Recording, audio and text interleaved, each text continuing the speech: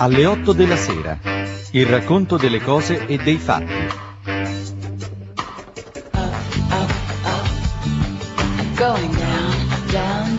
Sussurri di Hermes di Maurizio Bettini.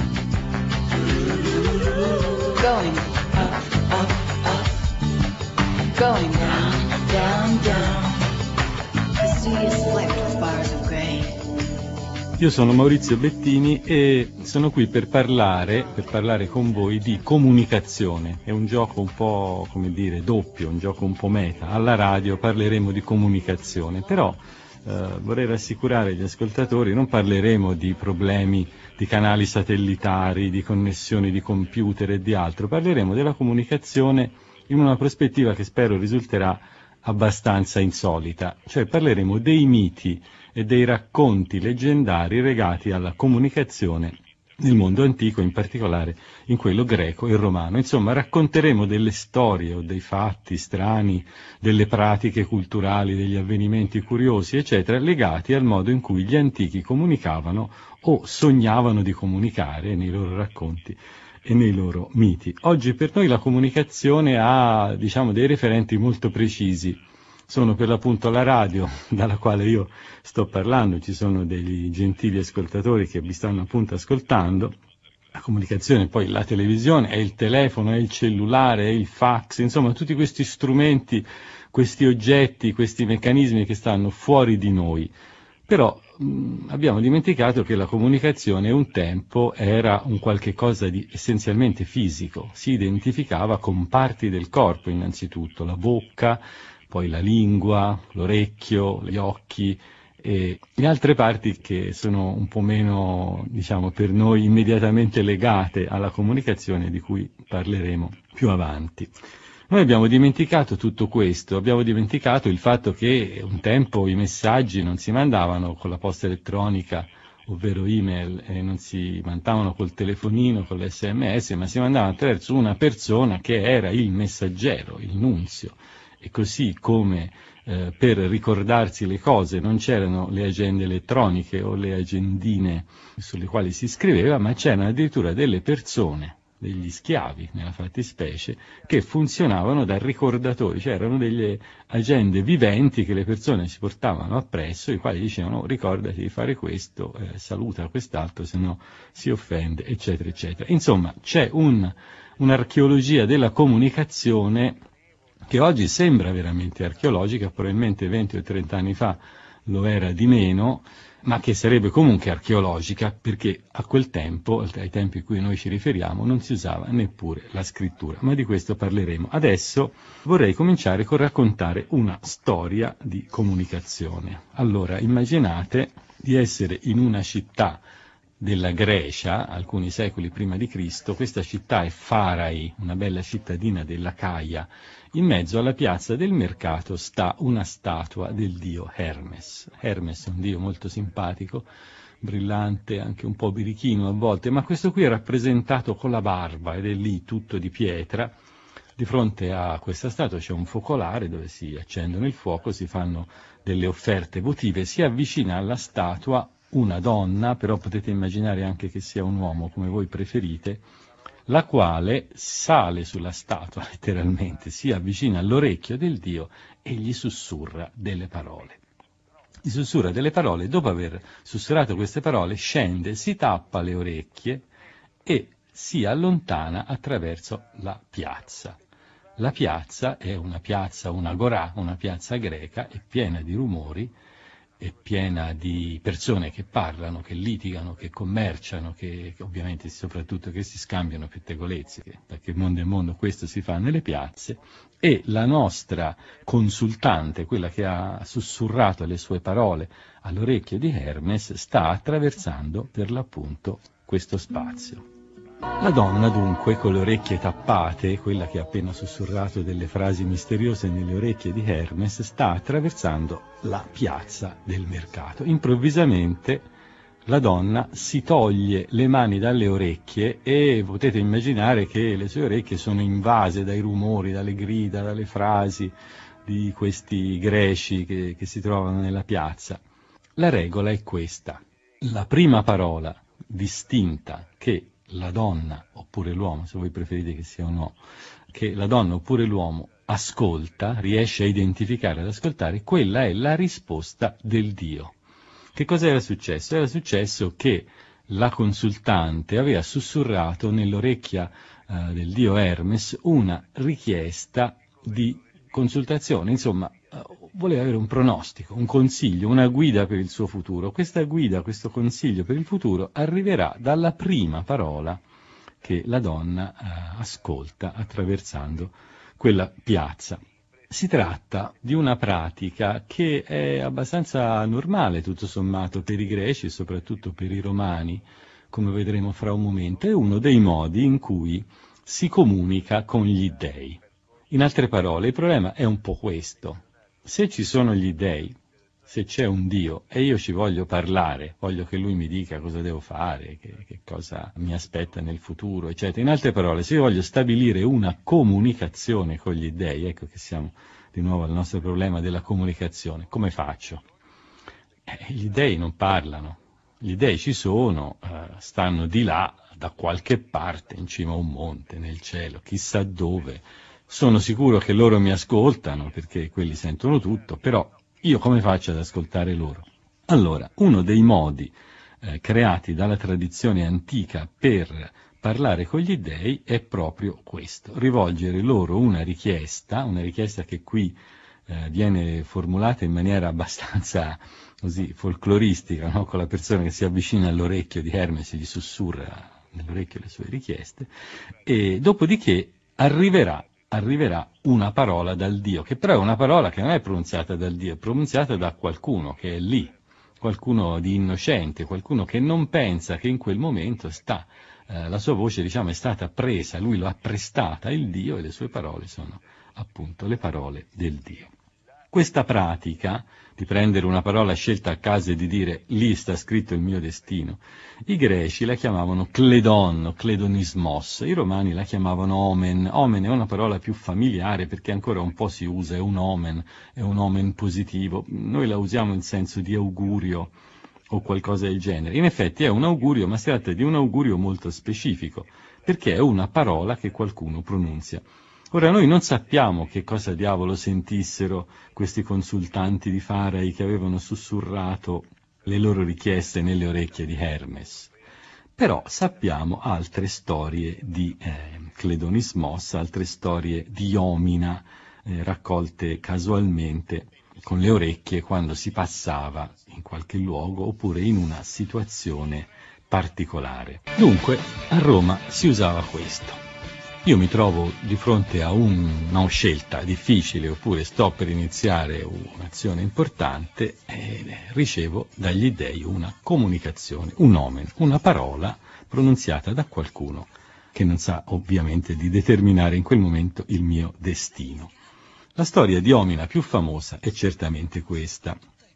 Lucio Licinio Crasso, eh, un importante personaggio romano che con Cesare Pompeo aveva formato il primo triumvirato, un uomo molto ricco, di straordinaria ricchezza, era però anche un comandante militare e si accingeva a una spedizione contro i parti, una popolazione molto temuta dai, dai romani perché erano molto bellicosi. Stava dunque per salpare per la sua spedizione. Si trovava sulla, sulla banchina del porto di Brindisi e che cosa succede? C'è un venditore di fichi, un venditore di fichi il quale vende i fichi gridando cauneas, cauneas, cioè vendo fichi di cauno. I romani non avevano dolcetti, non avevano caramelle, chewing eccetera, cioè, loro, le loro cose dolci erano fichi secchi, dolci di miele, altra frutta secca, eccetera. Lui vendeva questi fichi di cauno, cauneas. Ora, la parola cauneas può voler dire sì, fichi di cauno, io vendo fichi di cauno, però potrebbe anche essere la mh, pronunzia volgare di questa frase, cave ne eas, non andare, pronunziata poi cauneas, cioè nella maniera diciamo popolare, quotidiana del latino. Crasso, cosa, cosa, fece Crasso? Non capì l'omen, era distratto, pensava che quello vendesse solo fichi, in realtà quel venditore stava determinando il suo destino. Non capì, andò, il suo esercito a Carre fu completamente distrutto e dopo si disse fu distrutto perché Crasso aveva mancato la sua comunicazione con gli dèi, non aveva capito che quella era un omen e non una semplice vendita di fichi. Eh, ci sono poi altri casi di, di omina molto celebri, di altre, altre comunicazioni con gli dèi, per esempio questa, che è abbastanza graziosa perché è legata a una, a una ragazza, a un matrimonio. Dunque una nobile ragazza romana che voleva sposarsi ma non aveva pretendenti, secondo un costume molto antico, se ne andò con la zia materna in un certo tempietto vicino Roma, la notte, un luogo abbastanza misterioso, e le due donne si sedettero lì e eh, aspettavano gli omina, cioè aspettavano di avere un qualche segno che dicesse chi poteva essere il pretendente chi poteva essere lo sposo. Ho detto si sedettero lì. Era una cosa sbagliata quella che ho detto, perché in realtà c'era posto per una sola. Allora la zia prima si sedette lei, la ragazza stava in piedi, poi dopo un po' la zia disse ma no, guarda, mi alzo, prendi tu il mio posto e siediti al posto mio. La ragazza si sedette, non arrivò nessun omen. Ma cosa successe pochi giorni dopo? Che la zia morì e la ragazza si sposò con l'ex marito della zia, cioè gli aveva effettivamente ceduto il posto questa zia. Ma voi Hermes come ve lo immaginate? Io me lo immagino così. È un bel giovane, simpatico, con uno sguardo furbo, ha le alucce ai piedi, in mano un bastone ricurvo che si chiama caduceo, che è il suo strumento, quello con cui si manifesta, quello con cui accompagna all'Ade le anime dei morti, e quello che porta con sé come bastone dell'araldo quando va a portare i suoi messaggi, perché Hermes è anche questo, anzi essenzialmente questo, è il messaggero degli dei, non come dire il messaggero fra gli dei, perché gli dei non hanno poi molto bisogno di un, qualcuno che porti loro i messaggi reciproci, gli dei si capiscono, si intuiscono da soli, però a volte c'è bisogno di portare un messaggio degli dei a qualcuno che è fuori da questa comunicazione superiore, divina, che appunto accomuna gli dei. E allora ecco arrivare Hermes. Allora Hermes sta arrivando in effetti in questo momento, sta volando sopra il mare, dice Omero, simile all'uccello Laros, che è un uccello marino, e si sta dirigendo alla volta dell'isola Ogygia. È lì che infatti la ninfa Calipso trattiene con il suo amore Ulisse. Hermes, in qualità di messaggero, sbarca dunque nell'isola di Ogygia e dice a Calipso devi lasciare andare Ulisse perché deve continuare il suo viaggio e questa è la volontà degli dei. Ecco una delle tante innumerevoli storie di Hermes, messaggero, portatore di messaggi. Mm, vogliamo continuare a seguire Hermes? È un po' difficile perché è un dio molto veloce, rapido, guizzante, un dio che vola, un dio che si sposta eh, in maniera estremamente veloce, però possiamo provare a farlo. L'ideale sarebbe avere una macchina da ripresa per immaginarci di mentre inseguiamo Hermes. Allora, eh, oltre che nella sua qualità di uccello Laros che vola verso l'isola di Ogygia, possiamo anche dirigerci per seguirlo verso le piazze dei mercati, perché lui è lì che spesso si annida, arresta il suo volo nelle piazze dei mercati perché è proprio nelle agorai che si fanno gli scambi. Hermes è Dio dello scambio, è Dio della transazione, è Dio della comunicazione, l'abbiamo detto tante volte, e quindi si occupa molto volentieri anche di commerci. Eh, se Hermes ha lasciato in questo momento la piazza del mercato, come credo che abbia fatto, ci conviene a questo punto dirigerci subito verso gli incroci, perché è anche lì che Hermes volentieri si dirige e si trattiene. Possiamo addirittura seguire Hermes ovunque, nelle porte, nei sentieri, dovunque ci si sposti, ovunque si cammini.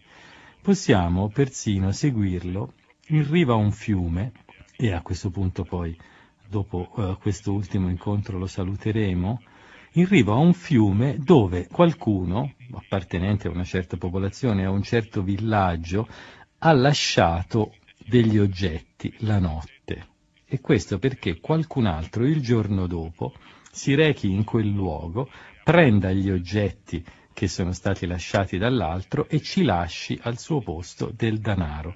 È quello che gli antropologi chiamano commercio silenzioso, silent trade, e che anche i greci praticavano, un commercio fra persone che non si incontravano mai, ma che magari per lungo tempo mantenevano rapporti commerciali lasciando uno gli oggetti, l'altro soldi o altri oggetti, e in questi incontri notturni, misteriosi, anche in questi incontri i greci dicevano che c'era di mezzo Hermes.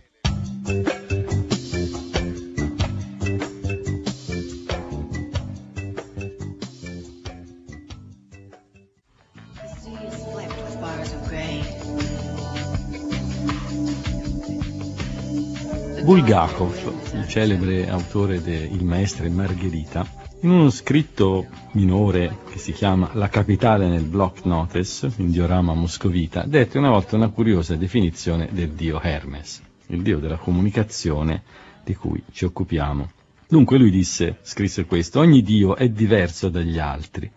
Hermes, per esempio, con le aluci ai piedi, è un Nepman e un furfante.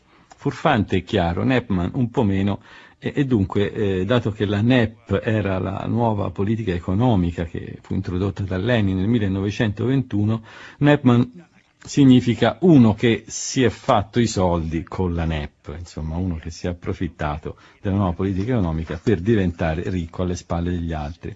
Insomma, Bulgakov non aveva una grande concezione, aveva un grande concetto del dio Hermes, lo riteneva un trafficone e un Nepman. Lo era? Beh, Hermes era un dio furbastro, comincia la sua carriera imbrogliando da bambino il fratello Apollo, insomma, quindi è uno che prometteva bene fino da piccolo. Però certo Hermes è un personaggio assolutamente affascinante, proprio perché aveva questo potere di mettere in comunicazione la gente, e questo è fondamentale. Anche i filosofi antichi lo dicevano, ci speculavano sopra, addirittura eh, Platone nel, nel Cratilo sosteneva, dice non bisognerebbe chiamarlo Hermes, bisognerebbe chiamarlo Eiremes, da, dal verbo eirein che vuol dire dire, significa dire, perché è il Dio che dice in qualche modo. E la sua funzione di, come dire, fondatore, autore del linguaggio la si vede bene anche nel mito di Pandora, in Esiodo, quando appunto si racconta che allorché gli dei, e Zeus in particolare, costruirono questa meravigliosa creatura, Pandora, la donna bellissima, ricca di doni, eccetera, che poi invece si rivelerà una grande rovina per gli uomini, quello che mise dentro Pandora le menzogne fu Hermes, ma eh, fu lo stesso che ci mise dentro anche la voce, cioè lui aveva la capacità di dare la voce a questa utoma uh, di fango a cui gli dei avevano dato miracolosamente la vita. Insomma, quando si tratta di comunicare, lì salta fuori il dio Hermes. Lui ha anche suggerito delle bellissime immagini e delle bellissime metafore. E qui dobbiamo rifarci a una storia che ci viene raccontata dal retore Eliano. Dunque, il re Aureliano era un personaggio buffo perché era di Palestrina, però lui eh, scriveva in greco, c'era fatto un'identità greca, si ficcava di scrivere il greco meglio dei greci stessi.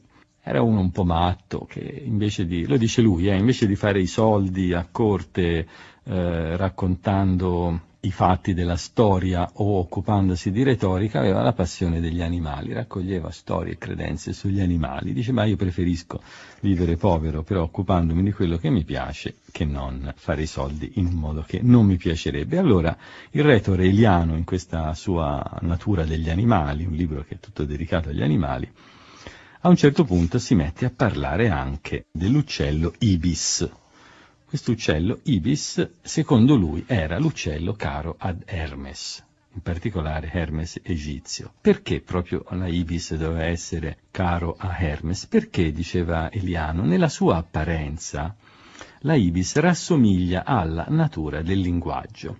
Infatti, le penne nere, di cui l'uccello è dotato, possono essere paragonate al linguaggio taciuto e rivolto verso l'interno quelle bianche al linguaggio proferito e ascoltato, quasi si trattasse di un servo e di un messaggero di quel che sta dentro. Insomma, per Eliano la ibis era un simbolo perfetto del linguaggio perché aveva delle penne nere e delle penne bianche. Le penne bianche erano, come dire, il risvolto positivo, il messaggero che portava fuori quello che eh, stava dentro, proprio come fa Hermes del resto. E le penne nere? Beh, le penne nere erano il silenzio, le parole non dette, le parole non pronunziate. È molto profonda questa metafora che si inventa Eliano a proposito delle penne dell'Ibis. Perché è profonda? Io penso per questo motivo. Perché ha il coraggio di dire esplicitamente che nella comunicazione lo stare zitti conta tanto quanto il parlare. Le penne nere sono tanto importanti quanto le penne bianche. Tante volte tacendo si comunica molto di più che subissando le orecchie altrui di parole, anzi infarcendo le orecchie altrui di parole, secondo un'altra metafora di cui parleremo più avanti, che era cara ai romani, i quali dicevano spesso mi hai infarcito le orecchie di parole. Le penne nere sono belle, sono importanti e sono esse stesse un modo di comunicare. Certo bisogna che anche il silenzio sia condiviso e per questo c'era Hermes dietro. Se si sta zitti da soli non significa nulla, ma se si sta zitti quando qualcuno ci ascolta, allora il, retore eliano ci ammonisce del fatto che si sta comunicando proprio come se si stesse parlando. Di simboli di animali che riguardano la comunicazione ce ne sono tanti. Abbiamo già detto il caso della ibis con le sue penne bianche e le sue penne nere. Ce n'è un altro che a dir la verità è quasi più bizzarro del precedente. Dunque, si raccontava che, a parere di qualcuno, i corvi e le ibis, guarda caso siamo di nuovo lì, si unirebbero sessualmente con la bocca. La fonte di questo che sto dicendo è il filosofo Aristotele, quindi insomma è abbastanza autorevole, anche se lui non credeva onestamente a queste cose. E fra i quadrupedi, continuava Aristotele, partorirebbe dalla bocca la donnola. Ma guarda un po', le donnole partorirebbero dalla bocca. Come è nata questa credenza è un altro discorso. Probabilmente qualcuno aveva visto le donnole che, come fanno i nostri gatti, portavano in giro i loro piccoli tenendoli in bocca.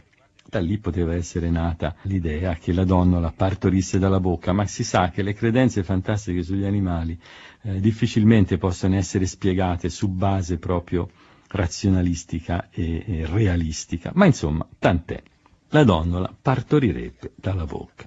A questo si riagganciava un altro filosofo antico, Plutarco, il quale pure lui insisteva dicendo ma guarda che eh, gli egiziani dicono che la donnola partorisce dalla bocca, eccetera, eccetera, e lui aggiungeva addirittura che la donnola concepiva dalle orecchie, come se non bastasse, ma d'altra parte, come dire, nella logica bizzarra e assurda delle, delle, credenze animali, questo è meno assurdo di altre cose, nel senso se un animale partorisce dalla bocca non si vede perché non possa concepire anche dalle orecchie.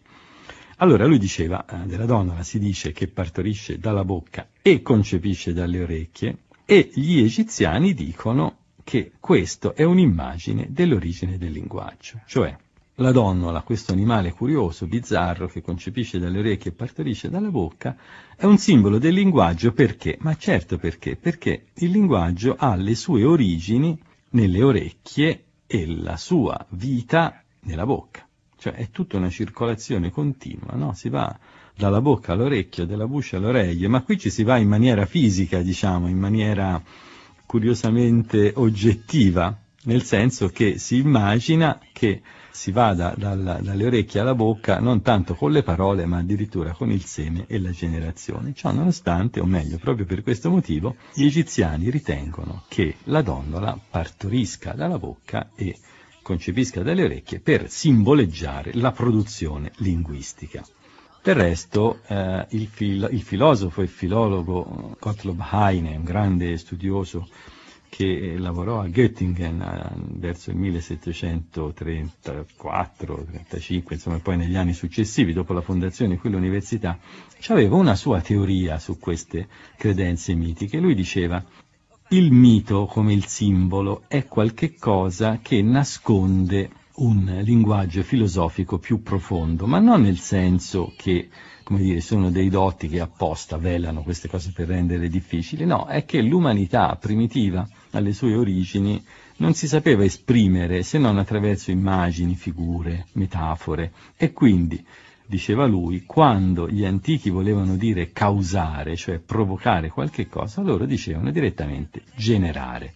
E da questo sarebbero nati tutti i miti relativi alla generazione così di, di, esseri fantastici, mostruosi, divini, eccetera, eccetera, perché altro non si voleva dire che causare determinati fenomeni. E allora, nella donnola che concepisce dalle orecchie e partorisce dalla bocca, secondo Heine noi avremo per l'appunto una grande metafora del causare il linguaggio.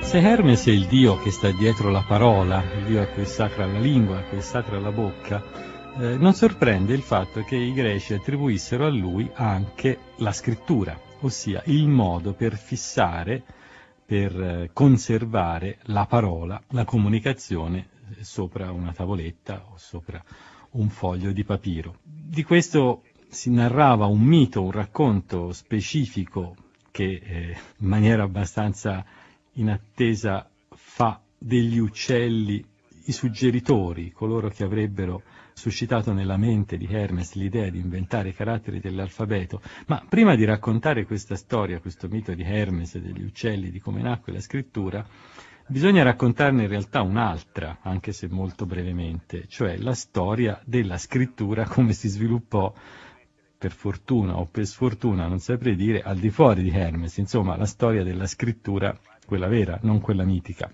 sulla quale noi possediamo ormai molte informazioni e quindi sappiamo come essa si formò inizialmente nella forma di una scrittura prima a carattere pittografico o geroglifico, ossia eh, una scrittura che utilizzava un segno diverso per ciascuna parola o ciascun concetto o nesso grammaticale che dir si voglia ed è quella tipo di scrittura che poi viene usata in Mesopotamia, viene usata in Egitto, verrà poi usata in, maniera del tutto indipendente nelle civiltà dell'America centrale e via discorrendo. Un modo di riprodurre i suoni, di riprodurre le parole, la comunicazione umana, che come dire è molto poco economico perché eh, a quel punto ci vogliono un'enorme quantità di segni per eh, esprimere anche un discorso piuttosto semplice.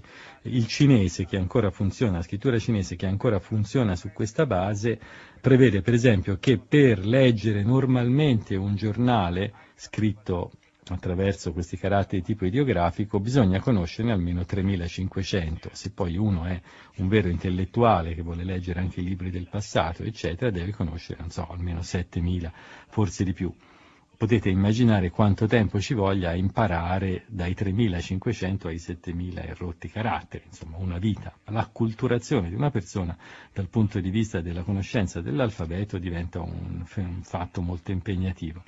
Al contrario, noi disponiamo invece di un alfabeto economico che utilizza soltanto pochi segni, la cui invenzione noi la dobbiamo ai Fenici, cioè eh, ci fu un momento in cui i Fenici scoprirono che non era necessario avere un segno per ogni parola, per ogni concetto, nesso e via di questo passo, ma bastavano pochi segni per riprodurre i suoni di cui ciascuna emissione vocale si componeva e che sono poi sempre quelli che non, non sono più di 25, 30 o quanti se ne voglia scegliere, ma insomma sono in numero molto limitato. L'alfabeto fonetico scoperto dai Fenici eh, costituì un straordinario impulso alla cultura umana perché conoscendo pochi segni si poteva scrivere tutto.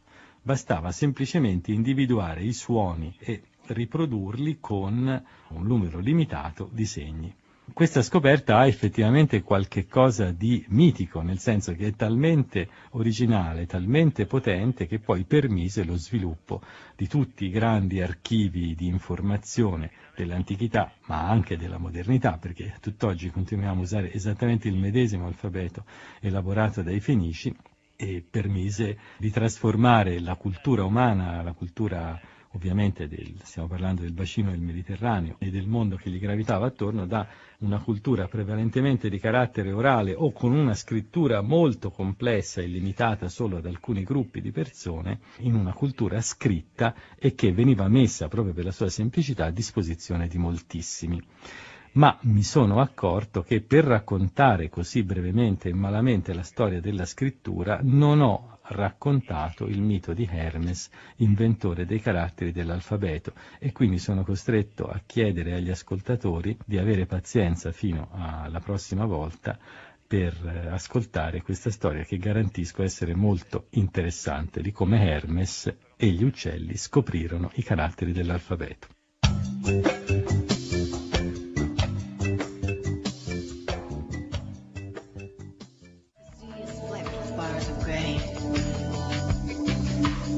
Una volta Hermes vide volare in cielo degli uccelli. Hermes era un dio curioso, guardava sempre quello che gli accadeva intorno, era molto attento e anche molto furbo. Questi uccelli erano le gru, sapete le gru sono quei volatili belli, eleganti, soprattutto quando li si vede da lontano, con le gambe lunghe e sottili, le ali ampie ugualmente sottili. Beh, c'è quella famosa storia raccontata anche da Boccaccio di Chichibio, il cuoco e la gru, quella, perché appunto si erano rubati una coscia, allora lui dice, ma questa è una gru, perché le gru sogliono stare su una gamba sola, insomma hanno questi strani movimenti, queste, anche queste strane linee, no? Perché una gru che sta ritta su una gamba sola è effettivamente un'immagine, una figura molto singolare. Allora eh, Hermes vide eh, le gru che volavano lontane nel cielo ed ebbe l'idea di inventare niente meno che i caratteri dell'alfabeto. Ma perché proprio le gru? Bisogna rifarsi qui, per capire questo mito, alla natura oggettiva, diciamo, alla realtà di questi animali. In effetti le gru volano nel cielo in formazione e formano delle vere e proprie righe. Eh, se qualcuno si ricorda Dante nell'inferno, quando Dante si vede venire incontro la schiera dei lussuriosi che piangono, lui dice che assomigliano a igru, igru al maschile, insomma, dice igru, che volano facendo in aere di sé lunga riga, perché le gru volano in, in, come se fossero delle righe, delle linee. Allora, se uno immagina che le gru formano una linea, allora può anche pensare che zampe e teste siano, stiano sopra e sotto questa linea, cioè siano veramente delle gambe, come ancora oggi diciamo, o dei capita, delle teste, come ancora oggi diciamo, di una lettera, di una scrittura verosimilmente di carattere corsivo. Molto, questo non è un mito antico dei, dei greci, è un mito probabilmente abbastanza tardo, ma è molto interessante pensare che le gru, gli uccelli, nel cielo scrivano, scrivano delle cose, scrivono dei messaggi. È un mito così bizzarro, così folle, eh, questo per, eh, per, i greci o per gli antichi in genere? No, assolutamente no. Vabbè, non tanto, come dire, l'invenzione è bella, è poco usuale, no? pensare che, che, una formazione di uccelli nel cielo costituisca come una sorta di scrittura, di righe, con sopra e sotto dei segni, sono appunto le lettere. Eh, l'invenzione è bella e originale, quello che mh, però è abbastanza normale è l'idea che gli uccelli comunichino messaggi, perché questa è la prassi dei greci, dei romani, soprattutto degli etruschi, ma anche lo era stata, lo era dei mesopotamici, eccetera. Gli uccelli sono i grandi, anche loro, i grandi messaggeri del volere divino. Anche gli uccelli sono uno strumento simbolico di comunicazione fra il cielo e la terra, fra il sopra e il sotto.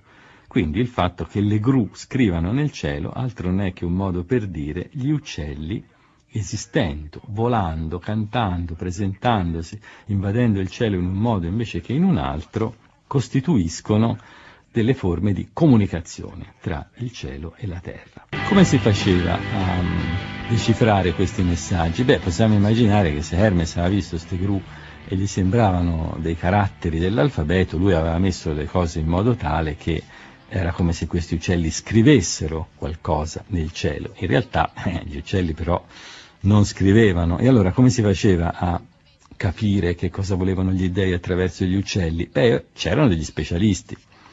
Da che mondo è mondo, quando c'è qualche pratica comunicativa, fateci caso, ci sono subito degli specialisti che vi si inseriscono po' come oggi, no? ci sono i grandi comunicatori televisivi o radiofonici, ci sono i presentatori, oppure ci sono i giornalisti, i direttori di giornale, gli opinion makers, cioè quando c'è da comunicare si creano delle categorie di specialisti che certo sono bravi nel fare il loro mestiere, ma anche assumono il controllo, come dicono gli americani, assumono il controllo di quella parte della società.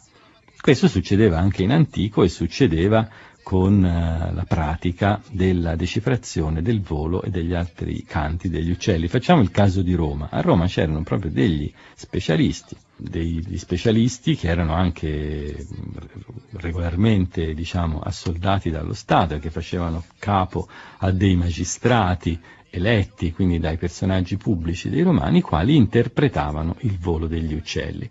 E lo facevano, questi aruspici lo facevano con un metodo abbastanza complicato perché bisognava circoscrivere eh, tutto ciò, eh, quello che accadeva nel cielo con questi uccelli, per renderlo in qualche modo decodificabile. È inutile dire che gli uccelli non esprimono nulla, non esprimevano nulla allora, non esprimono nulla oggi, sono tutte proiezioni simboliche delle, delle società e delle credenze, ma eh, siccome esiste quello che si crede, e non sempre si crede quello che esiste, eh, anche allora avveniva, come avviene oggi, che si prendevano molto sul serio fenomeni che erano sostanzialmente infondati, ma siccome erano condivisi da tutti, diventavano veri. Allora la ruspice come si comportava? Lui aveva un bastone ricurvo che si chiama litus, ne abbiamo trovati di questi litui etruschi negli scavi, bastoni ricurvi abbastanza curiosi con i quali si circoscriveva una parte del cielo e si diceva ecco questo è un templum, questa è la zona all'interno della quale il volo degli uccelli diventa significativo, perché se è fuori no, non conta niente. All'interno di quel templum poi si valutava il numero degli uccelli, da che parte provenivano, come si comportavano, eccetera, eccetera. Dopodiché la ruspice diceva, tramite gli uccelli, il Dio vuole questo e questo.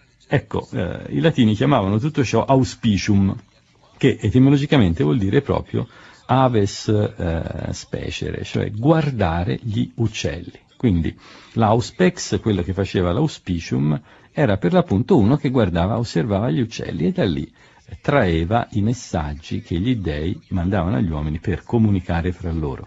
È ovvio che avere il controllo di questa sfera della religione, della divinazione, Beh, era uno strumento di potere straordinario perché uno poteva dire eh, attenzione signori miei, la tale assemblea che voi volete fare non si può fare perché gli uccelli dicono che non si può fare, quindi gli dei non la vogliono.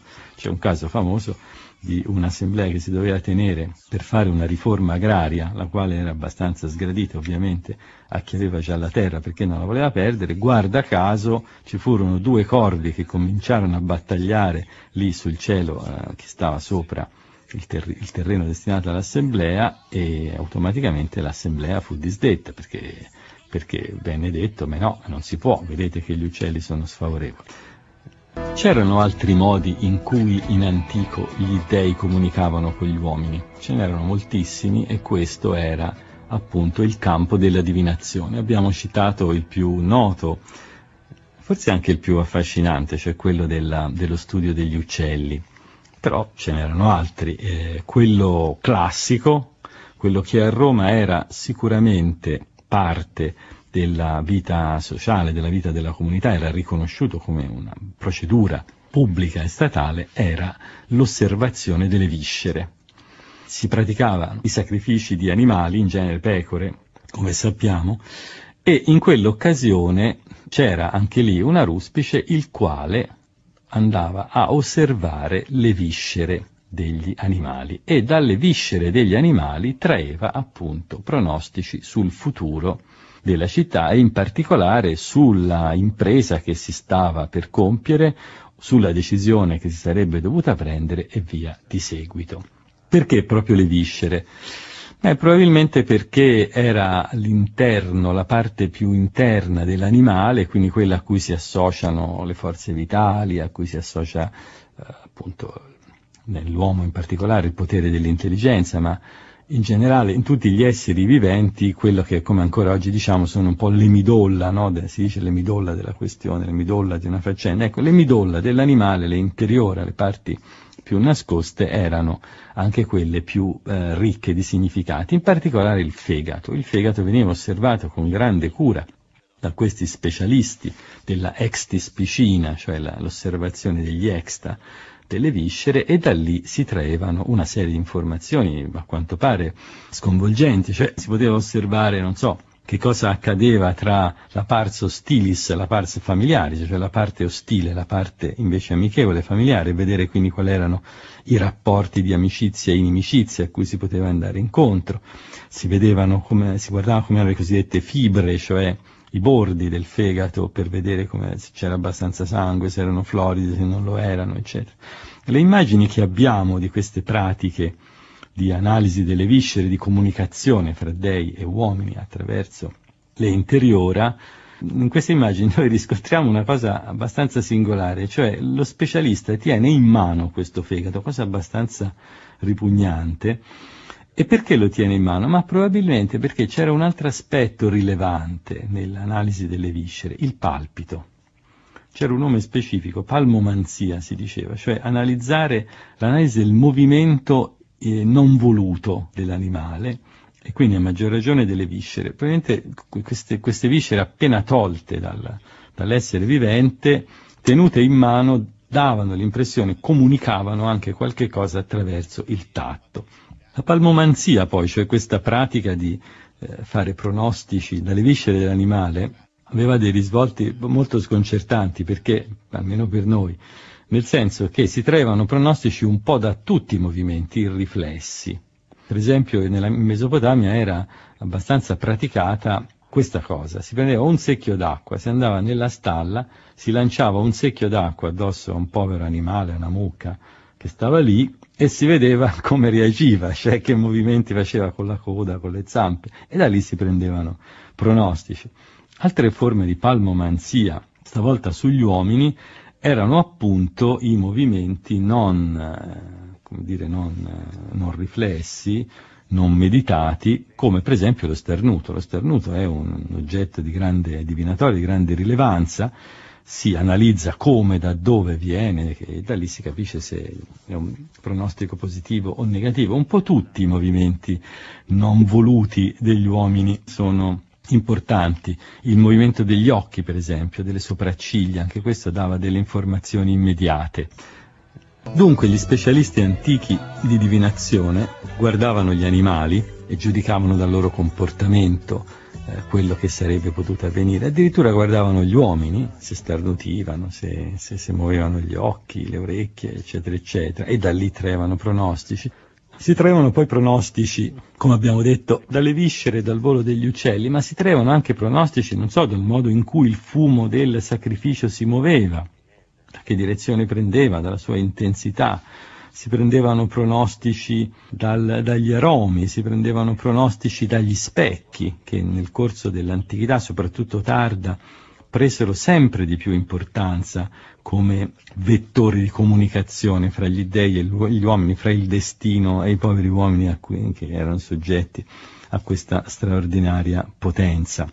Come vedete sono tutte forme di comunicazione sostanzialmente mute, nel senso che eh, non significano nulla se uno non possiede un codice per decifrarle. A tutt'oggi è così, se voi interpellate un mago televisivo, lui comincerà a distribuire delle carte, poi dirà, vedo, eh, qui c'è l'asso di bastoni, cose che per esempio a me, che non mi intendo di queste cose, non dicono assolutamente nulla, il mago ha un codice e riesce a mettere insieme un cuori, così un, un, asso di bastoni, cosa o quel che sia, no? sto mescolando un po' i semi, a, a, si vede che proprio non me ne intendo.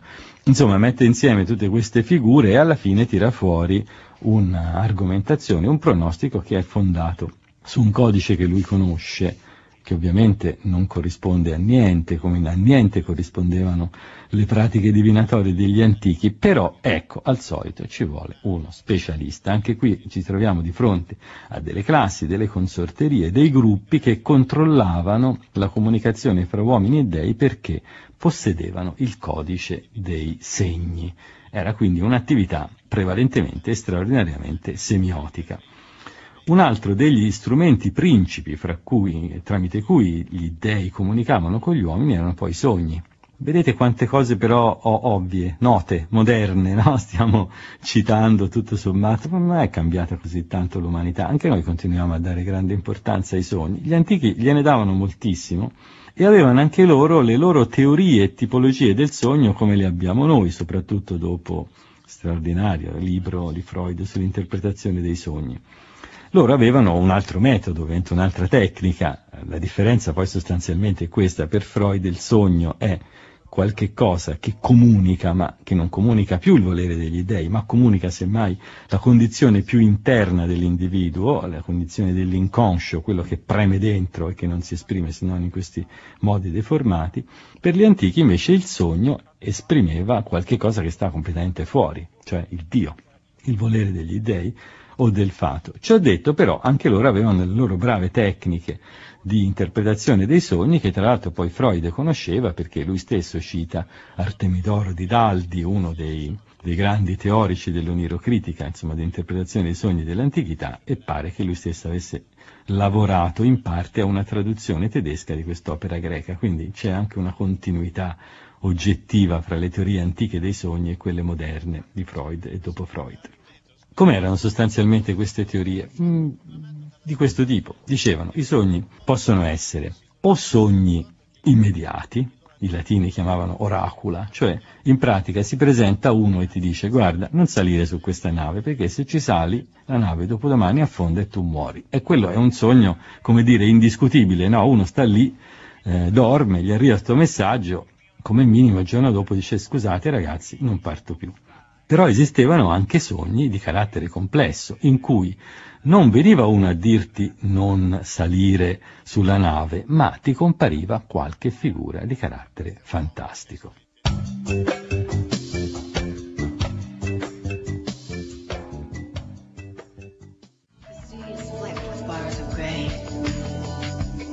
Stiamo parlando di sogni. Ci siamo lasciati su un tema abbastanza affascinante, cioè sulla tipologia che gli antichi davano dei loro sogni, soprattutto dei sogni che comunicano, come dicevamo, qualche messaggio da parte degli dei. Allora, eh, ne esiste un tipo, i latini lo chiamavano oraculum, cui semplicemente si presenta qualcuno e mi dice non salire domani su quella nave perché la nave aff- affonderà e tu morirai. A quel punto io mi sveglio e dico non parto più. E questo è semplice.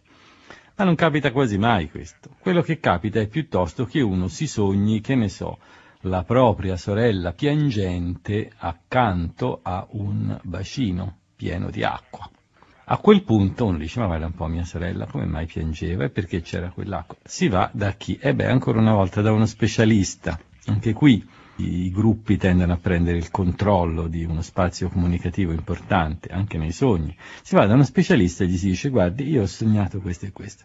Allora lui comincia a fare delle domande a nostra sorella, ma come qui, ma là. Poi a un certo punto fa la domanda, ma lei cosa farà nei prossimi giorni? Devo partire. Eh no, caro signore, lei non parta perché sorella piangente vuol dire lutto. Infatti, le donne, solo le donne piangono i loro morti, i congiunti morti, eccetera, eccetera.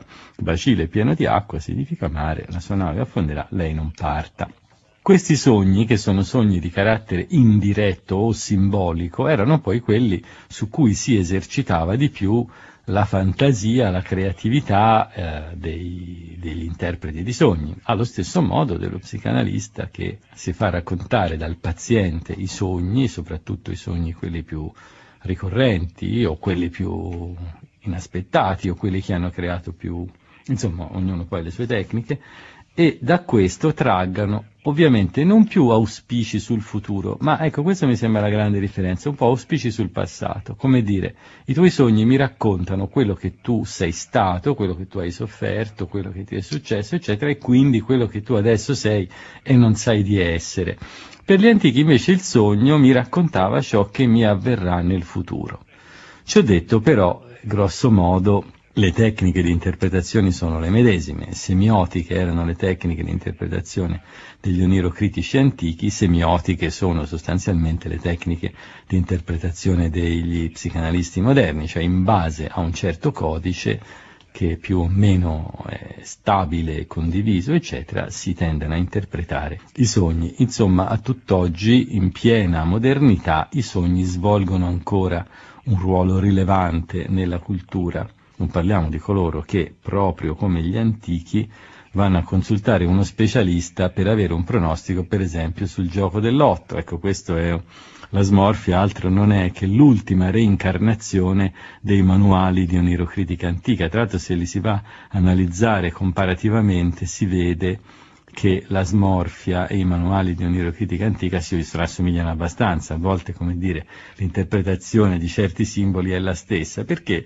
con una certa tenacità nel tempo questi rapporti simbolici si sono conservati. Però mi sono accorto che parlando di sogni ho lasciato da parte un po' il mio Dio e il Dio di queste trasmissioni, che è il Dio Hermes, e quindi al Dio Hermes vorrei tornare, in particolare ai suoi sussurri.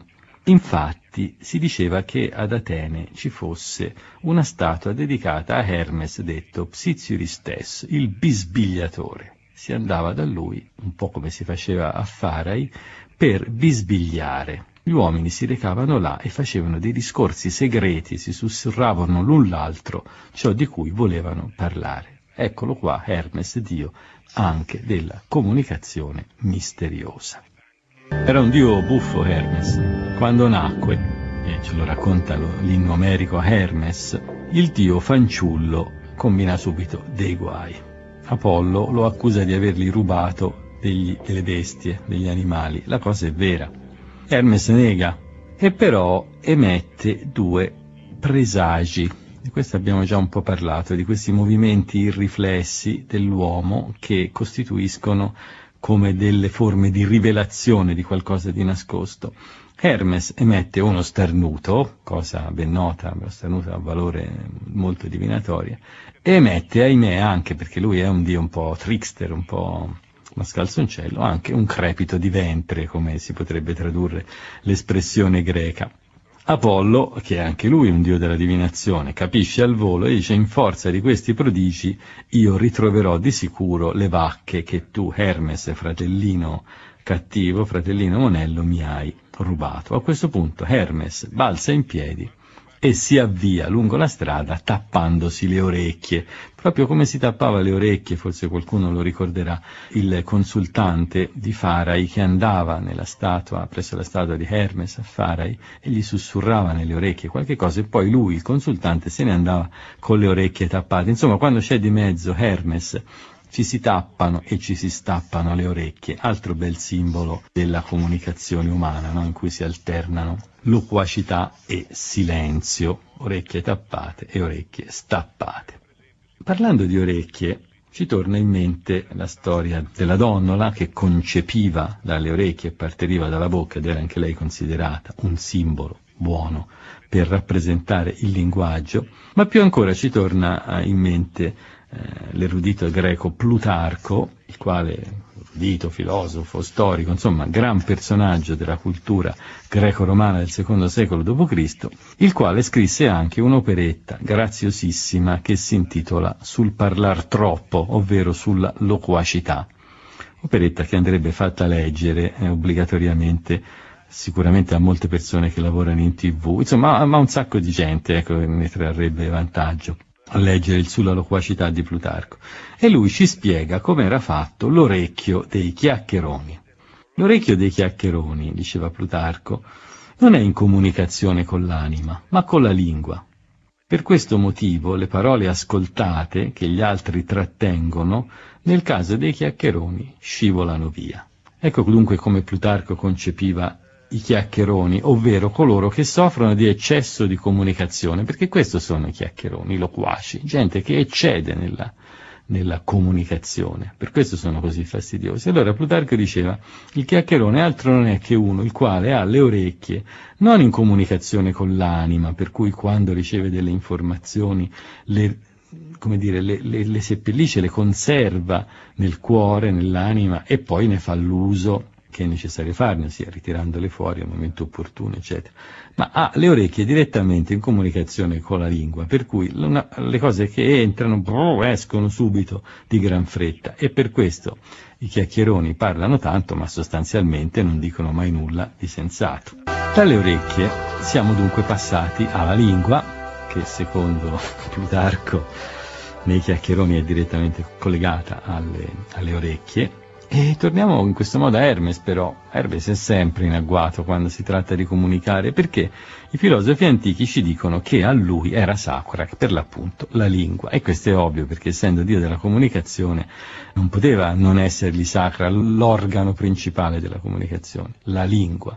Non bisogna mai dimenticare che il linguaggio eh, orale è all'origine di tutto. Noi ormai siamo in un'epoca iperscritta, scriviamo in continuazione se si guarda diciamo, la quantità di carta da stampante che noi buttiamo via ogni giorno, questo dà immediatamente la misura di quanto scriviamo anche, no? E di quanto stampiamo. Insomma, siamo in una cultura iperscritta. Sì, c'è una nuova oralità, si dice, ma una nuova oralità fino a un certo punto, perché poi in realtà basta comprarsi, che ne so, un aspirapolvere nuovo e ti rifilano un libro di proporzioni colossali, se uno lo leggesse tutto eh, non aspirerebbe mai la polvere e invece passerebbe il tempo a leggere il libro, per non parlare dei programmi di computer che richiederebbero un'intera vita per essere approfonditi. Insomma, è tutto un, un mondo di scrittura, però, però in realtà la comunicazione nasce dalla lingua, dalla bocca, è orale.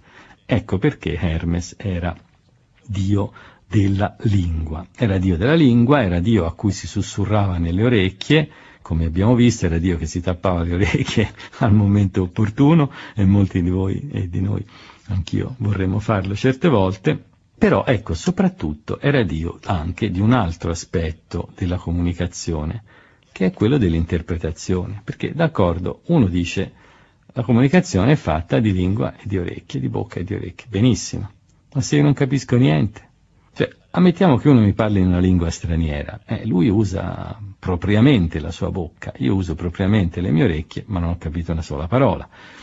Per non parlare invece dei casi in cui mi parlano nella mia lingua, ma in un modo tale che non riesco minimamente a rendermi conto eh, di che cosa si sta dicendo. Insomma, l'interpretare è un atto fondamentale della comunicazione, anzi probabilmente il più importante di tutti. I greci avevano una parola per dire interpretazione ed era la parola hermeneuein, interpretare, ovvero, come sembra probabile dall'etimologia, fare come Hermes. L'hermeneuein, l'azione di interpretare, era l'azione di Hermes e l'interprete si chiamava Hermeneus, cioè colui che fa da Hermes. Insomma, Hermes è dio della comunicazione, dei commerci, dei contatti, dei contratti e chi più ne ha più ne metta, era anche dio della interpretazione, intendendo con questa parola sia la traduzione, cioè il passare da una lingua a un'altra, sia anche l'interpretazione della lingua che ci è nota, ma eh, tutti noi sappiamo bene quanto a volte sia difficile comprendere la nostra stessa lingua. Basta andare a una riunione di condominio e leggere i regolamenti relativi all'uso del tetto o della terrazza condominiale, cioè che uno capisce che vuole un'ermeneutica perché non, non, si riesce manco a decrittare chi diavolo abbia la chiave della porta per accedere alla terrazza. Insomma, ecco, questa sarebbe un'azione da Hermes, un'azione di Hermeneuein. Il circolo in un certo senso in questo modo si chiude, perché Hermes è Dio delle orecchie, Dio della lingua, quindi della comunicazione, Dio della comunicazione fra dei uomini perché porta i messaggi, è anche di Dio della comunicazione scritta perché è colui che ha inventato i caratteri dell'alfabeto e anche finalmente il Dio che presiede all'atto principale della comunicazione, l'interpretare.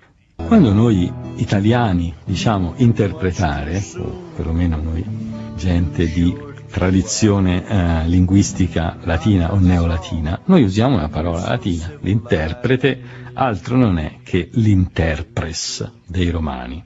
L'interpres chi è?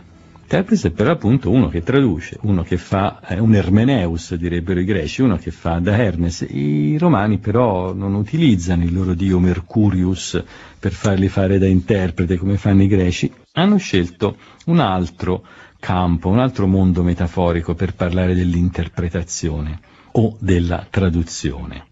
E da dove l'hanno preso sto campo? Una cosa abbastanza interessante perché nella parola interpres ci sono due elementi abbastanza ben riconoscibili. Uno è inter, l'espressione che non designa ovviamente la squadra di calcio, ma che comunque è in qualche modo implicata anche nella squadra di calcio, perché internazionale e inter è in latino la preposizione che significa il, il rapporto fra. Quindi inter indica che c'è un rapporto fra, fra due. E poi c'è questo press che è una radice, se si vuole abbastanza dolorosa e che anche in Italia noi abbiamo, che è la radice della parola prezzo, cioè di quanto si paga per. Infatti il genitivo di interpres è interpretis, quindi c'è di mezzo questo pret che è il prezium. Allora non sorprende il fatto che per i romani l'interpres non è solo colui che interpreta da una lingua a un'altra o che interpreta una, un testo nella propria lingua, è anche il mediatore di affari.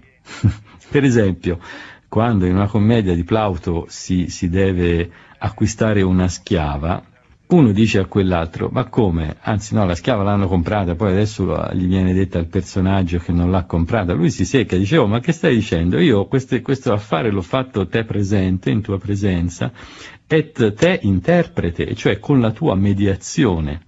E così Cicerone una volta racconta di aver fatto delle negoziazioni con, con Lepido, utilizzando come aiutanti e come interpretes suo fratello e altri personaggi. Cioè l'interprete secondo me è quello che si mette in mezzo e che fa combinare l'affare. Cioè quello che tra i due, inter, no, eh, stabilisce il prezzo, il prezium. La cosa in sé è molto interessante se uno pensa all'eterno problema della traduzione si sa che delle traduzioni poi nessuno è mai contento, no? C'è quella storia famosa, quella, quell'aneddoto che si racconta sulle traduzioni, quello che diceva che la traduzione era come la donna, che se era bella non era fedele, se era fedele non era bella. Una, un modo di dire decisamente misogeno e antifemminile che come tale oggi per fortuna non si usa più tanto, ma che esprimeva sempre questo concetto, cioè come dire, la traduzione non può mai funzionare, perché se io traduco parola per parola mi viene una cosa fedele ma brutta. Se io metto lì e invece riscrivo nella mia lingua, certo viene una cosa bella, però non corrisponde più all'originale.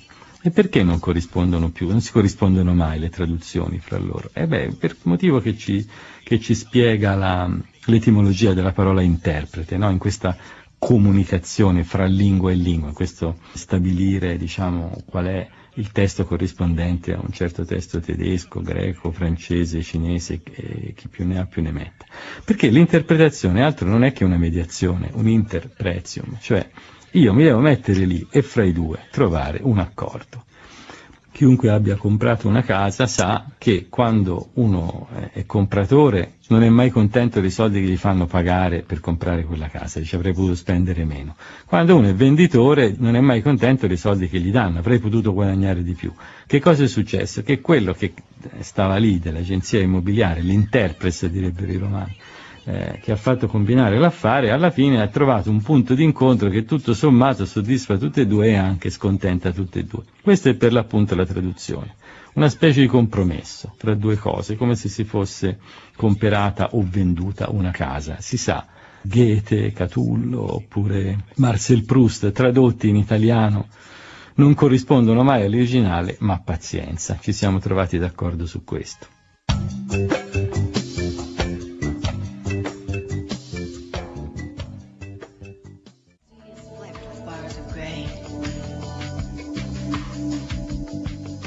So se qualcuno lo ricorderà, ma forse sì, avevamo raccontato la storia che ci viene dal retore Eliano delle penne dell'Ibis. Eliano diceva che le penne dell'Ibis sono un simbolo perfetto del linguaggio perché le penne bianche significano le parole che escono dal, dal cuore e raggiungono il destinatario. Le penne nere invece sono uh, le parole che non vengono pronunziate, sono il silenzio uccello caro a Hermes, l'Ibis, ci faceva capire che per Hermes, dio della comunicazione, anche il silenzio è importante. Eh, abbiamo parlato a lungo di Hermes, del comunicare delle parole, del linguaggio, degli scambi, eccetera, eccetera. Parliamo un po' anche di questo Hermes silenzioso, di questo Hermes che non parla, ma anzi provoca il silenzio.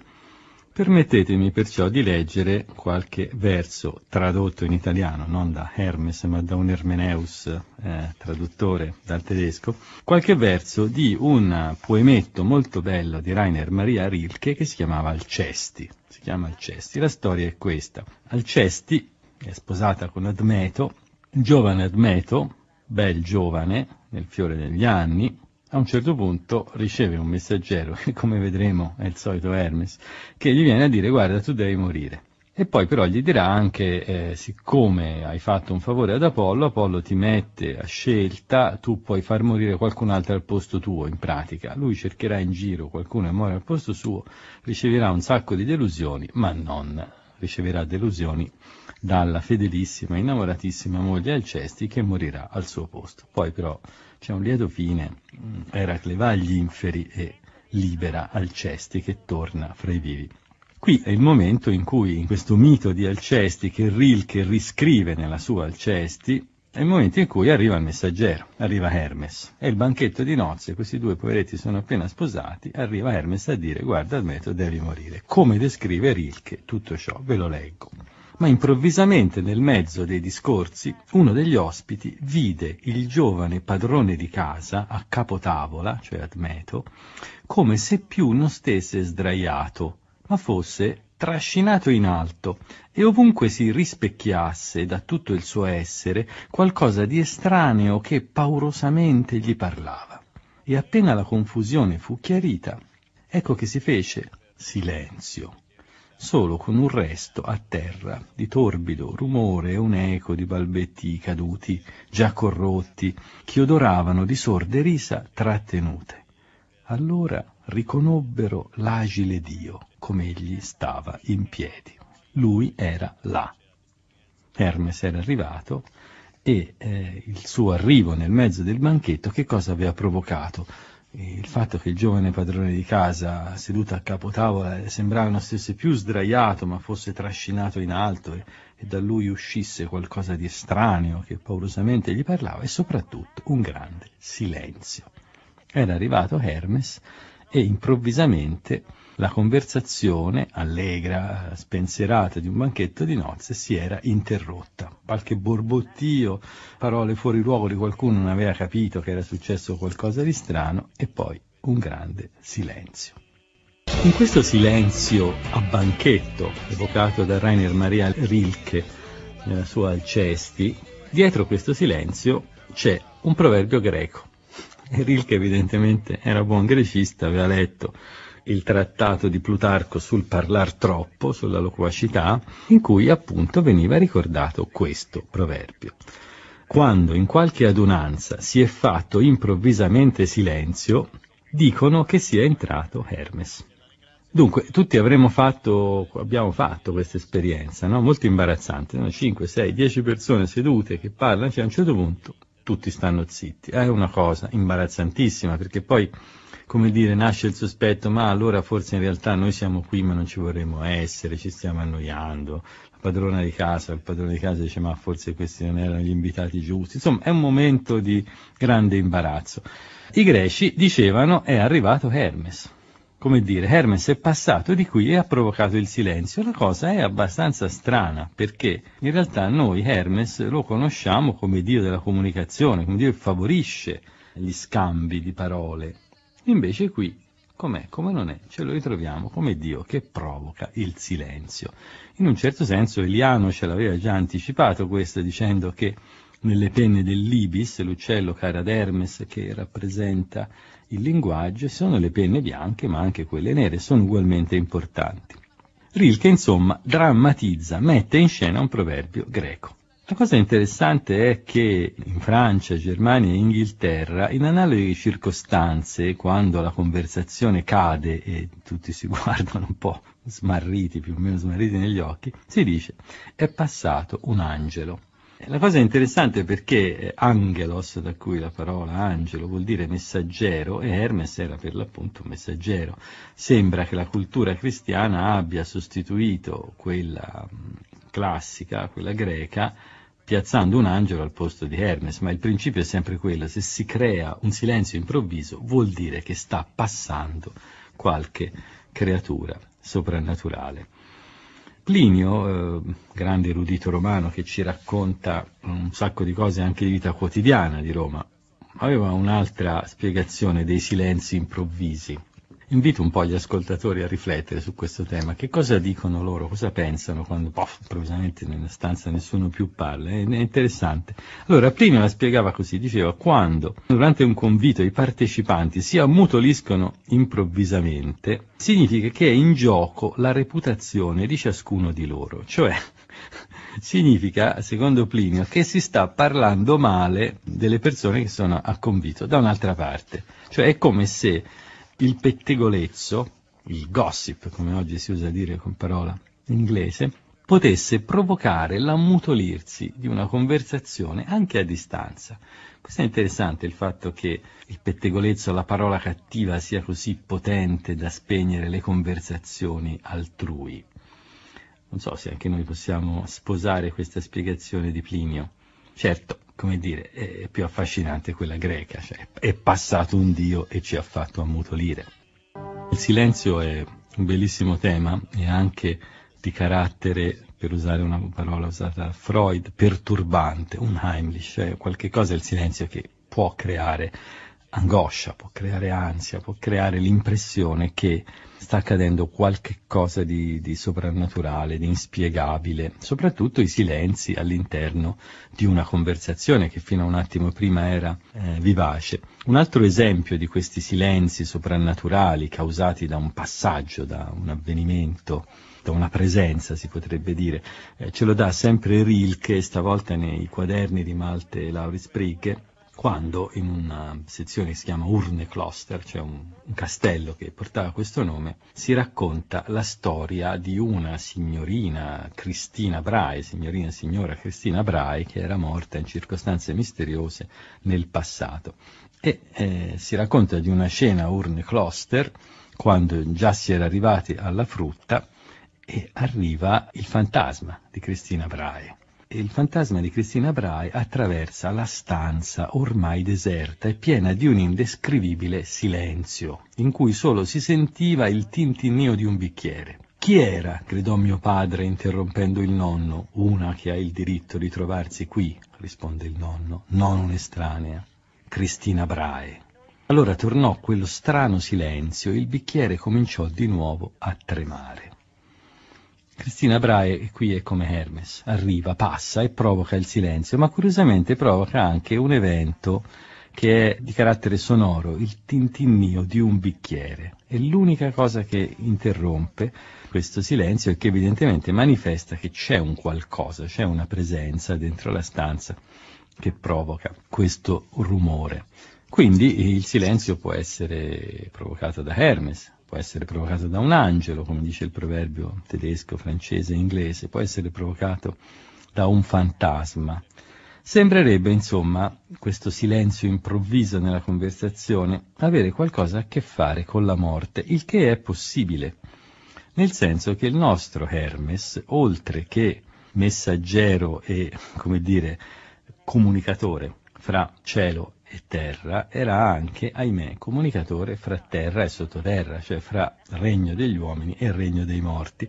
I greci lo chiamavano in questa sua veste lo psichopompos, cioè colui che accompagna le psichai, le anime, e quando compare nella sua funzione psichopompos, certo Hermes è una figura decisamente funebre. Il finale dell'Odissea, per esempio, ha un racconto delle anime dei proci che Hermes psicopompos conduce verso l'Ade dopo che Ulisse ha provocato questa strage mai vista e le accompagna come se fossero praticamente un gregge. Beh, certo, se Hermes compare nella qualità di psicopompos, di messaggero dei morti, di comunicatore della morte, è ovvio che provochi il silenzio attorno a sé, ma forse Forse con questa spiegazione, il silenzio improvviso in una conversazione evoca la morte, non siamo ancora arrivati del tutto al cuore della faccenda. Il fatto è che dobbiamo riflettere su quello che è veramente la comunicazione. Abbiamo detto che non è solo scambiare parole, notizie, informazioni, frasi scritte o quel che sia. La comunicazione è anche tacere. Tacere al momento opportuno, non dire, reagire con un silenzio è altrettanto importante quanto parlare. Il silenzio è parte integrante della comunicazione. Quindi il fatto che Hermes, il dio che in genere fa parlare, faccia anche tacere, non stupisce. Lui è padrone della comunicazione. E quando gli antichi dicono che lui è signore della voce e del discorso, che cosa vogliono dire? Che lui sa mettere la voce nel cuore degli uomini, nel petto degli uomini, sa far pronunziare loro il discorso, però glielo può anche togliere. Se io ho il controllo, diciamo, di una certa sfera della vita umana come la comunicazione, significa che la posso attivare e la posso anche disattivare. Questo è l'Hermes che entra nelle conversazioni e fa cadere la conversazione. Questo è l'Hermes del silenzio, l'altro aspetto della comunicazione. Anche qui, anche su questo, i greci avevano un racconto mitico. Infatti si dice che nell'inno a Hermes, l'inno numerico a Hermes, di cui altre volte abbiamo parlato, si racconta di quando Hermes era andato a rubare da bambino le vacche di Apollo. È un comunicatore ladro Hermes, con questo non voglio dire che la comunicazione sia un'arte da ladri, me ne guardo bene, ma insomma c'è tutta una sfera di comunanza tra il comunicare, il commerciare, il sottrarre, eccetera, che sarebbe un soggetto di affascinante riflessione, cosa che qui però non faremo e invece torneremo subito a Hermes che sta strisciando nella notte per andare a rubare le vacche di Apollo. E rientra, dopo aver fatto il furto, nella spelonca della madre senza che i cani abbaino e non faceva neanche rumore, come accade quando eh, si tocca il suolo. Perché i cani non abbaiavano? Questa è anche una cosa interessante, ai, ai ladri veri, diciamo non mitici, farebbe molto comodo sapere come si fa. Beh, dice il testo dell'inno a Hermes, perché per prima cosa aveva lanciato sui cani che le custodivano un attacco di letargia e di chinanche, e quelli si dimenticarono delle vacche e resero nulla la vigilanza. Dunque lui aveva gettato sui cani la chinanche, come come la chiama il testo greco. Cos'è la chinanche? Letteralmente è il mal di gola del cane, insomma, lo strangola cani. È una parola che significa proprio letteralmente questo, lo strangola cani, chiuo nel cane, e che viene usato poi anche dai, dai medici per indicare una malattia della gola, che è tipica del cane, ma che può diventare anche la cosiddetta angina dell'uomo. Quindi Hermes aveva il potere di gettare la china anche sui cani e di farli tacere. Era come se quando passava lui i cani si sentissero strozzati, strangolati e non riuscivano più ad abbaiare e questo permetteva al piccolo ladruncolo, il giovanissimo Hermes, di rubare ad Apollo le sue vacche. Eccoci probabilmente in fondo alla spiegazione del silenzio che cade nella conversazione quando Hermes entra nella stanza. Lui sui presenti getta una specie di chinanche, è come se gli gettasse uno strangolacani addosso, un, un mal di gola, un'angina. Perché? Perché lui, padrone della comunicazione, è anche padrone di quest'altro aspetto fondamentale della medesima che è il non parlare. Solo quando non si parla, non si può parlare, si capisce che cosa significa parlare.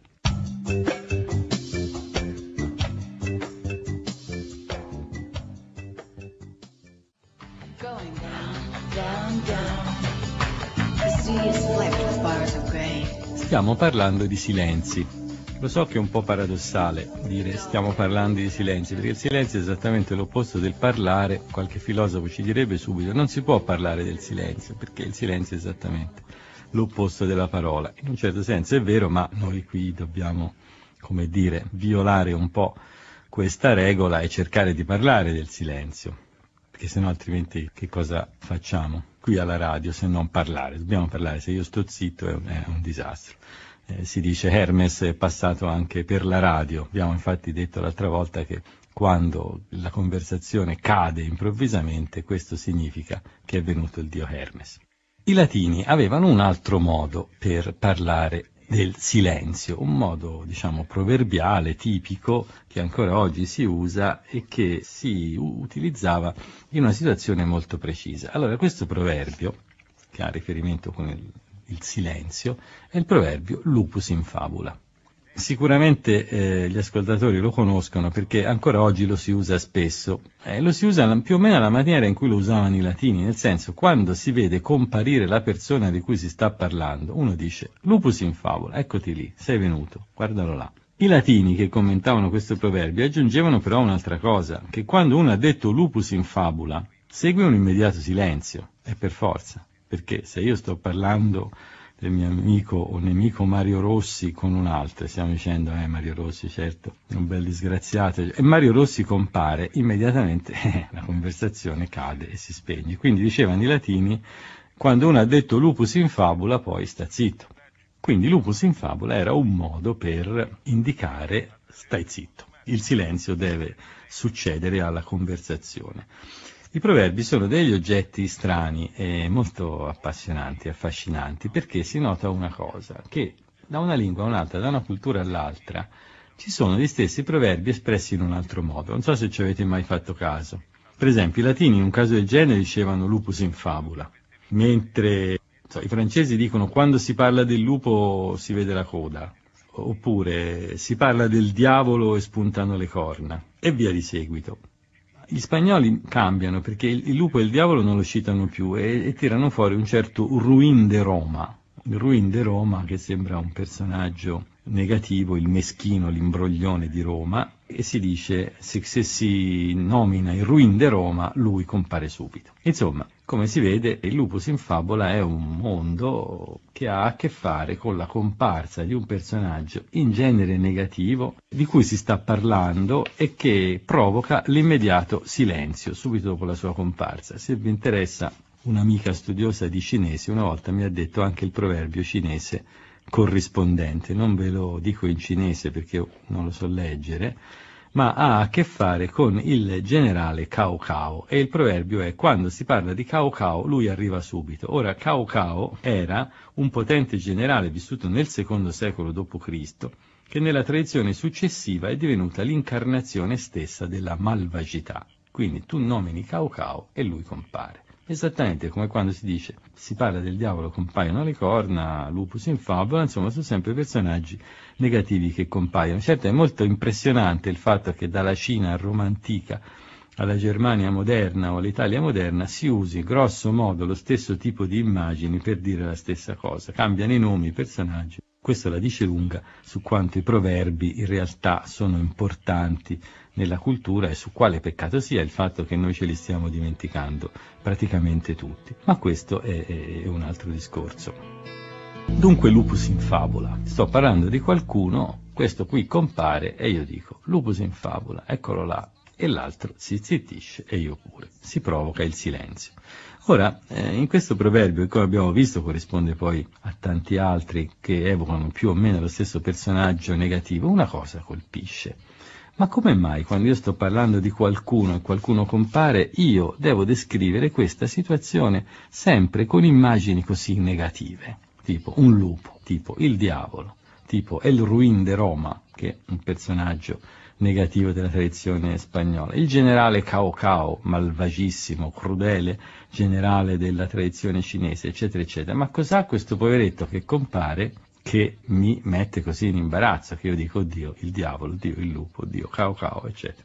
Evidentemente la vita quotidiana riserva sempre delle sorprese, come dire, anche delle circostanze apparentemente neutre invece sono molto perturbanti, sono molto sconvolgenti il fatto che io sto parlando di qualcuno e quello si materializza lì, evidentemente bisogna dedurre da tutte le immagini che vengono usate per descriverli è qualcosa che fa impressione, che fa paura. Per quale motivo fa paura? Beh, il linguista, grande linguista francese Émile Benveniste aveva una teoria del linguaggio, dell'espressione linguistica, che secondo me viene proprio bene, si potrebbe dire a fagiolo, ma è un'espressione un po' volgare, non la voglio dire, insomma viene proprio giusta per spiegare questo singolare fenomeno, cioè che quando io sto parlando di qualcuno e questo qualcuno mi compare, io sono gravemente in imbarazzo e percepisco questa comparsa come qualcosa di ostile che mi potrebbe fare del male.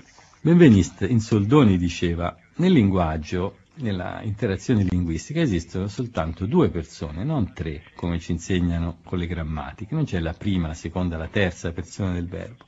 C'è una prima e una seconda persona. E poi c'è una terza persona, che in realtà è una non persona, una che non interviene nel dialogo. Io parlo con te, tu rispondi a me, così ci scambiamo i ruoli, e poi c'è un lui, un egli, che è la persona di cui si parla, ma non è una vera persona. Benveniste diceva, sulla scorta dei grammatici arabi che lui conosceva molto bene, quella è la non persona. La persona, a questo punto potremmo chiamare, è una persona parlata. Io sto parlando del cugino di qualcuno e dico, ma lo sai il cugino di Mario cosa ha fatto qui e là? Ma no, ma davvero, ha lasciato la moglie, ma che disgraziato con tre bambini. Insomma, la persona parlata. Improvvisamente la persona parlata, cioè il cugino di Mario, zac, compare. E a quel punto lui entra nel dialogo, e questa è la differenza. Lui comincia a funzionare se fosse un io, un tu, viene lì e interagisce con noi. Noi siamo in imbarazzo perché lui un attimo prima era una persona parlata, adesso diventa una persona parlante. Ecco perché io percepisco tutto ciò come se fosse un qualcosa di perturbante, che mi mette a disagio. In altre parole, è come se io e l'altro mio interlocutore avessimo creato una specie di simulacro, no? di immagine verbale di quella persona e la stavamo in qualche modo cucinando, insomma stavamo parlando di lui, descrivendo cosa ha fatto, giudicando, bla bla bla. Ora, questo doppio improvvisamente, zac, viene sostituito dall'originale. È un po' come insomma se uno vedesse un'immagine riflessa da qualche parte oppure una fotografia, un'immagine televisiva e di colpo, paf, comparisse l'originale lì. Beh, certo, resteremmo spaventati. Questo fa dire, ha fatto dire in passato ai latini lupus in fabula, ha fatto dire, quando parli di Cao Cao, subito compare ai cinesi e ancora oggi ci fa dire, quando si parla del diavolo, spuntano le corna. Sempre parlando di silenzi, abbiamo detto sopra che c'è un legame fra il silenzio e la morte. È un legame ovvio, i morti per definizione non parlano, con loro non si parla, i morti sono gli assenti, ahimè esistono nel ricordo, nei discorsi che le vedono oggetti di dialogo, come dicevamo prima, ma non sono purtroppo soggetti con cui intavolare una conversazione. Ora c'è un'altra condizione però oltre alla morte a cui il silenzio sostanzialmente eh, si riconduce e che distingue allo stesso modo la morte dalla vita. Oltre al silenzio c'è anche l'amnesia, la perdita della memoria. Quando Ulisse va a consultare i morti nell'undecimo libro dell'Odissea, che cosa scopre? Eh, non scopre solo quale sarà il suo futuro, non scopre solo come si sta all'Ade, perché Achille glielo dirà con immagini, parole molto celebri, ma scopre anche che questi morti che stanno lì e che vengono a trovarlo, in realtà non hanno, come dice Omero, la mente salda. Cioè, solo Tiresia, l'indovino, ha mantenuto la mente salda mentre quegli altri svolazzano intorno come ombre, come pipistrelli, e non si ricordano di nulla, non riconoscono nemmeno Ulisse, sì che lo conoscono bene. La madre, per esempio, di Ulisse, non lo riconosce se non dopo aver bevuto il sangue delle vittime sgozzate, altrimenti ha, i morti di Omero non hanno più memoria né di sé né degli altri. Una grande studiosa del pensiero della cultura greca arcaica, un'archeologa che si chiamava Emily Vermeule, che ho avuto la fortuna di conoscere una volta in America tanti anni fa, ora è morta. Un bellissimo libro sul mondo dei morti in Omero scrisse un capitolo che si intitolava Ma perché i greci si immaginavano i morti come se fossero degli stupidi? È così. Per quanto ciò possa sembrare singolare, i greci omerici si immaginavano i morti anche come degli stupidi, cioè come gente che non sapeva più né parlare, né interagire, né ricordare niente. La morte, oltre che silenzio, è pure amnesia. È un'immagine simbolica della morte, se si vuole, particolarmente angosciosa. Ora l'amnesia fa parte, la perdita del ricordo, fa parte della cultura greca della morte anche da altri punti di vista. Per esempio, quando si va nel mondo dei morti, che cosa si fa? Che cosa fanno le anime prima di accedere poi a questi regni, eventualmente reincarnarsi? Bevono all'acqua della fonte Lete, l'acqua della fonte dell'amnesia. Bevendo all'acqua di Lete si dimentica tutto, si entra in pieno oblio.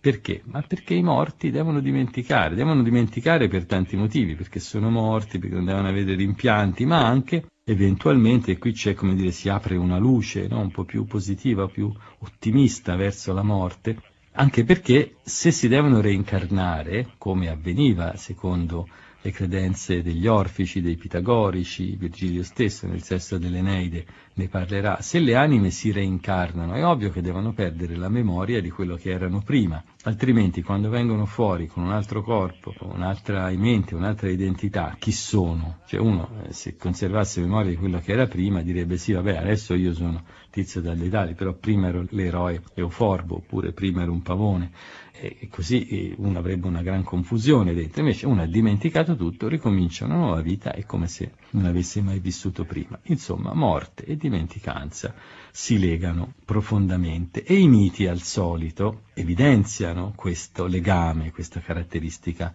profonda di connessione tra l'oblio e la morte. Intendiamoci, quando c'è l'oblio Badate, non si comunica, perché se uno perde la memoria non si parla più, non si comunica più con nessuno. Io spesso faccio purtroppo questa esperienza ormai di voler dire un qualche nome e di, di non di ricordarmelo, questo penso che capiterà anche a molti di voi. Come famoso è e non ti viene la parola oblio, dimenticanza, amnesia, si comunica a quel punto. No, non si comunica più, l'oblio, come il silenzio, è il contrario della comunicazione, ma mentre il silenzio è tutto sommato una forma di comunicazione. L'oblio, ahimè, è il vero nemico, il vero opposto della comunicazione. Dunque miti che associano la perdita della memoria alla morte. Ce ne sono due molto famosi che vale la pena di ricordare.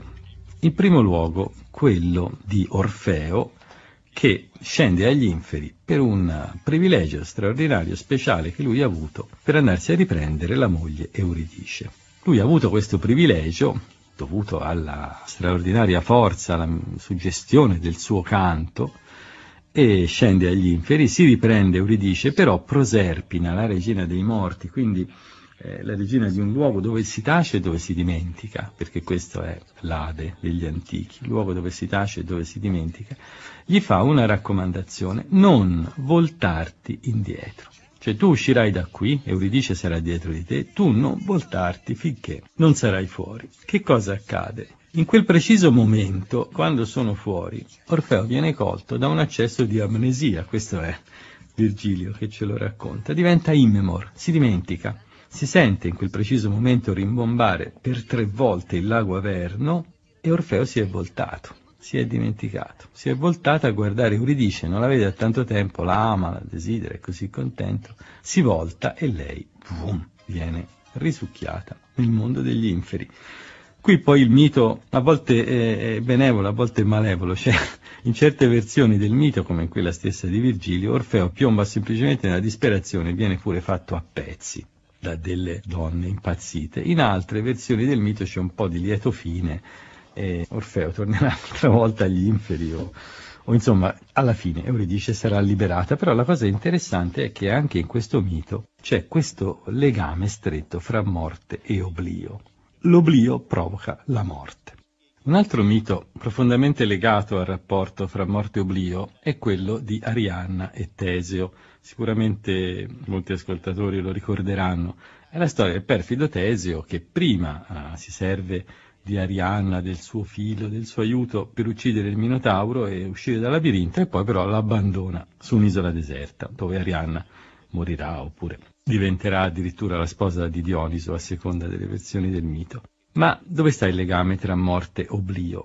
Qui, nel senso che Teseo, come racconta Catullo, si era dimenticato completamente dell'amore che Arianna portava per lui. Allora Arianna lo maledice in questo modo, dicendo lo stesso oblio che tu hai manifestato nei miei confronti possa capitare anche a te.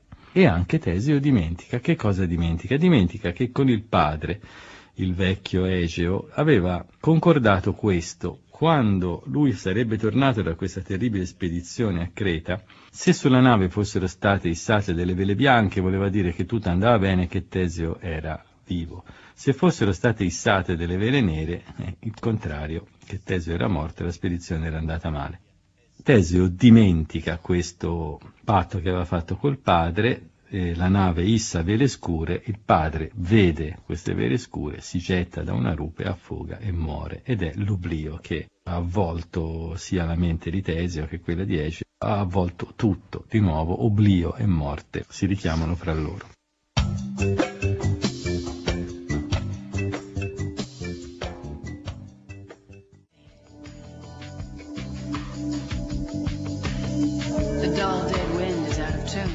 Stiamo parlando di comunicazione, o meglio del modo in cui gli antichi si rappresentavano attraverso i miti, attraverso i racconti, attraverso pratiche come la divinazione, eccetera, si rappresentavano la comunicazione, poi abbiamo parlato di silenzi, eh, una parte così importante della comunicazione, adesso siamo entrati nel regno un po' malinconico dell'oblio e della dimenticanza. Abbiamo detto che l'oblio e la dimenticanza sono il vero opposto della comunicazione, non è tanto il silenzio, perché il silenzio poi comunica in qualche modo, ma l'oblio è veramente la comunicazione che cade, no? l'oblio corrisponde proprio alla linea telefonica che si interrompe, tac, non si comunica più. Perché? Perché? Perché non mi ricordo cosa devo dire, perché non so che cosa devo dire e che cosa dirti. Allora, già gli antichi ovviamente si erano occupati lungamente del problema dell'oblio e della dimenticanza e avevano però escogitato anche alcuni rimedi. Questi rimedi non erano solo le arti della memoria, come quella di Simonide, o altri supporti, come dire, scientifici e soprattutto cari agli oratori che dovevano mantenere nella testa una specie di mappa di ciò che dovevano dire e del modo di argomentarla. Erano rimedi anche più singolari, più curiosi e inaspettati. Uno ce lo racconta Seneca in una delle sue lettere a Lucilio ed è relativa a un singolare personaggio dei tempi suoi che si chiamava Calvisio Sabino. La storia di Calvisio Sabino è meritevole, secondo me, di essere letta. Ve la leggo rapidamente. Chi era Calvisio Sabino? Un riccone, dice Seneca, uno che aveva l'indole e il patrimonio di un liberto. Qui si sente lo sprezzo dell'uomo nobile verso l'ex schiavo, poi liberato, che si era arricchito i liberti a Roma diventavano ricchissimi, ma che però l'indole, dice lui, la natura era rimasta quella di un liberto. Allora Calvisio Sabino, ricchissimo, non ho mai visto un uomo più indecorosamente beato di lui. Aveva una memoria così cattiva che a volte gli sfuggiva il nome di Ulisse, a volte quello di Achille, a volte quello di Priamo, che pure conosceva così bene quanto noi conosciamo i nostri maestri. Nessun vecchio schiavo nomenclatore, fra un po' parleremo, questo personaggio, che non rammenta al padrone i nomi esatti ma li inventa, salutava così male i cittadini quanto lui faceva con Achei e Troiani. Nonostante ciò voleva però apparire colto, per cui escogitò questo espediente. Comprò a caro prezzo dei servi, dei quali uno conoscesse a memoria Omero, un altro Esiodo, e ne assegnò poi uno a ciascuno dei nove lirici. Non deve meravigliarti il fatto che li avesse pagati tanto cari, dato che non li aveva trovati già istruiti, ma li aveva fatti preparare apposta. Dopo che si fu preoccupato di procurarsi questa turba di schiavi, cominciò a molestare i suoi convitati, se li teneva pronti al fondo del letto per chieder loro di volta in volta i versi che voleva citare, ma anche così spesso si interrompeva a metà di una parola. Evidentemente la comunicazione gli arrivava, ma lui se la dimenticava anche nell'attimo in cui gli era arrivata. Satellio Quadrato, uno sfruttatore di ricchi stupidi, gli suggerì una volta di assumere dei grammatici per raccogliere gli avanzi delle mense. Dice, beh, se hai degli schiavi, sai una memoria Omero, gli avanzi delle mense te li devi far raccogliere almeno dei professori. E quando Sabino gli disse che ciascuno di quegli schiavi gli costava centomila sesterzi, che è una cifra mostruosa, l'altro ribatté, a minor prezzo avresti comprato altrettante casse di volumi ma Sabino si era convinto di sapere tutto quello che qualcuno sapeva in casa sua. Dunque Calvisio Sabino, il liberto di Seneca, come dice Seneca, si era convinto di sapere tutto quello che qualcuno sapeva in casa sua, cioè aveva un'idea della cultura abbastanza patrimoniale, no? quelli che sanno, le persone che io posseggo, lo so anch'io, che potrebbe essere una buona metafora di quel fenomeno detto sfruttamento intellettuale che viene praticato purtroppo in molti ambienti in cui ci si appropria delle scritture, delle idee, delle intuizioni, de, insomma, chi più ne ha più ne metta degli altri solo perché sono dei sottoposti, dei dipendenti, eccetera. Quindi questo dovrebbe fare riflettere in termini di sociologia della cultura e della sua organizzazione, soprattutto di etica della cultura. Ma insomma, Sabino si era convinto di questo e allora, siccome aveva cattiva memoria, non si ricordava nulla, leggeva ma non gli restava niente, che cosa fece? Beh, si comprò degli schiavi che sapevano a memoria Omero, Esiodo, Pindaro, Bacchilide, eccetera, e così poteva citare quello che gli pareva perché lo chiedeva allo schiavo. Che cos'è quindi Calvisio Sabino? Sostanzialmente è uno che ha inventato assai prima del tempo i cosiddetti archivi online quelli che noi oggi utilizziamo col computer, banche dati per cui uno dice mi fai vedere che cosa ha detto Tizio, cosa ha detto Caio, oppure quanti mosconi ogni anno nascono a Toronto, non so, informazioni di questo tipo, uno chiede le informazioni, c'è una banca dati che te la dà. Allo stesso modo Calviso Sabino, che non disponeva di computer ma disponeva di molti quattrini, aveva degli schiavi, cioè degli archivi viventi a cui diceva, come dice Omero nell'Iliade, quando Nestore fa questo e questo, e lo schiavo prontamente gli dava la risposta. Calvisio Sabino è comunque un personaggio estremamente patetico perché è un personaggio della anticomunicazione, della dimenticanza. Poverino non riesce a parlare perché non riesce a ricordarsi che cosa voleva dire, il che è una tragedia mica da poco. Non è l'unico nel mondo romano, ci sono altri casi abbastanza simili. Uno era per esempio il grammatico Orbilio Pupillo Beneventano, il quale si era guadagnato il soprannome di Oblivio Litterarum, cioè dimenticanza delle lettere, perché ormai quasi centenario aveva dimenticato tutto quello che sapeva. Orbilio era stato il professore di Orazio, il quale ne parla malissimo perché Orbilio gli aveva insegnato l'Odissea a suon di nerbate e soprattutto gliel'aveva insegnata nella traduzione di Livio Andronico, che era una traduzione latina rozza, arcaica, che a Orazio ovviamente non piaceva. In un certo senso da vecchio fu punito di avere maltrattato il povero Orazio perché si era completamente dimenticato di tutto quello che sapeva com'è come non è in casa di Calvisio Sabino o in casa di Orbilio Pupillo Beneventano, detto anche dimenticanza delle lettere, quello che accadeva era semplicemente questo, la conversazione cadeva ogni secondo, perché il conversatore si dimenticava semplicemente di quello che voleva dire. Il trimalcione di Petronio, altro grande personaggio di Liberto ricchissimo, eroe di una scena che sta al centro del romanzo Il Satiricon di Petronio, diceva di se stesso, ho una memoria così buona che spesso mi dimentico come mi chiamo. Come dicevamo, gli antichi si erano preoccupati, e molto, del problema della memoria e dell'oblio. Per esempio, Plinio, quell'erudito che abbiamo già citato altre volte, l'autore della storia naturale, dedica un paragrafo alla memoria che ha un attacco in vero un po' malinconico perché lui dice nell'uomo non c'è nulla di così precario come la memoria. Evidentemente anche lui che incominciava a invecchiare aveva i primi sintomi di quanto precaria sia questa straordinaria virtù dell'uomo e diceva la memoria risente infatti delle ingiurie, delle malattie e di una caduta, persino di uno spavento. Ahimè, questo sarebbe davvero terribile, uno rischia di essere investito da una macchina e si dimentica di tutto. A volte solo parzialmente, altre in misura totale. Un uomo colpito da un sasso dimenticò le lettere dell'alfabeto, un altro, caduto da un altissimo tetto, si dimenticò della madre, degli affini e dei congiunti. Questo è un oblio specificamente centrato sulla famiglia e sulla parentela. Un altro ancora, malato, non riconosceva i servi, mentre l'oratore Messalla Corvino non ricordava più neppure il suo nome, come dice Trimalcione. La memoria tenta e congiura di sfuggirci anche quando il nostro corpo è tranquillo e sano. Quindi, eh, dice Plinio, state sempre in guardia perché anche quando vi sentite bene, vi sentite sani, in realtà la memoria può sempre sfuggirvi.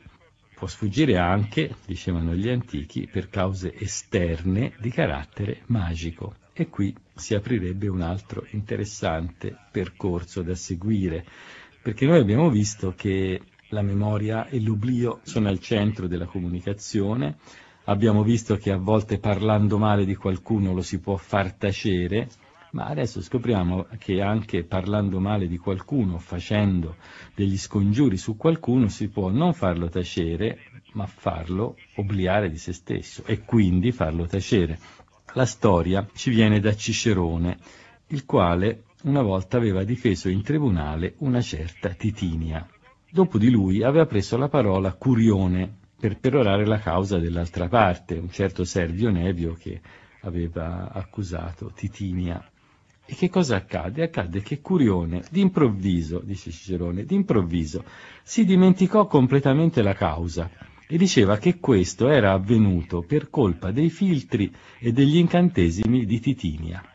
Ecco dunque un bel esempio di oblio procurato con filtri e incantesimi. Attenzione che quando qualcuno ci vuol male può farci non solo tacere, non solo ammalare, ma anche farci dimenticare. Calvisio Sabino, l'eroe di Seneca, eroe buffo, liberto ricco, che crede di sapere tutto quello che gli altri sanno in casa sua e per questo si compra degli schiavi che sanno a memoria Omero, Esiodo, Pindaro e così via. Calvisio Sabino è un bel esempio di obliosus, un bel esempio di qualcuno che non comunica perché si dimentica.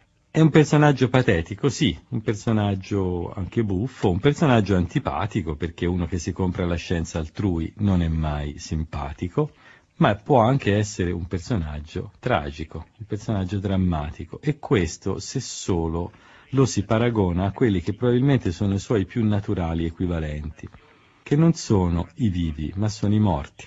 Come abbiamo già detto un'altra volta, infatti, nel libro undicesimo dell'Odissea, Ulisse incontra i morti, va a chiedere il suo futuro a Tiresia essenzialmente, ma ha anche occasione di parlare con la madre, ha occasione di parlare con Achille, ha occasione di parlare con Agamennone, eccetera. Questi morti gli si presentano e, come abbiamo già detto, sono tutti privi di senno. Omero usa una parola, le frenes, che sono le facoltà spirituali, e dice che le frenes dei morti non sono empedoi, non sono stabili. Quindi il morto è qualcuno che ha una testa bislacca, una testa non ferma, che si, così, che si agita, che vaga. In questo senso la testa non ferma dei morti rassomiglia un po' alla loro instabilità, si, anche fisica, dei morti si dice sempre che svolazzano di qua e di là come ombre, oppure sono paragonati a pipistrelli, no? Il pipistrello è proprio un emblema di instabilità, di aggirarsi. E poi si dice ancora dei morti che hanno delle teste fiaccate, delle teste spossate, che non hanno menos. Peggio ancora, che le loro menti sono insensate a frades, non hanno più, più senso. C'è un altro modo ancora Omero per descrivere i morti, immagini di stanchi, di stancati, è come se il morto fosse uno, come dire, un po' estenuato. È un modo terribile, secondo me, di vedere la morte, perché c'è un modo eroico di vedere la morte. Uno dice, dopo la morte non c'è nulla, basta. Oppure c'è un modo nobile, spirituale. Dopo la morte c'è un altro regno in cui ci sono i beati, sono felicissimi e i dannati che soffrono, però soffrono ma ci sono, se uno pensa alla Divina Commedia, sono dei dannati che ci sono e come, sono personaggi a tutto tondo, formidabili. E poi c'è questo modo qui di vedere la morte, che è un modo di rappresentarlo per detrazione. Cioè, cioè, dopo la morte c'è qualcosa, sì, ma è che siamo noi però tutti un po' indeboliti. La testa non c'è più, non stiamo più fermi, non sappiamo più parlare, siamo come se fossimo delle persone stanche, delle, delle immagini di gente stanca. E questo è un modo terribile di parlare della morte, perché? Perché sarebbe molto meglio dire non c'è più niente, piuttosto che dire questo. È un'aspettativa terribile sapere che la morte è una specie di lunga e interminabile vecchiaia.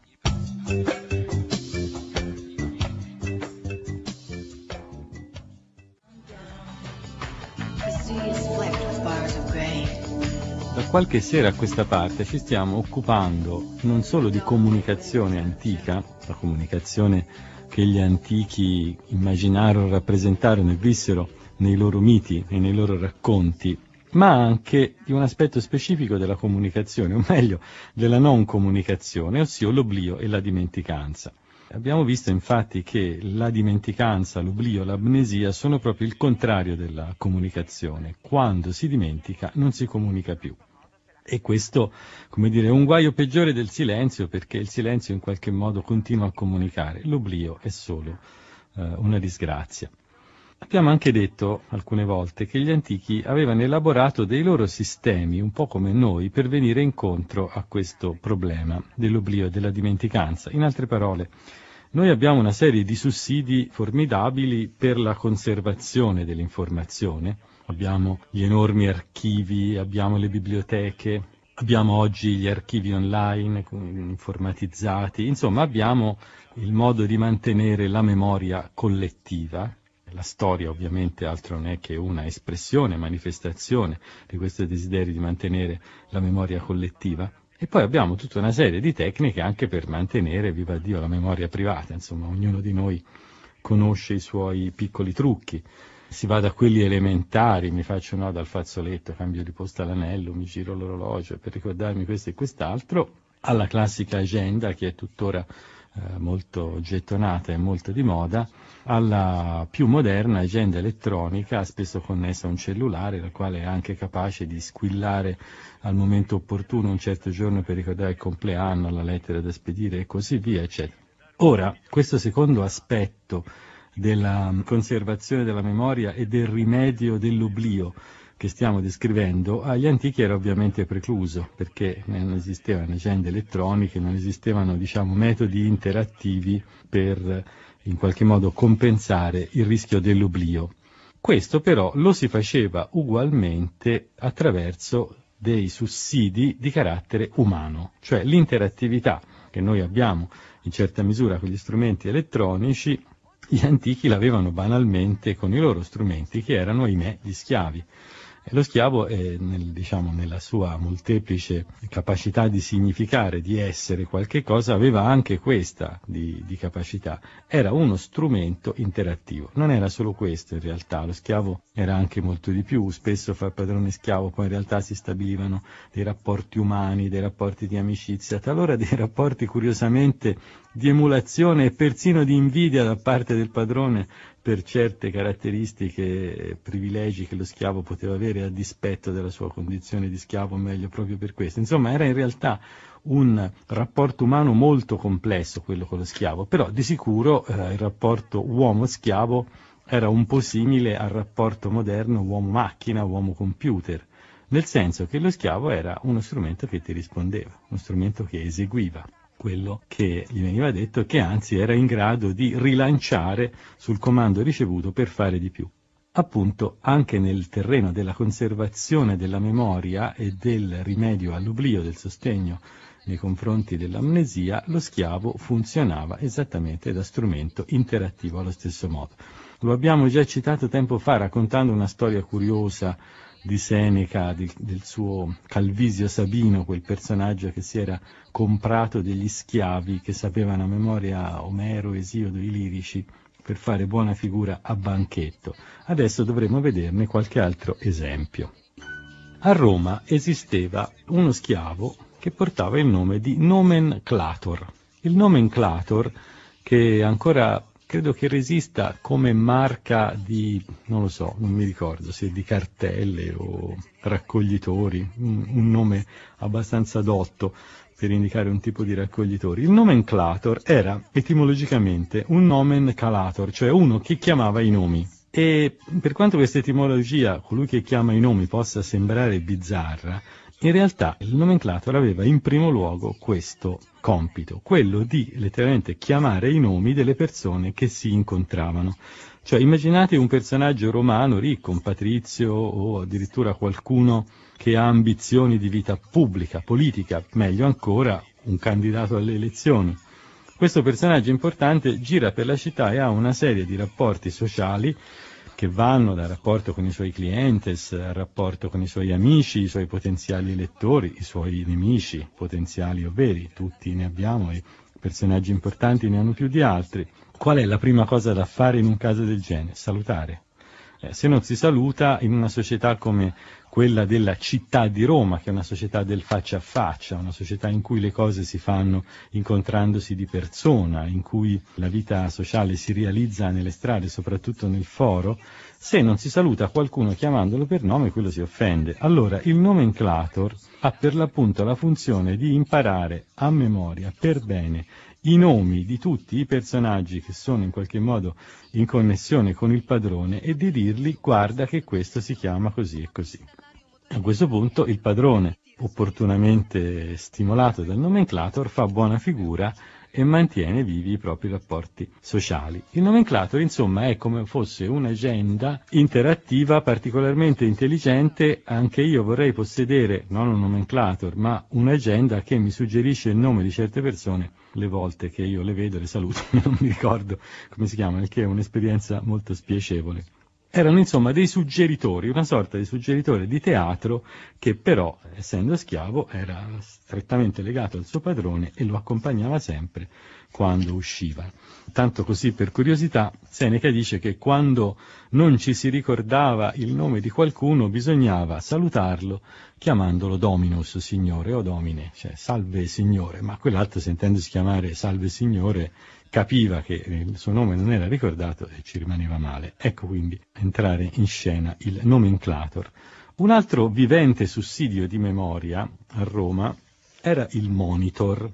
Il monitor, ma guarda che tutte queste parole non ci ho mai pensato, hanno sempre dei risvolti comunicativi moderni. Il monitor è per l'appunto quello schermo televisivo che serve se non erro, come strumento anche interno durante le riprese televisive, appare sul monitor, guardi sul monitor, eccetera. Esattamente il monitor non era uno schermo, era una persona ed era colui che fa ricordare, perché in latino il verbo moneo vuol dire faccio ricordare una certa cosa e il monitor è colui che mi fa ricordare. Quindi qui proprio il nome è esplicito, designa la funzione con una chiarezza esemplare.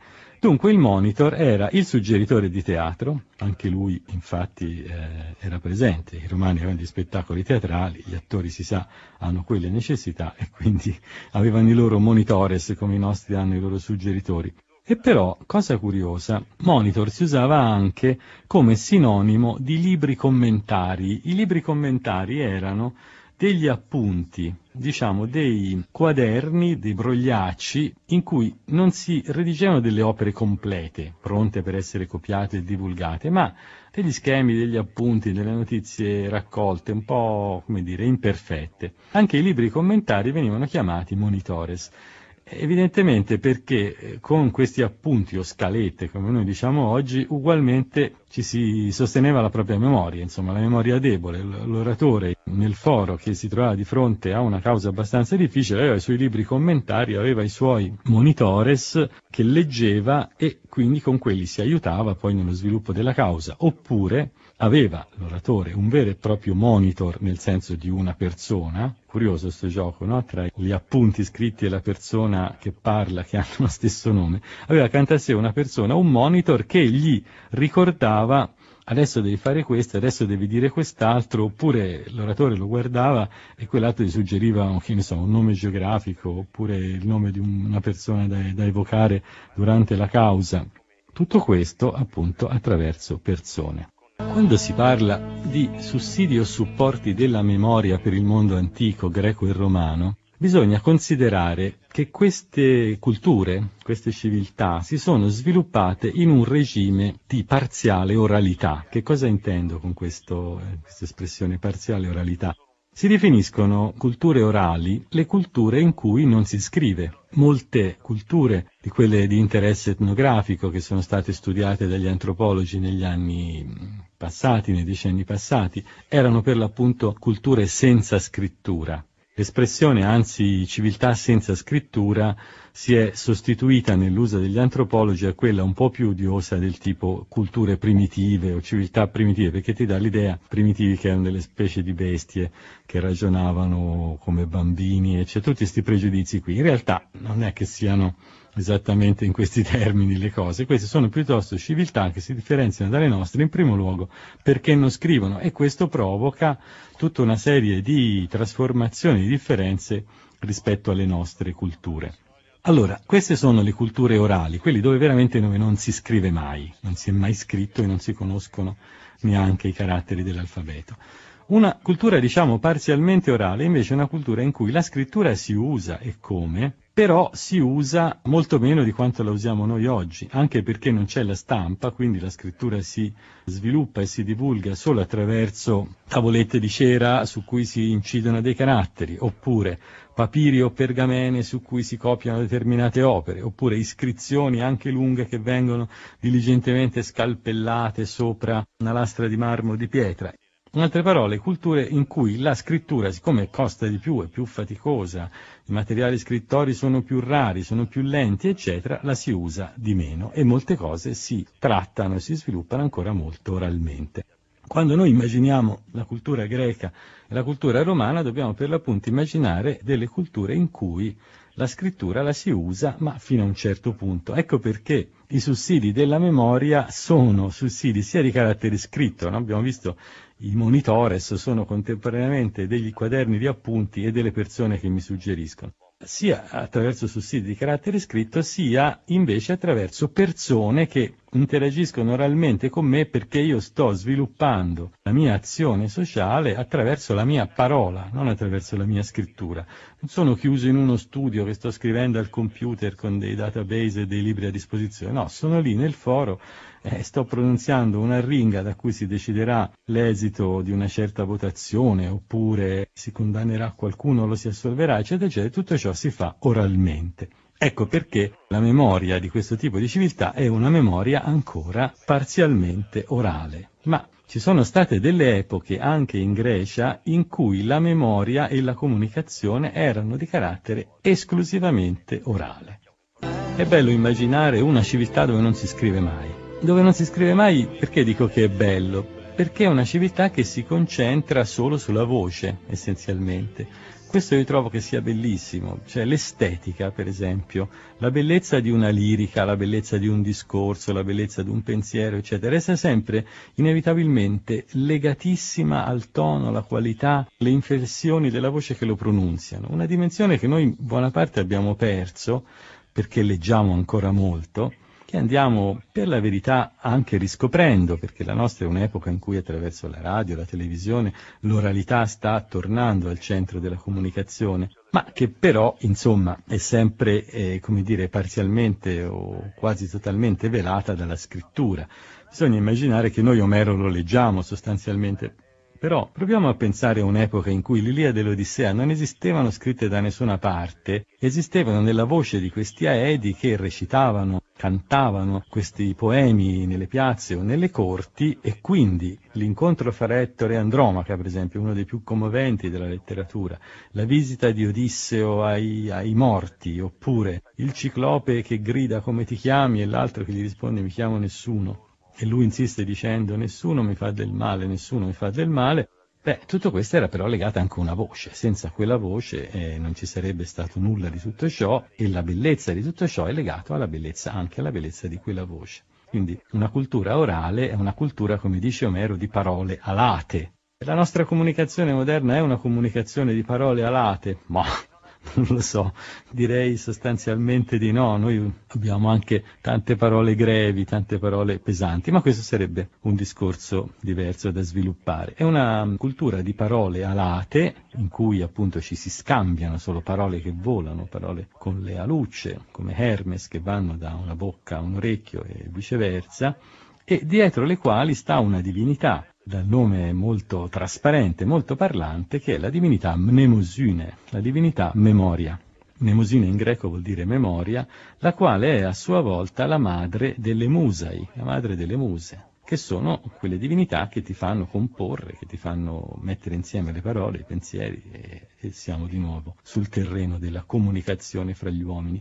Quindi la comunicazione fra gli uomini è una come dire, una circolazione, una dialettica fra una divinità memoria, le sue figlie Musai e delle parole alate che rappresentano tutto questo. Al momento in cui il suono di queste parole si è spento e non c'è più, non c'è più la comunicazione e non c'è più neanche il discorso. La grande novità della scrittura è questa, permette il riuso dei discorsi. I discorsi possono essere riusati, possono essere archiviati, messi da una parte, e letti anche, come facciamo noi, 2500-2700 anni dopo rispetto all'Ilia dell'Odissea. Ma ai tempi in cui questi poemi furono concepiti nel loro lentissimo lavorio, che poi porterà alla redazione dei poemi così come noi li abbiamo, Ecco, questi poemi sono passati attraverso un'infinità di rappresentazioni pubbliche in cui nascevano e morivano nello stesso modo e l'unica traccia che ne restava era, per l'appunto, la traccia nella memoria di chi aveva udito, di chi aveva ascoltato la recitazione o il canto di quel poema.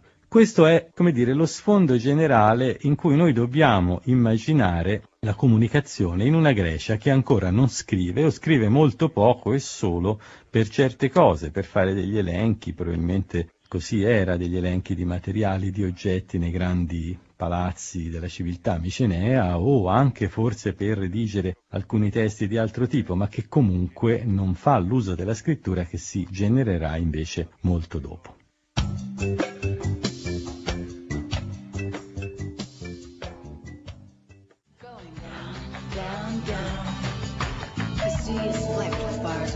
Quando in Grecia ancora non si scriveva, e questo è un periodo che è anteriore almeno all'ottavo secolo prima di Cristo, la comunicazione, la parola, era solo una parola orale. E la comunicazione era solo una comunicazione orale, anche la composizione di poemi, grandi poemi come quelli di tipo omerico, diciamo, si faceva tutta esclusivamente attraverso la memoria e la rappresentazione pubblica degli aedi per poi scomparire assieme alle parole che l'avevano incarnata in quel momento. E questa è una fase di cultura orale. A questo proposito vorrei raccontarvi un curioso aneddoto, un piccolo frammento di storia che viene proprio dall'Odissea e che ci può dare la misura di che cosa significa comunicare, di che cosa significa memoria e via discorrendo in una società di carattere orale. Allora, bisogna sapere che siamo a Itaca quando Ulisse è ormai sbarcato in incognito, Atena lo ha trasformato in un mendicante irriconoscibile e comincia a entrare in contatto con questi odiosi proci che gli hanno occupato la casa e che di lì a poco lui poi sterminerà, devo dire, con una crudeltà veramente senza fine. Una delle scene più sanguinarie e più crudeli di tutta la letteratura è la strage dei proci, tutti i proci alla fine dell'Odissea. Ma insomma, qui siamo ancora prima della strage, Ulisse è un mendicante maltrattato da questi proci arroganti e uno di questi, che si chiama Eurialo, incontra il mendicante Odisseo e gli dice tu non mi sembri un uomo esperto di gare, perché Ulisse avrebbe espresso il desiderio di partecipare a alcune gare che si tengono fra i proci. Tu non mi sembri un uomo esperto di gare, ma piuttosto uno che va per mare sulla nave dai molti remi e comanda a marinai che fanno i mercanti, bada al carico, alle merci e ai guadagni allettanti. Questa frase sembra molto innocente letta in italiano, cioè praticamente Euriolo dice a quell'altro, beh, insomma, tu non hai l'aspetto di un atleta, mi sembri uno, mi sembri un mercante, uno che comanda i marinai, bada al carico, eccetera. Se uno si fa leggere, va a leggere il testo greco, però cosa scopre? Che la frase colui che bada al carico suona letteralmente colui che si ricorda del carico. Fortu mnemon. Mnemon, questa è una parola su cui torneremo poi anche prossimamente. Letteralmente sarebbe proprio un ricordatore del carico, uno che si ricorda del carico. Strano personaggio, ma chi è sto ricordatore del carico? Cosa significa propriamente questa espressione? Già i grammatici greci si ponevano il problema di che cosa volesse dire, perché i grammatici greci vivevano, i commentatori di Omero vivevano ormai in una fase di cultura estremamente diversa da quella omerica e spesso trovavano delle espressioni che non corrispondevano alla loro cultura presente, diciamo, per cui le spiegavano e cercavano di spiegarle. Allora il bravo grammatico greco in questione, di fronte alla parola mnemon, fa le sue osservazioni e dice lo mnemon era colui che ricordava qual era il valore di ciascun capo delle merci e sarebbe l'equivalente di un segretario, qualcuno che si occupava del carico e dei naviganti. Dunque, colui che si ricorda del carico altro non è che un commissario di bordo, diremmo noi, insomma quello che è responsabile di tutte le merci che stanno a bordo. Immaginiamoci allora una bella trireme greca, carica di marinai carica di merci e con un tale seduto da qualche parte che è colui che sa a memoria tutto l'elenco delle merci che stanno a bordo. Ma perché? Continuava il grammatico, commentatore di Omero, che spiegava questa espressione. Lui dice, Nell'età eroica non si conosceva l'uso delle lettere dell'alfabeto, per questo tenevano a memoria il carico, perché non avevano conoscenza delle lettere.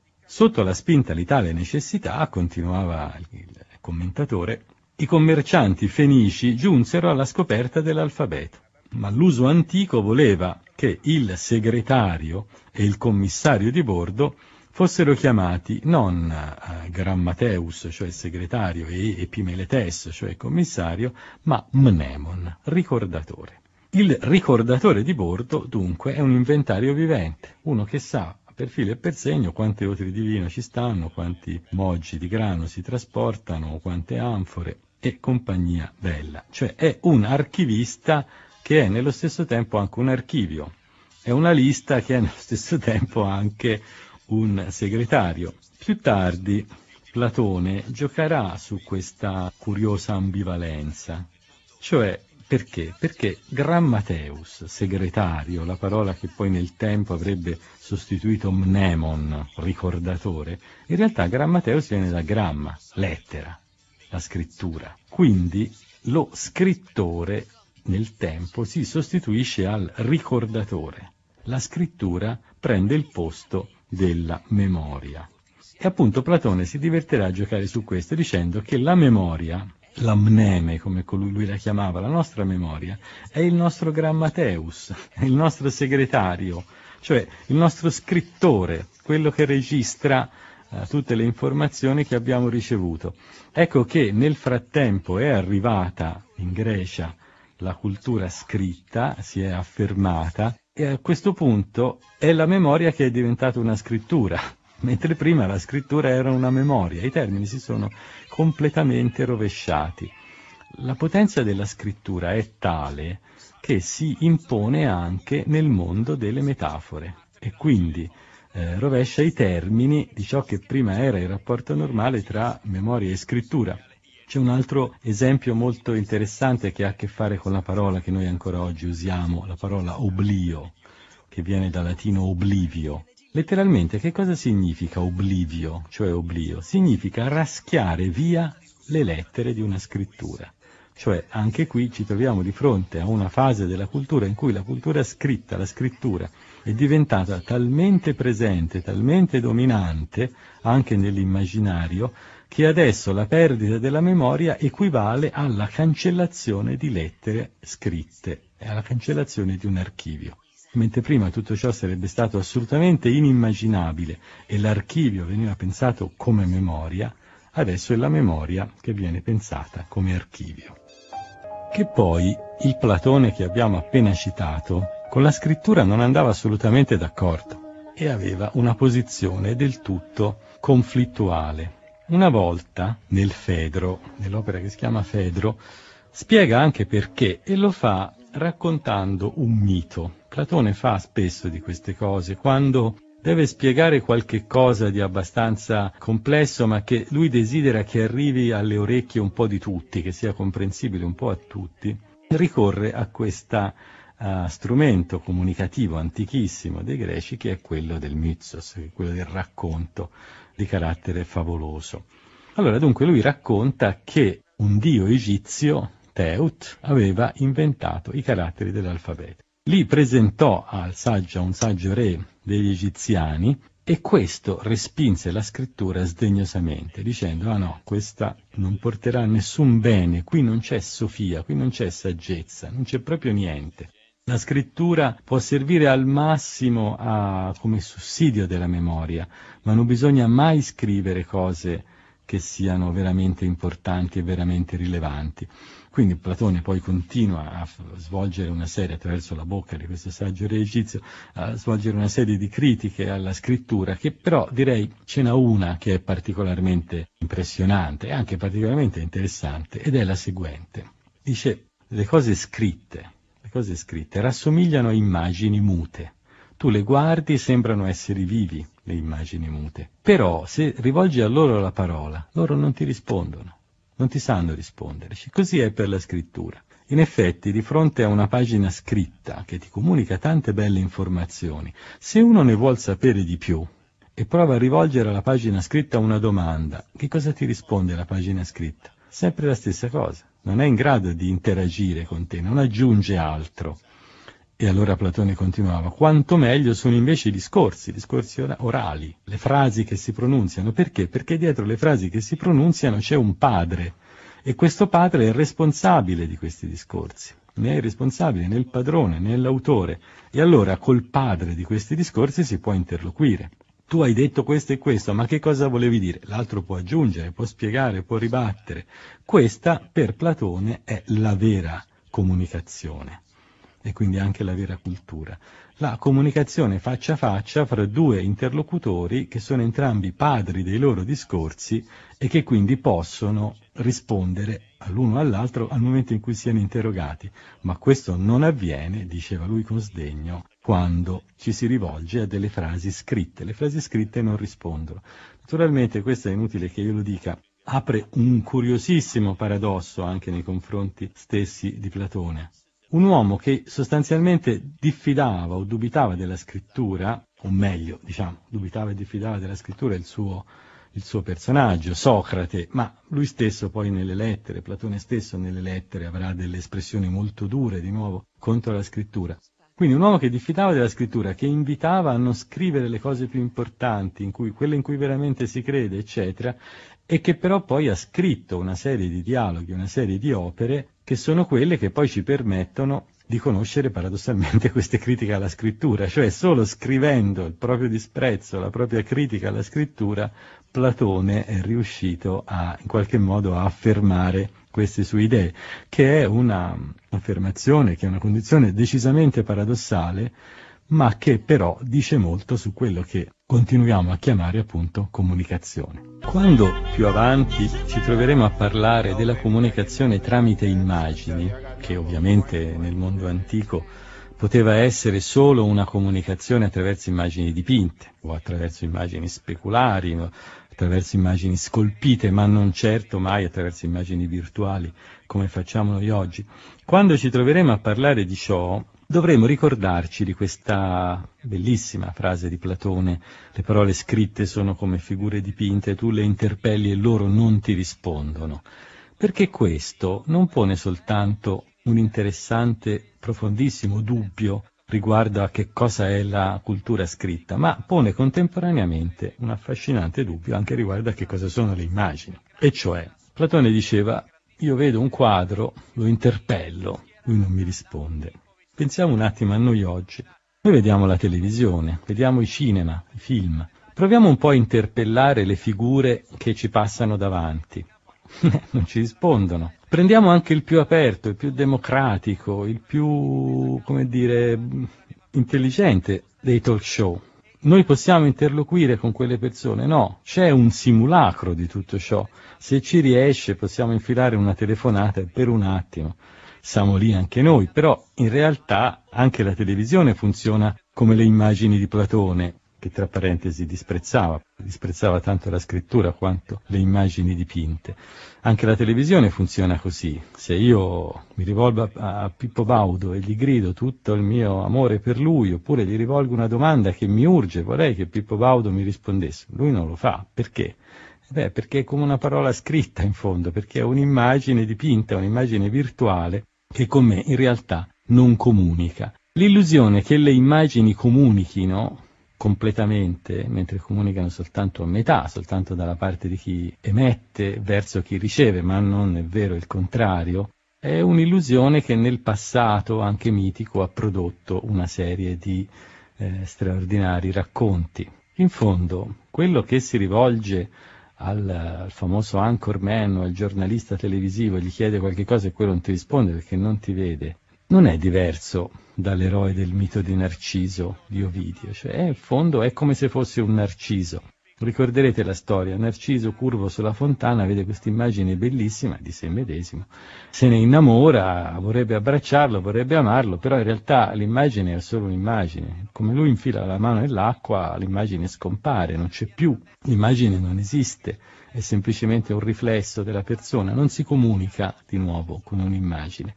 Beh, in un certo senso chi di noi volesse comunicare interagire davvero con le immagini virtuali della televisione sarebbe un po' come Narciso, che si era innamorato di se stesso e voleva se stesso, oppure sarebbe come quei molti eroi di cui dovremo parlare più avanti, che si innamorarono di statue o di dipinti e vollero fare all'amore con questi oggetti frigidi e senza vita.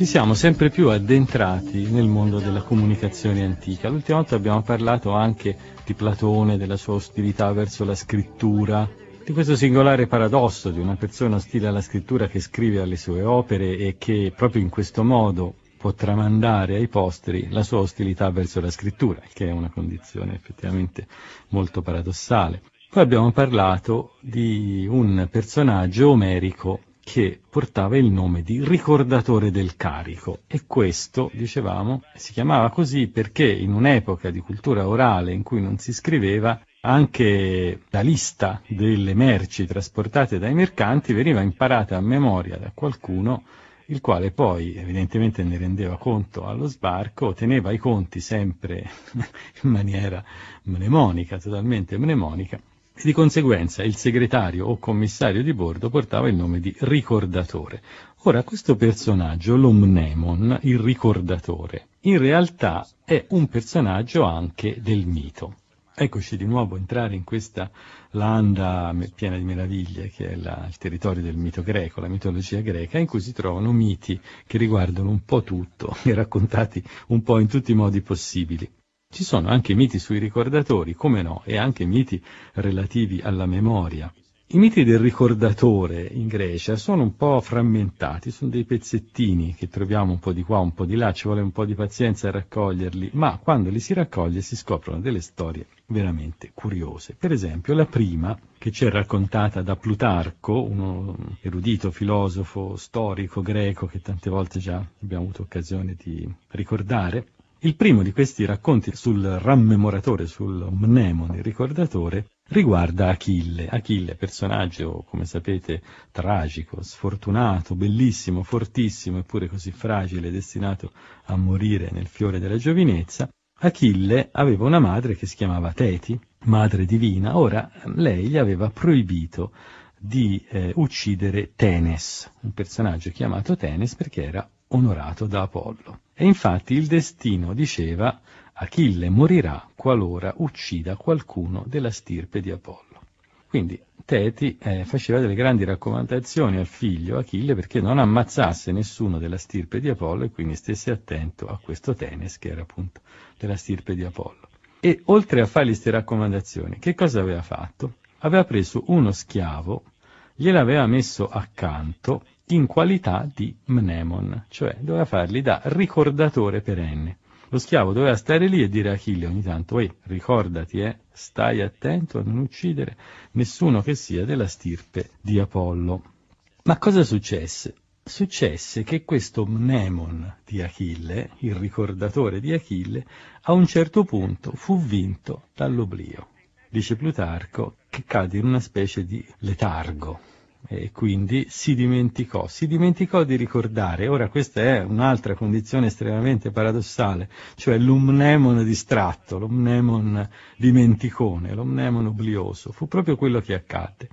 L'umnemon si dimenticò di ricordare ad Achille di non fare quella certa cosa, Achille uccise Tenes e in questo modo segnò definitivamente la sua fine. Ma quanti mnemones ci sono quanti ricordatori della mitologia greca. Per esempio, ce n'è un altro che aveva anche un nome bellissimo, si chiamava Calcon Kiparisseus, bellissimo nome pieno di armonie vocaliche, Calcon Kiparisseus, che era stato assegnato come ricordatore, come mnemon, ad Antiloco, il figlio di Nestore. Infatti cos'era successo? Che Antiloco aveva ricevuto un oracolo.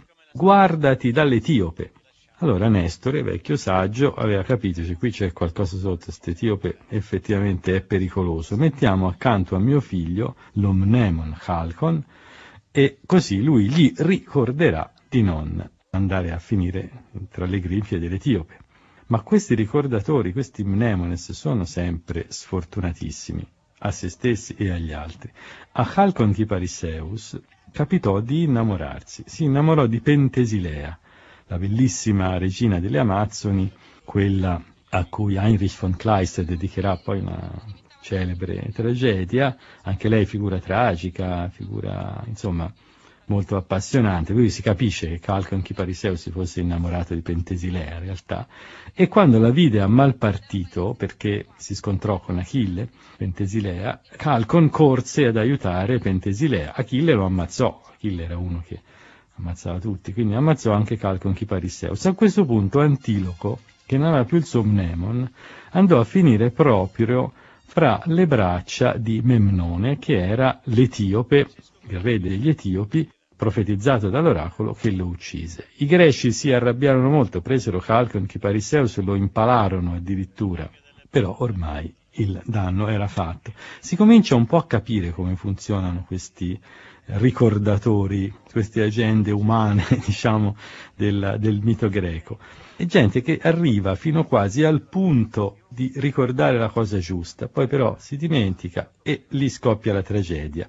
Se uno volesse un po' divertirsi a ricostruire questi racconti, tutti sanno che Antiloco eh, doveva essere ucciso dal re degli Etiopi e qualche fantasioso mitografo ci infila la storia del ricordatore. Allora Nestore disse a Calcon Chiparisseus, ricorda a mio figlio quello che gli deve avvenire, digli di stare attento all'Etiope, ma il ricordatore si dimentica, si innamora oppure chissà cosa gli capita e l'evento sciagurato si verifica.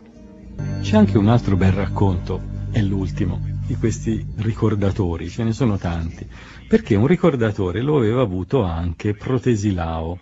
Protesilao era un giovane eroe greco che si era appena sposato, Laudamia l'aveva sposato, Laudamia era una donna molto innamorata, molto bella, e, però il povero Protesilao era partito per la guerra di Troia con questo vaticinio alle spalle. Lui morirà perché sarà il primo a toccare il suolo troiano. Allora il padre di Protesilao gli aveva messo accanto, ovviamente ormai lo sappiamo, un ricordatore, uno che doveva ricordare a Protesilao, guarda, non scendere a Troia per primo, non fare il giovane coraggioso che per primo vuole scendere sulla terra nemica, fai scendere altri perché il primo che scenderà sul suolo troiano morirà. Il ricordatore si chiamava Dardano. Com'è, come non è, di nuovo questo Dardano si dimentica, non ci fece attenzione. Protesilao sbarcò, Dardano era distratto e fu ucciso da uno che si chiamava Dardano, un guerriero troiano che era lì. E allora a questo punto ci viene un dubbio, ma questo ricordatore Dardano, che poi cede il posto a un assassino che si chiama Dardano pure lui, ma chi è? Sembra in effetti in questo mito che il ricordatore sia un doppio dell'assassino, hanno lo stesso nome. Paradossalmente il ricordatore e l'assassino si identificano. Dardo non doveva ricordare a Protesilao di non scendere perché altrimenti qualcuno l'avrebbe ucciso e guarda caso quello che invece lo uccide perché Dardano si è dimenticato si chiama Dardano anche lui. Qui c'è qualcosa sotto, evidentemente il racconto ha costruito un intrigo ambiguo che metteva il povero Protesilao, come dire, nella rete, lui non aveva scampo. La morte di Protesilao è una delle morti più elegiache, anche più struggenti della mitologia greca, perché Laudamia, la giovane sposa, non si rassegnerà mai alla morte del marito e anzi riuscirà a ottenere che il fantasma di Protesilao torni a trovarla, magari per pochi istanti, per rivederlo. Questo avviene ed è una scena terribile, questo morto che viene su dall'Ade, lei cerca di abbracciarlo e non ci riesce, eccetera. Dopodiché muore. Laudamia muore per il dolore perché non sopravvive a questo secondo distacco. C'è un'altra variante del racconto che Laudamia, dopo la morte di Protesilao, non si consolò col suo fantasma, ma si consolò con la sua immagine, con una statua che lei si era costruita e che teneva addirittura nel suo letto, il che ci fa pensare che nella mm, costruzione mitologica il fantasma di un morto o la sua statua siano un po' la stessa cosa e di questo però dovremo parlare in seguito. La povera Laudamia morì e la colpa fu di un ricordatore distratto o forse di un ricordatore corrotto, ambiguo, che era la stessa persona dell'omicida. È un po' di tempo che abbiamo abbandonato le orecchie e questo mi dispiace perché nella comunicazione le orecchie sono tanto importanti quanto la bocca, quanto la memoria, quanto le parole, che sono un po' gli argomenti di cui ci siamo occupati nelle ultime sere. Io vorrei tornare alle orecchie con addirittura una, la glossa di un grammatico, ma non vi preoccupate perché spesso i grammatici latini dicono cose estremamente interessanti. Allora, questo mh, grammatico che si chiamava Festo, Sesto Pompeo Festo, a un certo punto fa una glossa, cioè spiega una parola strana, e questa parola strana è fartores. Fartores, che sarebbe l'equivalente di farcitores, quelli che farciscono, lui dice si chiamano fartores i nomenclatori che senza farsene accorgere infarcivano i nomi di quelli da salutare nell'orecchio del candidato. È una buffa metafora, no? C'è il nomenclator, questo colui che chiama i nomi letteralmente, questo personaggio, questo schiavo che sta lì accanto al padrone e gli dice "Oh, guarda, saluta quello che si chiama Gaio Pompilio". Il ehm, nomenclator poteva anche essere definito fartor, farcitore, perché dice che infarciva le orecchie del suo padrone standogli lì accanto. È una metafora che i latini usano spesso, farcire le orecchie, caricare le orecchie, per dire di qualche cosa che quell'altro, il farcito, diciamo, si deve ricordare. Perché, e questo è il punto, no? eh, si farciscono le orecchie di qualcuno quando gli si dicono delle cose che l'altro deve tenere bene a mente. È curioso che questi farcitori diventino un po' come dei salsicciai, come dei, dei cuochi, perché fartor significa esattamente questo, colui che fa le salsicce o colui che fa il ripieno degli animali, del, dei volatili o quel che sia, che poi si fanno arrosto. Insomma, arriviamo alla conclusione che uno che fa ricordare è una specie di salsicciaio che rimpinza di ripieno le orecchie di qualcun altro. La cosa è molto strana, evidentemente c'è dietro qualche rappresentazione che ci sfugge. Per restare nel campo metaforico delle orecchie, piene o vuote, possiamo tornare in conclusione a uno di quelli simboli, quelle immagini animali che tante volte ci hanno accompagnato in queste serate. È un animale che ci è familiare, è la donnola, ne abbiamo parlato altre volte, la donnola che si diceva concepiva dalle orecchie e poi partoriva dalla bocca. In una raccolta di strane storie moraleggianti, morali sugli animali, che si chiama Il fisiologo, una raccolta medievale, tardo antica e poi medievale, si dice esattamente il contrario, cioè stavolta si dice che la donnola concepisce dalla bocca e partorisce dalle orecchie. Si sa, quando si prende la via della follia, poi è difficile fermarsi. E, è interessante però la spiegazione che viene data. Cioè, questo che cosa significa? Significa, in termini cristiani, che ci sono alcuni che mangiano in chiesa il santo pane, ma appena usciti rigettano la parola dalle orecchie, simili alla donnola impura. Quindi la donnola che partorisce dalle orecchie altro non è che un fedele non molto fedele che una volta udita la parola santa nella chiesa poi la butta fuori dalle orecchie e quindi eh, diventa, resta, perlomeno resta cattivo come era prima. Di nuovo sembra che l'orecchio farcito, rimpinzato, che poi in questa fattispecie si svuota, sia in qualche modo legata al ricordarsi.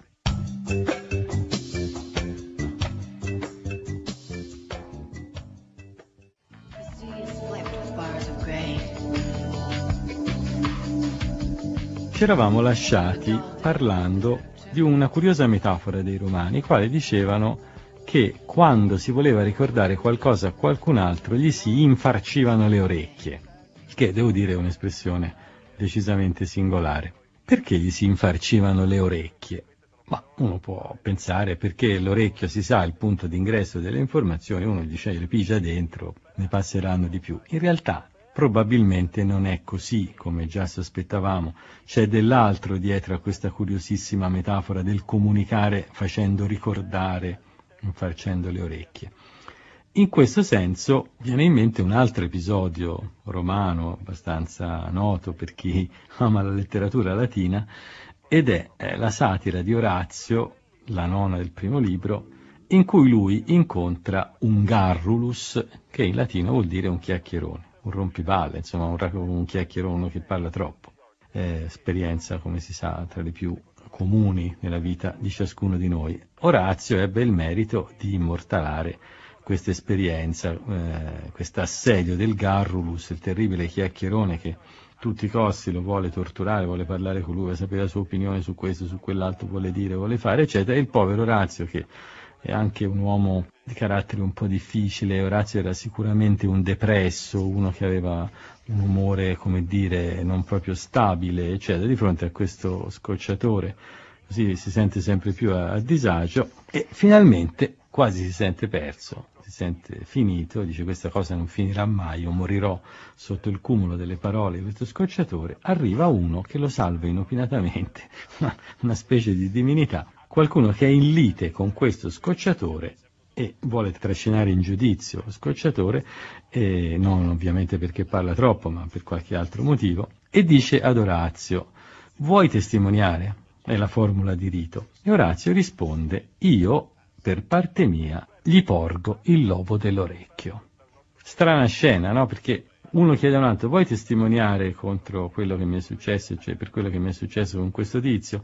E l'altro invece di dire sì sì, va bene, vengo, gli porge il lobo dell'orecchio. Siamo sempre nel mondo delle, delle orecchie, delle strane eh, metafore, delle strane abitudini, sia linguistiche sia proprio culturali, riguardo a questa parte del corpo umano. Ora, l'orecchio si sa che ha un ruolo di nuovo importante nella comunicazione, addirittura dicevamo parlando di Plutarco e del suo libretto sulla loquacità eccessiva che l'orecchio del chiacchierone, dice lui, è collegato direttamente alla lingua, per cui parole entrano, escono e se ne vanno senza nemmeno sostare un attimo nella testa o nel cuore, insomma, dove potrebbero prendere il, il senso che a loro manca. Ma a parte l'importanza del, dell'orecchio nella comunicazione, qui c'è qualcosa di più e ce lo spiega l'antico commentatore di Orazio, il quale dice colui che chiamava qualcun altro a testimone, gli toccava il lobo dell'orecchio e gli diceva sei disposto a farmi da testimone perché Plinio, il solito Plinio che citiamo spesso in queste questioni di vita quotidiana di Romani, Plinio ci dice semplicemente il lobo dell'orecchio è la sede della memoria. Cioè c'era una credenza romana specifica secondo cui il lobo dell'orecchio è il luogo dove si conservano le informazioni, non semplicemente un punto da cui passano le informazioni o una parte dell'organo che raccoglie informazioni. No, il lobo dell'orecchio è il deposito delle informazioni. Questo spiega una quantità di cose interessanti. In primo luogo, questo gesto del testimone che si impegna con l'altro porgendogli il, il, il, lobo dell'orecchio. Che cosa vuol dire? Tirami qui così poi io me lo ricordo, cioè mi impegno nella memoria a fare quello che tu mi chiedi di fare. Ma ci sono altri, eh, altre storielle romane, altri episodi che si rivolgono più o meno allo stesso campo di riflessioni sul lobo dell'orecchio non so, una volta Virgilio scherzosamente racconta la storia di lui che ha, eh, ha, scritto un poema di carattere epico, allora viene Apollo e gli dice ma guarda lascia perdere, tu non sei uno che scrive di queste cose, tu devi scrivere altra poesia. Dopodiché gli acchiappa l'orecchio, lo tira e lo ammonisce. Di nuovo l'ammonire va insieme al tirare l'orecchio. Ci eravamo detti eh, all'inizio di questo ciclo di conversazioni che nella nostra cultura contemporanea la comunicazione è uscita un po' dal corpo umano e si è andata delegando di qua e di là, nelle biblioteche, negli archivi, nei libri, nelle leggende, nei computer, un po' dovunque, no? Mentre nel mondo antico, e più indietro si va, meglio è, la comunicazione si concentra ancora molto nell'organismo umano. Adesso ne abbiamo un bel esempio. Un esempio molto esplicito. Dove sta la memoria? La memoria dove sta? Sta nel lobo dell'orecchio. Cioè c'è un posto lì fisico in cui si raccolgono le informazioni, da cui tutti questi gesti simbolici, il tirare il lobo nell'orecchio per far ricordare qualche cosa. Tanto per giocare un po' con le parole, ci ricordiamo ancora di questo modo di ricordare, ovvero sia, per noi il lobo dell'orecchio e soprattutto il tirarlo significano ancora qualcosa? Ma io penso di sì, cioè perché spesso i gesti, i comportamenti simbolici si trasmettono per lungo tempo resistono. Anche noi usiamo dire ti tiro le orecchie perché tu non faccia più una certa cosa. I bambini si tirano le orecchie. Uno dice lo si fa perché fa male, quindi poi il bambino non lo fa più. D'accordo? Sarà questo il motivo, però perché proprio le orecchie? Uno scapaccione, non so, uno sculaccione, anche questo potrebbe funzionare benissimo da questo punto di vista. Si tirano le orecchie, io penso proprio per il motivo per cui Apollo aveva tirato le orecchie a Virgilio, per dirgli non lo scrivere più la poesia epica, ti tiro qui, perché è qui che stanno le informazioni e quindi è lì che io tiro. Io personalmente ho anche un sospetto che questo gesto per il quale non ho avuto particolare simpatia, di tirare le orecchie il giorno del compleanno, eh, funzioni un po' allo stesso modo. Se ben mi ricordo, si tirano tante volte le orecchie quanti sono gli anni che il malcapitato o la malcapitata compiono. Quindi quanti più anni sono, peggio è, perché l'orecchio ti viene praticamente strappato. Questa coincidenza, il numero esatto degli anni e la tirata delle orecchie, eh, non vorrei che fosse proprio questa la spiegazione. Ti faccio ricordare che tu oggi compi 8 anni, per questo ti tiro le orecchie tante volte. È là dentro che tu hai la memoria. Plinio ci dà anche un'altra curiosa informazione. Ci dice che se nel lobo delle orecchie stava la memoria, invece la vitalitas, insomma la vita, la vitalità delle persone, stava nelle ginocchia. Per cui dice quando le ginocchia si sciolgono, quando le ginocchia si allentano, allora vuol dire che la vita ci abbandona. Beh, è esistita, in parte esiste ancora tutta una anatomia, tutta una geografia corporale dei sentimenti, delle passioni, delle risorse spirituali, morali, materiali, eccetera, che noi abbiamo un po' perduto, ma che nel mondo antico era ancora più chiara, così il fegato era, ospitava certe cose, la bile ne ospitava altre.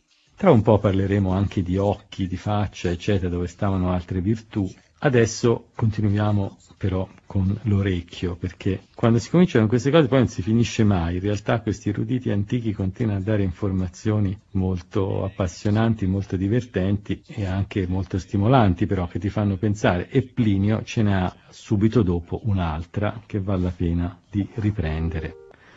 Questo viaggio tra bocca, lingua, orecchie, comunicazione, parole, insomma tutta questa insieme, questa meravigliosa sfera di credenze, di miti legati alla comunicazione nel mondo greco-romano si è in parte concluso, perché abbiamo seguito le piste di Hermes, l'abbiamo visto lanciare la Hunan, che è il silenzio, la cappa del silenzio sui cani che non abbaiano più, l'abbiamo visto far cadere improvvisamente il silenzio nella conversazione, l'abbiamo visto invece stimolare il dialogo, il contatto, il rapporto, interpretare, insomma, l'abbiamo visto muoversi attraverso un mondo che è fatto di organi del corpo umano, ma anche fatto di tante altre cose, e adesso forse comincerebbe a valer la pena di lasciare un po' il mondo della parola. Abbiamo seguito finora il cammino della comunicazione attraverso le parole, adesso potrebbe valer la pena di cominciare a parlare di comunicazione sempre in termini antichi, sempre nei termini della cultura greca e romana, di comunicazione attraverso le immagini. Ma per passare dalla parola all'immagine, dal comunicare attraverso le parole al comunicare attraverso le immagini, ci sarebbe da tener conto che esiste un qualcosa che sta nel mezzo. Questo qualcosa che sta nel mezzo, secondo me, è la faccia delle persone. In altre parole, noi comunichiamo attraverso le parole, attraverso il discorso, attraverso la lingua, noi possiamo comunicare attraverso immagini prodotte, attraverso immagini dipinte, oppure attraverso i grafemi della scrittura, insomma una produzione nostra di segni, però comunichiamo anche attraverso la nostra faccia, in primo luogo, i nostri occhi, i nostri lineamenti, la nostra espressione, attraverso tutto il modo in cui noi ci poniamo. Oserei dire, comunichiamo attraverso il modo in cui noi ci poniamo come immagine alle persone come siamo vestiti, come camminiamo, come ci atteggiamo, che gesti compiamo, come guardiamo, come alziamo il sopracciglio, come aggrottiamo la fronte, come la spianiamo, eccetera. Fra la parola e l'immagine ci sta insomma l'essere umano come immagine, quando l'essere umano decide di funzionare come immagine per comunicare e trasmettere informazioni ad altri.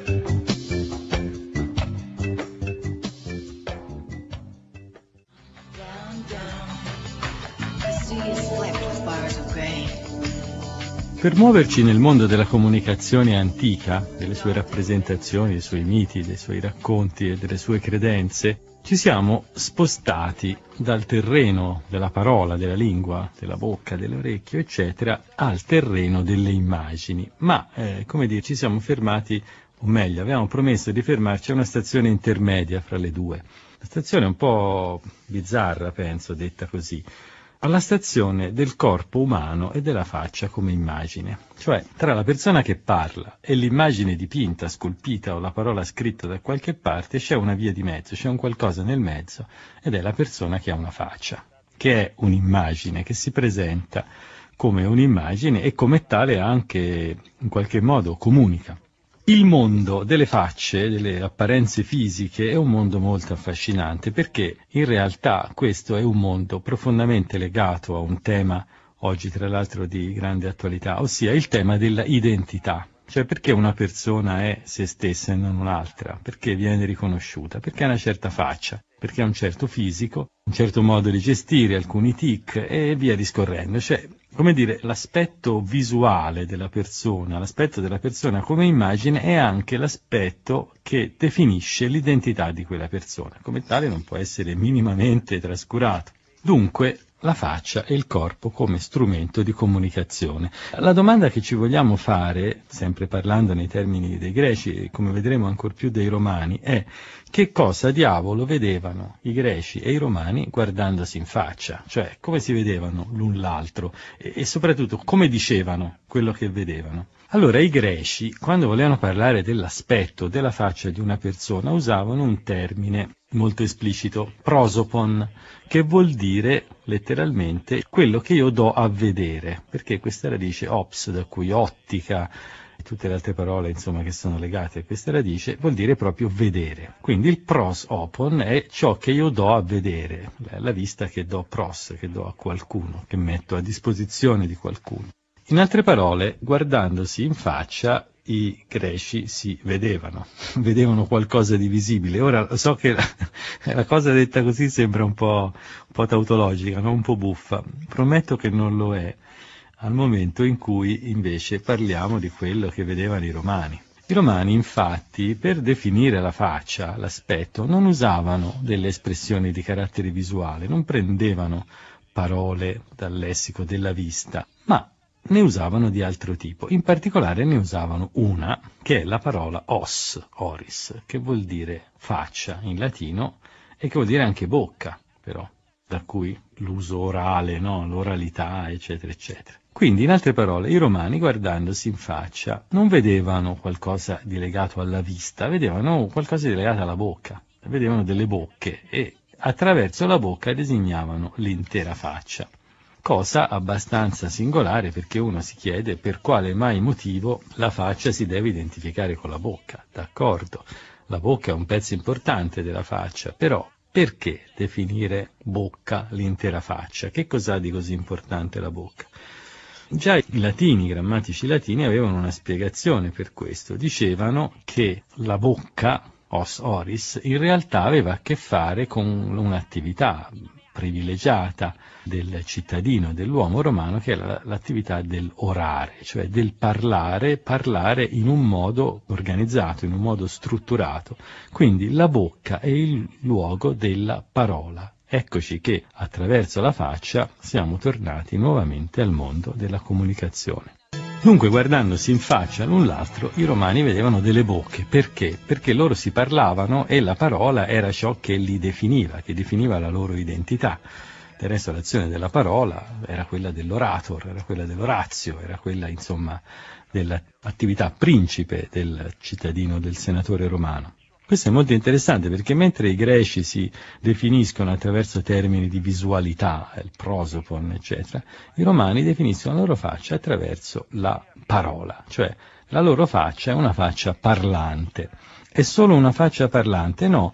Eh, qui scopriamo una cosa, che i romani guardandosi in faccia vedevano un sacco di cose, insomma, avevano una pluralità di modi di vedere e di parlare della loro faccia. Un altro modo, infatti, per definire la faccia eh, per i romani è la parola vultus, da cui il nostro volto. Loro potevano definire la faccia sia os, bocca, sia vultus. Ma cosa diavolo è questo vultus? Vultus è tutto un altro tipo di faccia. Non è più la faccia che parla attraverso la bocca, ma come ci viene detto spesso dai, dai scrittori latini, il vultus è la faccia che comunica l'interiorità cioè è la faccia che è una finestra, la faccia come un qualcosa che non si vede e che invece apre una specie di finestra, di spaccato, di, di apertura verso l'interno. Attraverso il vultus, dicevano i romani, si vedono i mores, si vedono i costumi, si vede la moralità, l'interiorità, l'aspetto morale dell'individuo. In questo senso il vultus è diversissimo dalla, dalla, faccia bocca, non è più una faccia parlante, è una faccia muta ma che ugualmente comunica. E come comunica? Beh, questo è,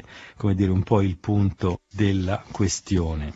Comunica in un modo che è particolarmente importante. Perché? Beh, perché nella presupposizione comune, siccome il vultus è una finestra aperta sull'anima, perché questo era il loro modo di definire il vultus, il vultus non mente, attraverso il vultus emerge quello che sono i reali sentimenti della persona. Del resto eh, era già romana questo modo di dire e di pensare secondo cui gli occhi, che sono una parte del vultus, sarebbero una finestra dell'anima. Quindi insomma da lì emerge l'interiorità. Ma allora che succede quando qualcuno finge dei volti, cioè dei vultus, quando qualcuno simula il vultus che invece non dovrebbe avere, simulando in questo modo un'interiorità che invece è diversa.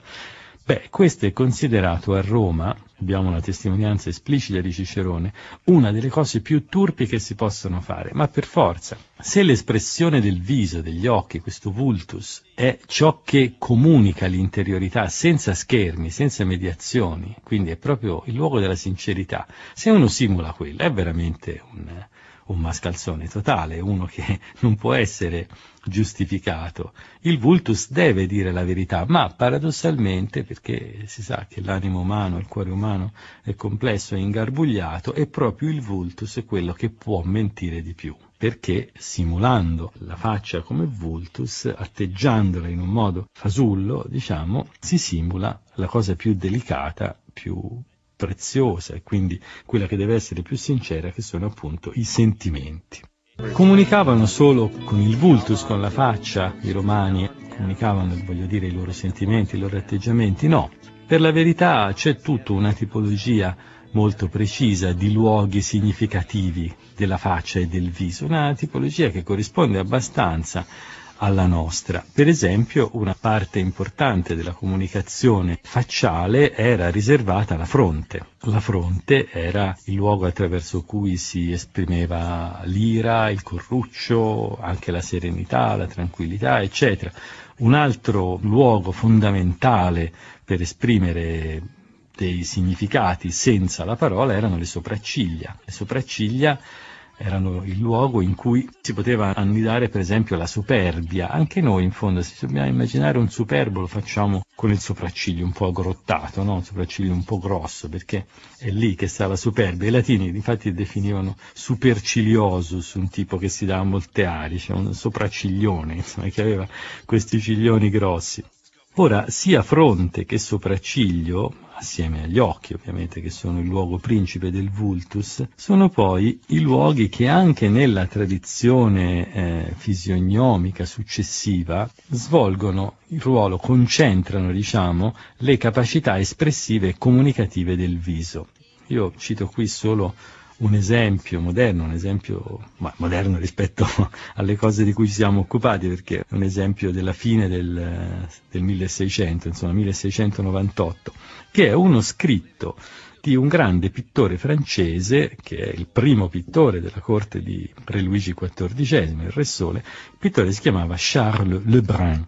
Charles Lebrun, in una conferenza sull'espressione generale e particolare, insegnava, o meglio spiegò, come si manifestano i sentimenti, le affezioni dell'uomo attraverso la modificazione della faccia e usa un, un, metodo che è decisamente di carattere strutturale, potrei dire, perché parte da una situazione di riposo e di tranquillità in cui tutti i lineamenti di questa faccia schematica tracciata sul foglio sono eh, in riposo e poi semplicemente ampliando l'arco del sopracciglio, intensificandolo, schiacciandolo, eh, modificando la linea delle nari, eccetera, riesce a passare attraverso tutti i vari stadi delle affezioni umane, cioè l'ammirazione, lo stupore, l'attenzione, il disprezzo, eccetera, eccetera, fino poi a arrivare alla massima intensità di sentimento che è nel caso dell'ira, quindi lo sconvolgimento totale. La faccia è sempre comunicata allo stesso modo, sia presso i romani, sia nella Francia.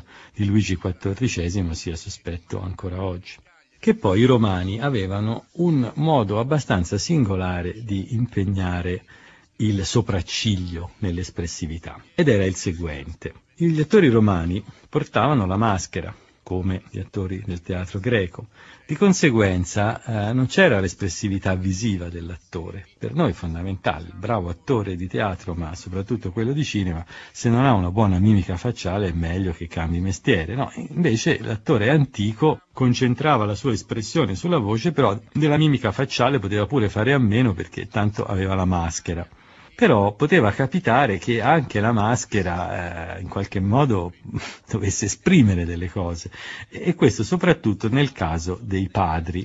I padri della commedia erano personaggi abbastanza schematici che negli intrecci comici più o meno funzionavano così, lo dice Quintiliano a volte erano arrabbiati, arrabbiatissimi con i figli, poi dopo tornavano in pace con i figli, poi si riarrabbiavano. Insomma, la figura del padre nelle commedie romane era abbastanza scialba, nel senso che questi erano dei genitori regolarmente ingannati dai figli che poi riuscivano a trionfare, anche perché avevano ragione loro, dato che questi padri erano solo dei rompiscatole, e poi alla fine li perdonavano. Per far questo l'attore disponeva, quello che faceva il padre, di una maschera che aveva il sopracciglio destro piano e tranquillo e il sopracciglio sinistro invece curvato e esprimente ira e poi si mettevano da una parte e dall'altra, insomma secondo l'uno o l'altro profilo a secondo dello stato d'animo in cui si trovavano. Se dovevano fare il padre arrabbiato si giravano dalla parte col sopracciglio curvo, se dovevano fare il padre tornato in pace si giravano dalla parte del sopracciglio piano oltre che con la faccia nel senso di bocca che parla, con la faccia nel senso di volto che trasmette informazioni interiori o di sopracciglio, di fronte, che ugualmente trasmette le affezioni dello stato d'animo, i latini, i romani, comunicavano anche con la nostra faccia. Faccia è una parola latina che infatti eh, deriva dal latino facies, facies, che vuol dire appunto faccia, esteriorità, espressione. Che cosa aveva la facies di diverso rispetto al vultus, al volto, rispetto alla faccia bocca dell'os? Beh, semplicemente questo. Dicevano i grammatici antichi, la facies è naturale, cioè quella ci viene data dalla natura, mentre il vultus no quello lo facciamo noi. In altre parole, il vultus è una creazione culturale, la facies invece è una entità materiale dalla quale non si può prescindere, uno ce l'ha e se la tiene. Naturalmente a quei tempi non esisteva la chirurgia plastica estetica, altrimenti i grammatici avrebbero saputo che il naso si poteva cambiare, cioè, però allora queste cose non si facevano, la facies uno ce l'aveva e se la teneva. Che cos'ha di caratteristico la facies oltre al fatto che uno ce l'ha e se la tiene? Anche questo, dicevano gli antichi, la facies non si può imitare, il vultus sì. Il vultus io lo posso imparare, il modo di esprimere l'interiorità di un altro, e qui come dicevamo sta il massimo della menzogna, no? della vergogna perché uno simula l'interiorità e questo non va bene, ma la fasces non la si può imitare perché quello uno o ce l'ha o non ce l'ha, non è che si può diventare un altro, salvo, ecco, salvo casi di carattere mitico. E qui possiamo tornare a raccontare conclusivamente una storia. Ci fu un caso in cui qualcuno si prese la facies d'un altro, la faccia naturale d'un altro. E fu la volta in cui il dio Zeus, a Roma poi Jupiter, Giove, si innamorò della bella Alcmena, che era la moglie di Anfitrione, il re di Tebe. Allora, quello che Zeus fece non fu altro che prendere la facies, la faccia e l'aspetto fisico di Anfitrione, e così poté soddisfare le sue voglie, i suoi desideri di amore con la bella Alcmena, la quale era perfettamente convinta di essere a letto col marito e quindi non si sentiva in colpa nonostante fosse un'adultera. A questo, che è il mito greco originale, Plauto aggiunse un altro frammento di storia nella sua commedia Anfitrione, che è il raddoppio non solo di Anfitrione da parte di Giove, ma anche il raddoppio dello schiavo Sosia da parte del dio Mercurio, che è sempre il nostro Hermes, che è un gran briccone, quindi eh, gli dei lo adoprano anche per fare queste gherminelle. Allora Mercurio prese l'aspetto di Sosia, prese la facies di Sosia, perché lui era un dio, quindi lo poteva fare di prendersi la facies di un altro, si mise in faccia al povero Sosia e gli disse guarda, tu non sei Sosia, Sosia sono io, tu vattene. L'altro replicava dicendo no, ma come? Sosia sono io, sono io lo schiavo di Anfitrione. E l'altro giù cazzotti per convincerlo che lui non era più lui. Ma questi sono gli unici casi in cui si poteva prendere la facies d'un altro, altrimenti la facies era per eccellenza il luogo dell'identità individuale dell'individuo, diciamo della persona. In altre parole, per restare nei nostri termini di comunicazione, la facies è il luogo fisico attraverso il quale un individuo comunica se stesso. È la sua carta d'identità, era il suo passaporto, era le sue impronte digitali, diciamo, la facies. Io sono io e te lo dico attraverso questo naso, questa bocca, questi occhi, riconoscimi. Questo era l'invito che la Fascies rivolgeva alle persone che la osservavano.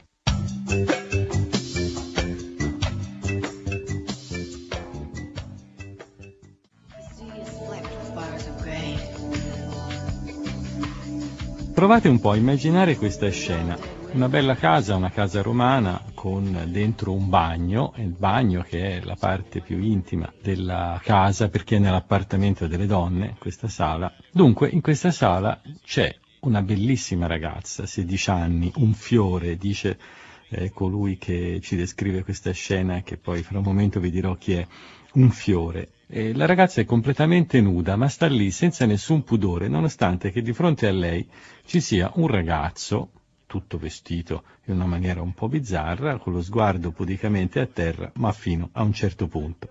Esce il Lenone. Il Lenone sarebbe il proprietario di questa casa che ora si intuisce essere un'antica casa di prostituzione. Esce il Lenone e raccomanda al ragazzo di stare vicino alla ragazza, stai pure con lei, anzi stai con lei da solo a sola.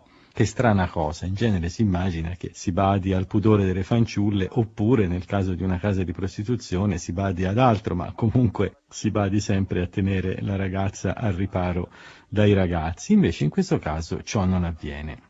Che cosa è successo? È successo che questo ragazzo, il cui nome è eh, Cherea, si è fatto passare per un eunuco. Ha raccontato al padrone di questa casa di prostituzione, che lui è un eunuco e quindi, come dire, non costituisce un pericolo per le ragazze che ci sono dentro.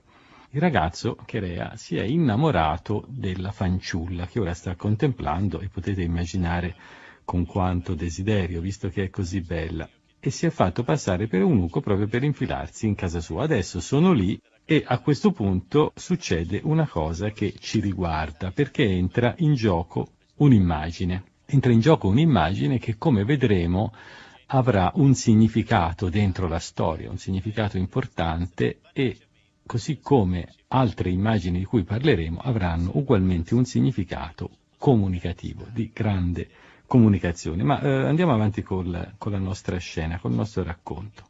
Dunque il ragazzo Cherea è lì e sta contemplando la fanciulla, poi alza gli occhi e vede sulla parete che c'è un dipinto mitologico, un dipinto mitologico che racconta la storia di quando Zeus, il sommo dio, che era anche, come è noto, un sommo adultero, si innamorò di Danae, una bellissima fanciulla, e penetrò nel suo grembo, avendo assunto la forma di una pioggia d'oro. Allora il ragazzo che cosa pensa? Beh, pensa questo, se l'ha fatto Zeus non posso forse farlo anch'io. Io piccolo uomo dice non avrei dovuto farlo, insomma anch'io l'ho fatto e volentieri. Quello che accade, potete immaginarlo, autorizzato da quella scena mitologica dipinta sulla parete, il ragazzo Cherea riuscì a soddisfare il suo desiderio. La scena che abbiamo raccontato è tratta dall'eunuco di Terenzio. Dunque quel bel dipinto mitologico che sta sulla parete ha una funzione non solo ornamentale, ma anche, come dire, di autorizzazione. Il ragazzo vede quel dipinto di qualcuno che ha sedotto una donna contro la sua volontà e dice se l'ha fatto Zeus posso ben farlo anch'io. Non solo autorizza quel quadro, ma se ci pensate un attimo, premonisce. È come se su quella parete fosse già dipinto quello che sta per accadere e che accadrà di lì a un momento. E questa è una delle funzioni che l'immagine dipinta, scolpita, disegnata ha spesso nella cultura e nella tradizione antica. È come se le immagini, che pure sono oggetti che già c'erano, preesistevano, stavano lì su una parete oppure piantate sopra una base, queste immagini fossero capaci di anticipare gli eventi che seguiranno fra un momento, oppure fossero capaci di rivelare la verità profonda delle situazioni, cioè in una situazione c'è qualcosa che restava nascosto, l'immagine ha la capacità di rivelarlo, l'immagine dice la verità, l'immagine dice di più di quello che si vede. Eh, posso fare qualche esempio abbastanza curioso. Per esempio, il pittore Apelle, il pittore Apelle era in cattivi rapporti con Tolomeo. Una volta, per una tempesta, fu costretto a sbarcare nel porto di Alessandria, proprio lì dove abitava Tolomeo, che gli era antipatico, a cui lui era antipatico, si presenta un nano, personaggio un po' ambiguo, e gli dice guarda che Tolomeo ti vuole a cena da lui. Povera pelle va, pensando che Tolomeo avesse cambiato idea nei suoi confronti. Quando Tolomeo lo vede, comincia a gridare e dice chi è che ha fatto venire Apelle a cena da me? Io non lo voglio. E Apelle disse ma io veramente sono stato invitato. Chi ti ha invitato? Apelle si guardò intorno e non riuscì minimamente a vedere il nano, che evidentemente era un personaggio che era stato subornato dai suoi nemici per invitarlo a cena. Non lo vide, quindi non poteva dire è stato quel nano, eh, quello lì, che sta lì seduto vicino a te, Tolomeo. Però prese un carbone e si mise a disegnare sulla parete l'immagine di questo nano traditore. Lo fece così bene, così somigliante, che Tolomeo lo riconobbe immediatamente, il nano fu smascherato e Apelle ritornò in pace con il sovrano. Un'altra volta, perché questi pittori erano a volte un po', un po fumini, eh, un po' vendicativi, eh, il pittore Ctesicle, un altro celebre pittore greco, ebbe anche lui da litigare con la regina Stratonice e siccome l'aveva trattato male, lui quando se ne andò, lasciò il regno di Stratonice, dipinse un'enorme tavola in cui era rappresentata Stratonice che faceva l'amore con un pescatore che tutti dicevano fosse il suo amante. E dopodiché prese la nave e se ne andò lasciando Stratonice svergognata. Quello che accadde fu che la regina Stratonice vide il quadro, si accorse che era talmente bello che disse vabbè lasciamolo lì e da quel momento in poi la tavola con gli amori di Stratonice del pescatore rimase dove l'aveva messo il pittore Ctesicle.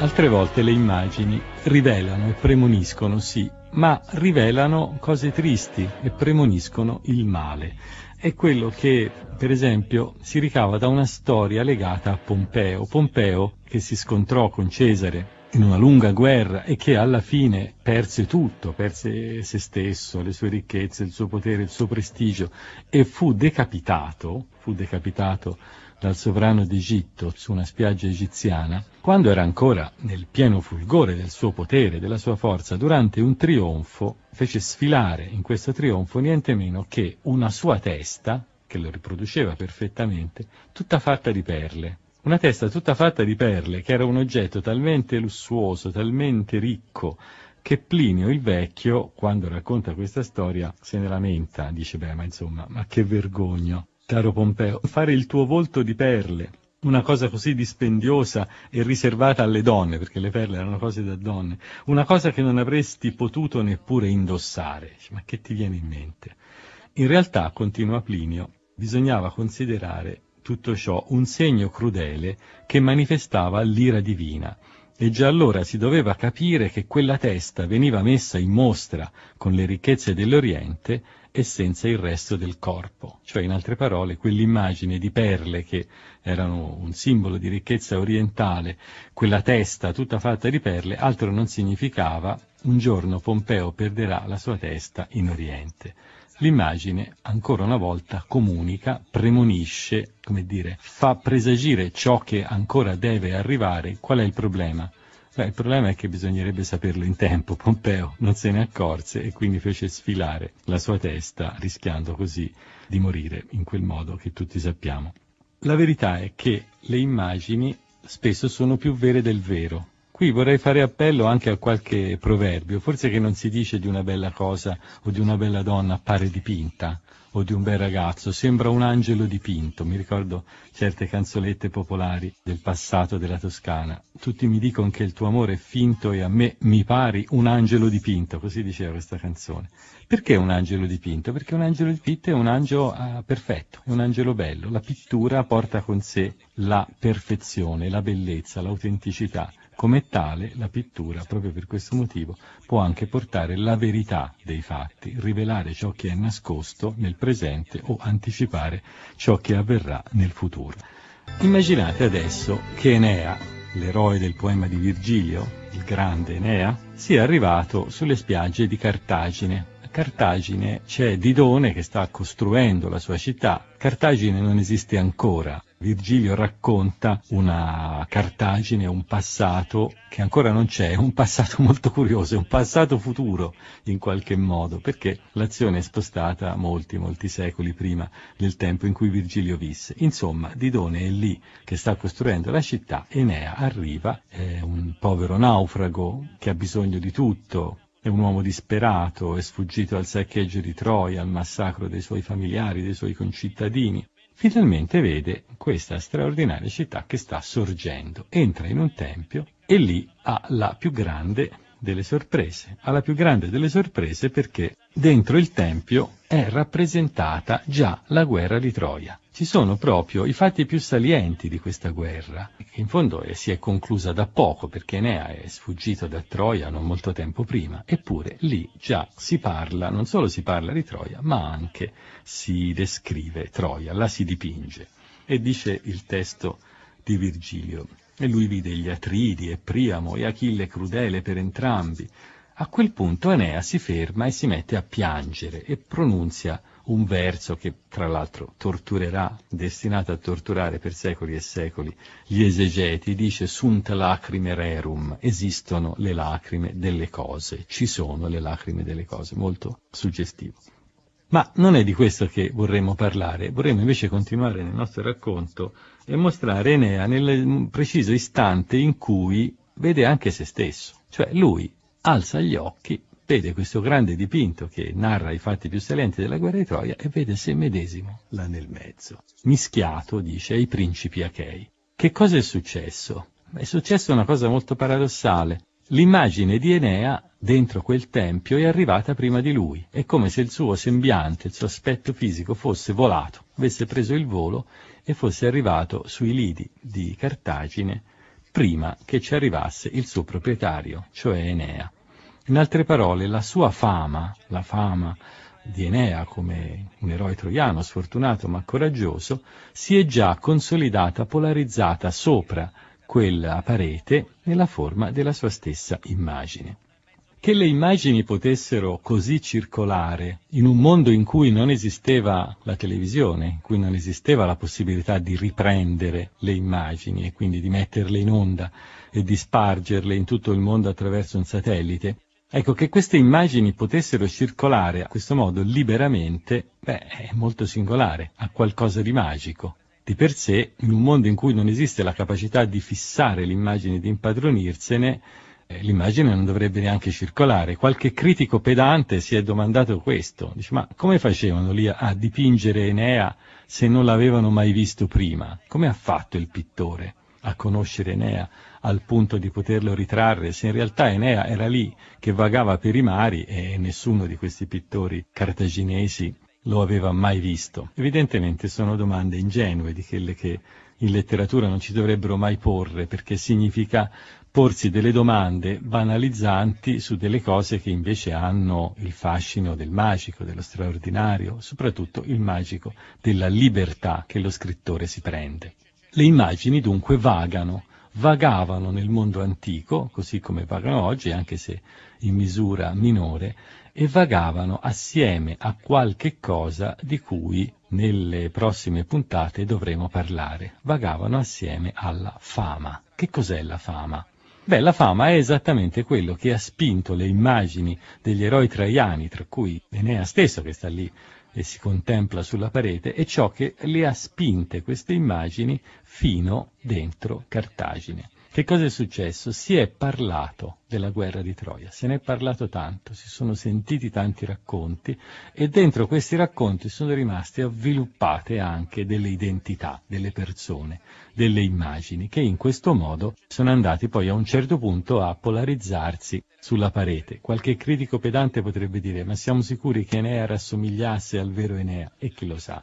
L'importante è che ci fosse qualcuno identificabile come Enea. E se c'era qualcuno identificabile come Enea, che cosa significa? Significa che la parola circola e assieme alla parola circola l'immagine.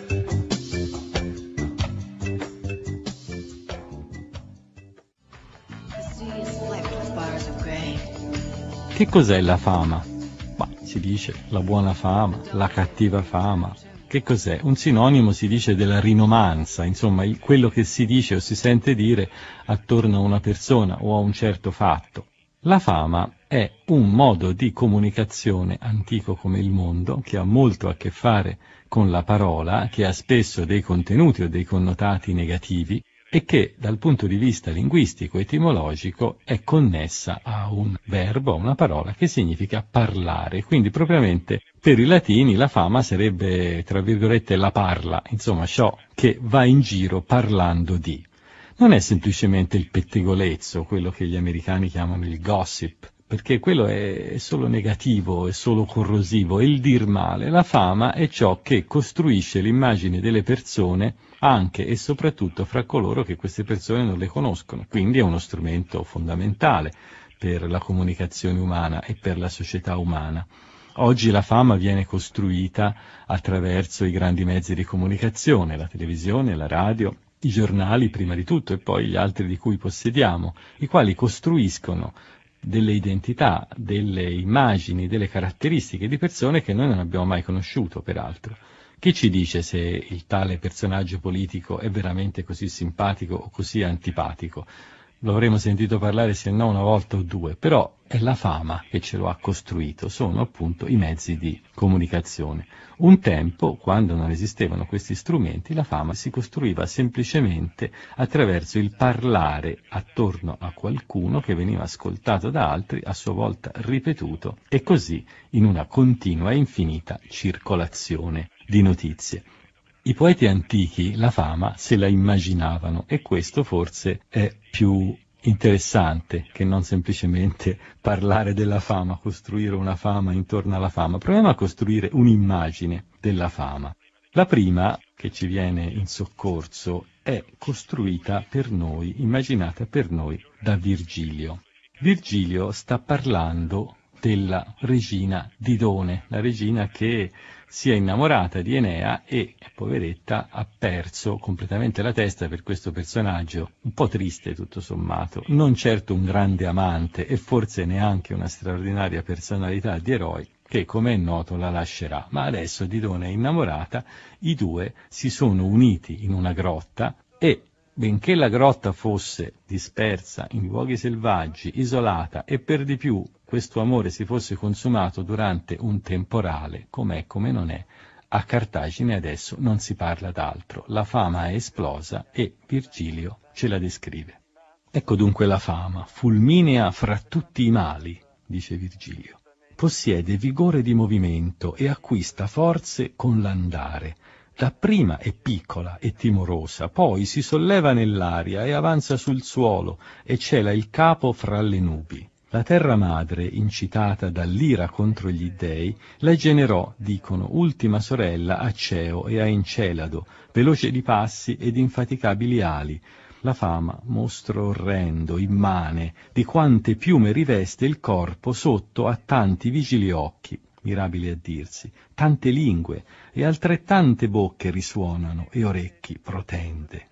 Di notte vola tra il cielo e la terra nell'ombra, stridendo, e non chiude gli occhi al dolce sonno. Di giorno siede spiando sul culmine d'un tetto o su alte torri e sgomenta grandi città, tenace messaggera tanto del falso e malvagio quanto del vero.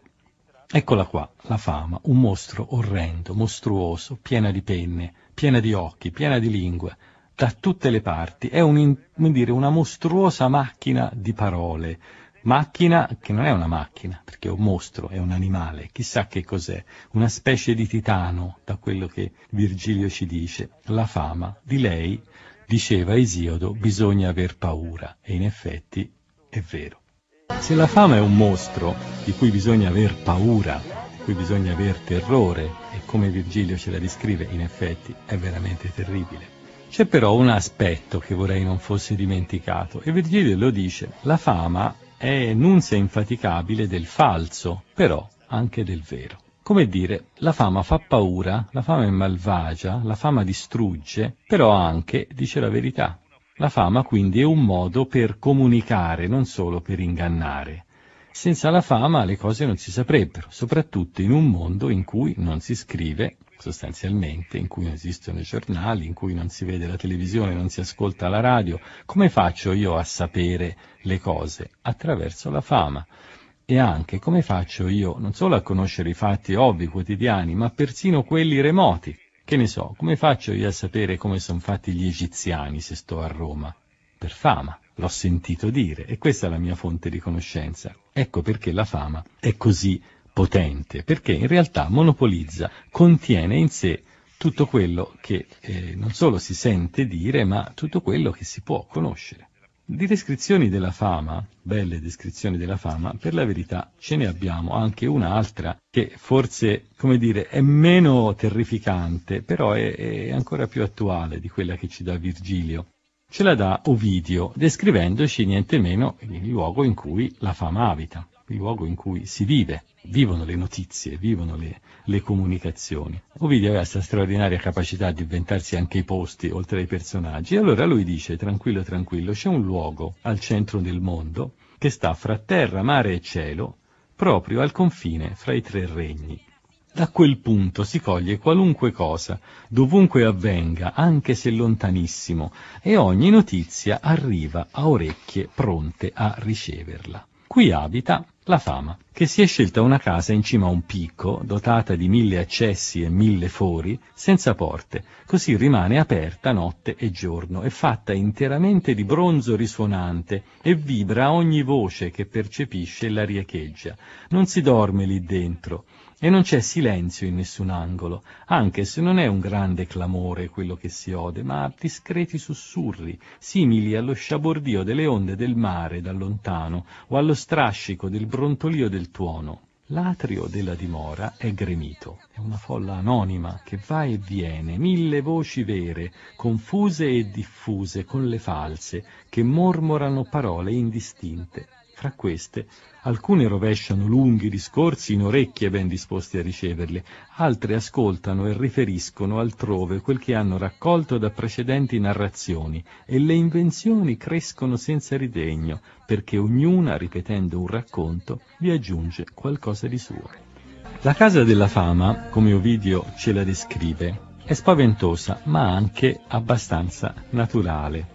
Provate a immaginare l'equivalente moderno di un luogo in cui, come dice Ovidio, si coglie qualunque cosa dovunque avvenga, anche se lontanissima, e ogni notizia trova orecchie pronte a riceverla. Beh, questo luogo è sicuramente la redazione di un giornale, oppure gli studi della televisione, esattamente questo, un luogo dove ci sono sempre persone pronte a raccogliere notizie in cui si capta tutto. E poi una casa dotata di mille accessi e mille fori, senza porte. Eh, questo è un insieme di monitor in cui le notizie entrano ed escono, le immagini passano, corrono, si intrecciano, rimbalzano. Poi un luogo dove non si dorme, inutile dire che non si dorme mai, dove si scambiano e si miscelano le notizie. Infine un atrio di questa dimora, un atrio così gremito, una folla anonima che va e viene, voci vere, voci false. Eccolo qua, la metafora forse più bella che esiste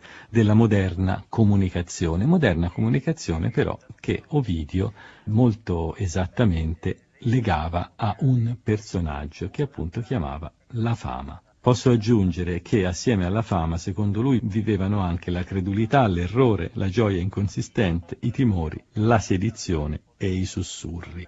Non aveva un buon concetto della fama, evidentemente Ovidio, eppure anche lui doveva rassegnarsi all'idea che dentro la circolazione continua della fama stanno certo gli errori, gli inganni, la credulità, ma stanno anche le verità. E questo è il modo in cui le notizie si trasmettono e si combinano. La fama è dunque un mondo fatto interamente di parole, fatto di parole come eh, ci dice l'etimologia stessa di questa parola fama, che appunto deriva dal verbo for faris in latino, che significa parlare, dire. Che voce è quella della fama? I poeti ci danno una rappresentazione mitologica, ne fanno un mito di questa fama. Altri, nel mondo antico, si interessarono invece di capire meglio come funzionasse la fama e come andasse descritta. La considerarono male, soltanto male, come una forma di pettegolezzo, di discorso corrosivo, come una cosa da estirpare, da far tacere? Niente affatto. E questa forse è già una prima piccola sorpresa. Quando si parla della fama a Roma, si dice contemporaneamente che la fama va male, che la fama è inattendibile. Perché? Perché manca come si direbbe oggi, una fonte autorizzata. Non si può citare la fonte della fama. La fonte della fama è il sentito dire. Chiunque riporta una cosa ascoltata per fama non può che dire io a mia volta l'ho sentita dire da qualcun altro e se si va da questo qualcun altro lui ancora dirà ma anch'io l'ho sentita dire. E questo è il male della fama, non c'è, come direbbero i latini, un auctor, uno che ne è responsabile. Però contemporaneamente questi antichi retori, in particolare Quintiliano, che si occuparono della fama, dicevano alcuni considerano la fama una forma di pubblico consenso e quindi una forma anche di testimonianza che può essere utilizzata tranquillamente in tribunale. È l'altra faccia della fama. Da un lato uno dice è un discorso screditato, non ci credo, non lo posso accettare e prendere sul serio perché non posso citare la fonte. Dall'altro però si dice anche ma lo dicono tutti. E se lo dicono tutti forse ci sarà un fondamento in questo discorso, forse sarà vero. Prendiamolo sul serio. Ecco perché addirittura in tribunale si poteva citare la fama di una persona, ciò che si sentiva dire intorno a un certo fatto, a una certa persona, come una prova, una prova perlomeno del fatto che c'era un consensus intorno a quella notizia o a quel modo di giudicare o vedere una persona. L'antico proverbio dice Vox populi, vox dei, voce del popolo, voce di Dio. Che cos'è la Vox Populi? La nostra amica, è sempre lei, la fama, che stavolta in questo proverbio, che è un proverbio medioevale, viene paragonata niente meno che alla voce di Dio. Qui si va piuttosto avanti nel giudicare positivamente la fama. Se Quintiliano diceva, beh, può essere considerato una forma di consenso della comunità, se lo dicono tutti, vuol dire che qualcosa di vero ci sarà, adesso niente meno, la fama è diventata la voce di Dio. Ma che strano, perché eh, la fama, il sentito dire, può essere considerata addirittura la voce della divinità? non è semplicemente perché a volte dietro le parole che gli uomini pronunziano stanno, come dire, i nascosti disegni della divinità, che il Dio può parlare attraverso la voce di qualcuno, un bambino, oppure una persona ignara o innocente. No, qui c'è qualcosa di più. È qualcosa di più che ha a che fare proprio con questo modo del parlare pubblico. Che cos'ha il parlare pubblico che lo rende contemporaneamente così screditato ma anche così divino, così vox populi. È proprio la contraddittorietà insita nella fama, il fatto che da un lato tutti ne parlano, dall'altro non si può dire chi abbia detto per prima quella certa cosa, cioè dove abbia il fondamento. Questo circolare delle notizie, questo diffondersi, questo dilagare delle notizie fino alla creazione di una fama, di un consenso di persone che dicono tutti sì sì è stato lui, è un mascalzone, oppure quei due fanno all'amore di nascosto. Ecco, questo dilagare della notizia improvvisamente assume agli occhi di una comunità l'aspetto dell'eccezionale, del divino. Cioè se tutti lo dicono, come mai tutti lo dicono? Come mai tutti sono così d'accordo su qualche cosa che in realtà non si riesce ad accertare? È paradossale questo, come dire, il fatto che l'autorevolezza possa essere fondata sulla non autorevolezza, sul fatto che non si sa di preciso su che cosa si fonda una certa notizia. Del resto, non vorrei esagerare nel riportare il discorso all'attualità, ma insomma penso che lo si possa fare.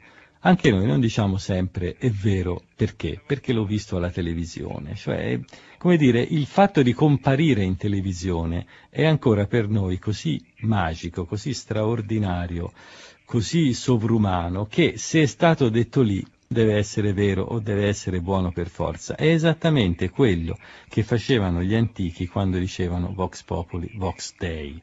La fama era divina, tanto quanto per noi è divina oggi la televisione.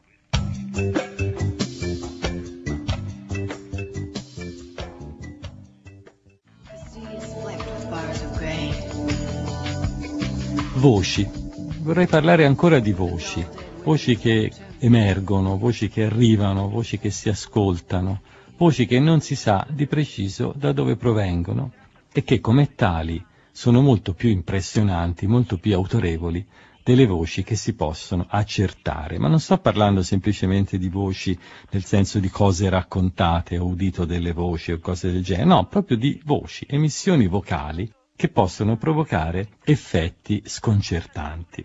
Ce n'è una, di cui ci parlano sempre i romani, che lì per lì può non sembrare sconcertante, invece lo è, e i romani giustamente la consideravano tale. Allora, la storia è la seguente.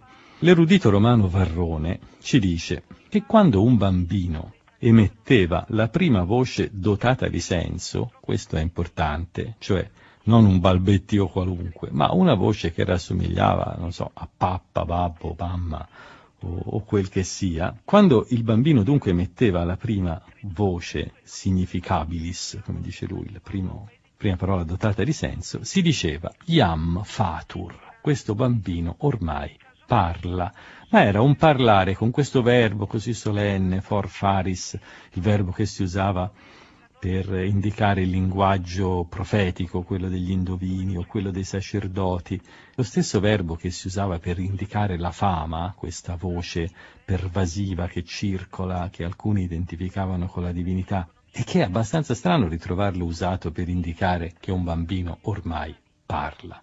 Ma Varrone continuava dicendo, è per questo che quando i bambini non parlano si chiamano infanti, infantes, cioè coloro che non parlano, che non hanno la capacità di fari. Quando sono usciti da questo stadio della infanzia, della non capacità di parlare, della non parlabilità, allora si dice iam fantur, ormai parlano, possono emettere voci dotate di senso. Ma che cos'è questo parlare del bambino, questo emettere una voce dotata di senso? Eh, un parlare, come dire, simile a quello dei nostri bambini? Sì e no, nel senso che anche per noi un bambino che per la prima volta dice una parola dotata di senso fa una notevole impressione, c'è poco da fare. Insomma, per chi ha avuto o ha dei figli, la prima volta che il bambino o la bambina pronunzia una frase o una parola che sembra dotata di senso, beh, è un grande momento, insomma, come quando cominciano a camminare, ma forse anche di più. Per i romani la cosa doveva essere però in realtà ancora più profonda e più, come dire, più magica, più delicata. Perché? Perché dietro la prima parola del bambino si annidava qualcosa che noi non mettiamo più dietro la parola del bambino, cioè un Dio. Si racconta infatti che quando i bambini pronunziavano questa loro prima parola, mitica prima parola, si facessero anche dei sacrifici a un dio dal nome abbastanza buffo. Si chiamava Fabulinus o Farinus.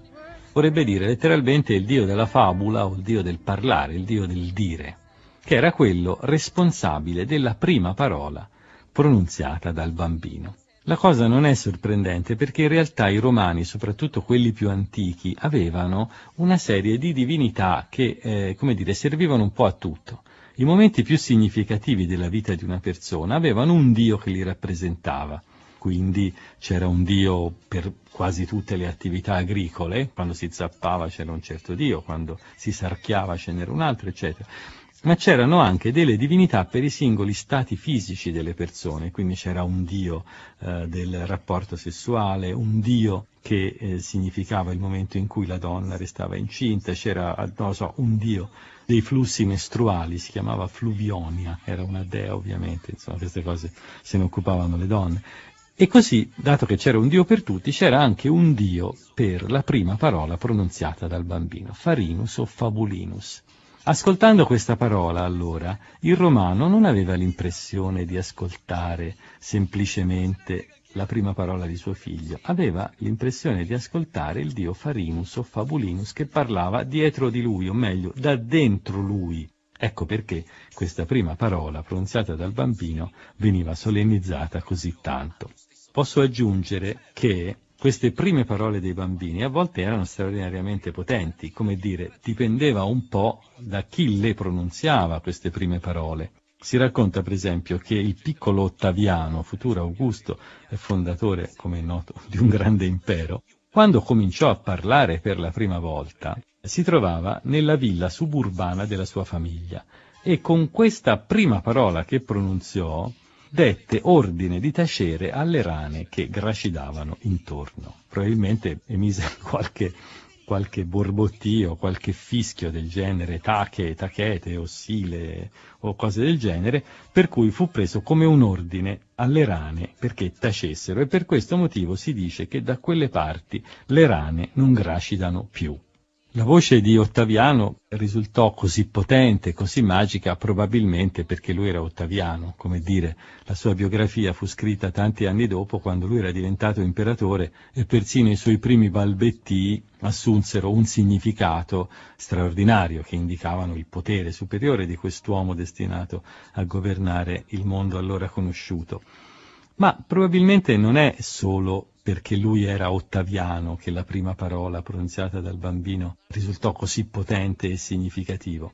Il fatto è che paradossalmente la prima parola del bambino è, rassomiglia alla parola pubblica, alla parola della fama.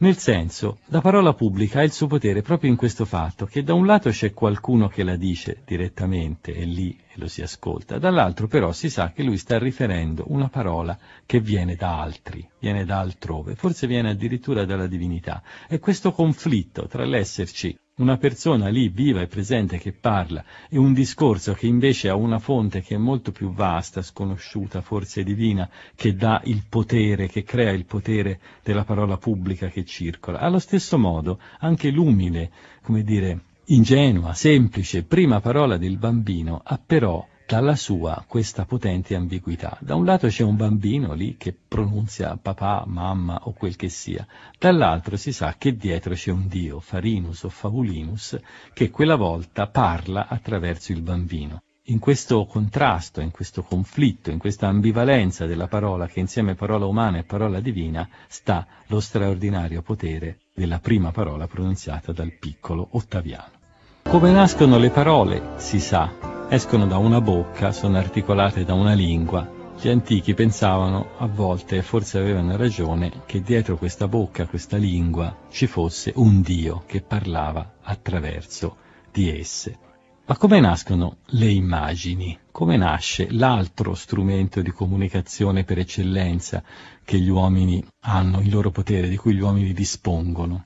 Beh, la risposta è abbastanza semplice. Come nascono le immagini? Basta mettersi lì, dipingere, scrivere, disegnare. Ma questa sarebbe la nostra risposta, una risposta legata all'idea di una tecnica, una tecnica che si apprende, che si riproduce, che si perfeziona, dopodiché si creano delle immagini che sono capaci di comunicare. Questa è la nostra risposta, ma la risposta della cultura antica non era semplicemente questa, era anche una risposta di carattere mitico, il che significa che ci troviamo nella necessità di raccontare un'altra storia. È la storia, assai bella e un po' commovente, di come per la prima volta qualcuno creò un'immagine. Siamo a Corinto. A Corinto c'era un vasaio, il cui nome era Butade per la cronaca, il vasaio aveva una figlia. La figlia del vasaio, beh, sembra un po' un raccontino veristico. C'era una volta un vasaio che aveva una figlia, ma non è così, anzi, un racconto tutt'altro che veristico. La figlia si innamorò, e qui ancora continuiamo con l'apparente verismo del racconto, si innamorò di un ragazzo, il quale a un certo punto decise di lasciarla. La ragazza era disperata, piangeva Il padre, beh, si trovò evidentemente di fronte a un conflitto. In genere dicono che i padri sono gelosi delle loro figlie e quindi si potrebbe pensare che Butade fosse segretamente contento del fatto che la figlia era stata lasciata dal fidanzato. Questo non accadde. Il padre, invece, si schierò dalla parte della figlia, soffriva con lei, e siccome era un bravo vasaio, uno che aveva l'arte della, della plastica, aveva l'arte del plasmare, escogitò un trucco per consolare la figlia. Dunque la figlia si recò la notte nel luogo dove dormiva il fidanzato, che il giorno dopo sarebbe partito. Portò con sé una lucerna, illuminò il viso e la silhouette del fidanzato dormiente con questa lucerna e proiettò sul muro l'ombra del ragazzo che dormiva. Allora, silenziosamente, la ragazza con un carbone riprese questa silhouette, tracciò questa silhouette. Potremmo anche dire, la rubò, rubò l'immagine al fidanzato che dormiva. Dopodiché spense la lucerna e se ne andò. Il giorno dopo il ragazzo partì la ragazza era ovviamente disperata, Butade, il padre, il vasaio, si avvicinò a quella silhouette, la rilevò e da lì fu capace di estrarre la prima immagine in assoluta mai creata. È il mito di fondazione, il mito di origine delle immagini, che dice una cosa molto precisa sulla natura, oltre che sulla nascita delle immagini. Il primo punto è le immagini nascono per riempire un vuoto, quindi per colmare un'assenza. Il secondo punto è le immagini hanno a che fare con le ombre. Le immagini hanno a che fare con le ombre perché ce lo dice il dito, perché eh, la prima immagine in assoluta fu costruita rilevando un'ombra. Ma se così è, se le immagini sono parenti delle ombre che proiettiamo sui muri, qual è la conclusione che possiamo trarre? È questa, che in realtà le immagini contengono, come dire, sono capaci di trasmettere, di veicolare anche un po' della persona che riproducono. Non sono semplicemente dei doppi, delle costruzioni del tutto estranee alla persona che rappresentano, no, perché c'è di mezzo l'ombra, l'ombra è un pezzo della persona fisica che viene riprodotta e se un'immagine è copiata sull'ombra vuol dire che dentro quell'immagine c'è un po' di quella persona. Ecco perché la figlia del vasaio Butade riuscì a consolarsi della perdita del proprio fidanzato, perché aveva un'immagine che tutto sommato dentro di sé aveva anche un qualcosa della persona che aveva perduto. Ma il fatto che l'immagine sia consolatoria è forse ancora più interessante. Questa è una spiegazione, devo dire, molto attraente del perché si sente il bisogno di costruire immagini, di fare immagini, perché le immagini servono a rimpiazzare le persone che non ci sono. E il nostro mondo che è così pieno, così ricco di immagini, a volte mi viene il sospetto che lo sia proprio perché noi abbiamo un gran bisogno di rimpiazzare ciò che non abbiamo o che non abbiamo più. Oggi siamo poi estremamente fortunati rispetto al povero Butade, invece che di un'ombra, di un pezzo di carbone e di un po' di argilla, noi disponiamo della macchina da presa di straordinari archivi che ci permettono di tirar fuori immagini di persone, di paesaggi, di oggetti, di cose ormai totalmente dimenticati, scomparsi, e con questi in qualche modo colmare l'assenza che a volte percepiamo con dolore di queste cose o di queste persone che non ci sono più. Siamo addirittura capaci di inserire queste immagini di archivio, immagini di persone passate, scomparse, dentro nuovi, nuove produzioni, nuove immagini, nuove sequenze, per cui mescoliamo il vivo al morto, il passato al futuro, al presente, eccetera, in una maniera che sicuramente avrebbe creato spavento presso i nostri antenati, i quali però sostanzialmente avevano già capito come funzionava il mondo delle immagini. Funzionava rubando qualche cosa a chi ne è inconsapevole, per consolare, riempire l'assenza di altri che di quella persona sentono la mancanza.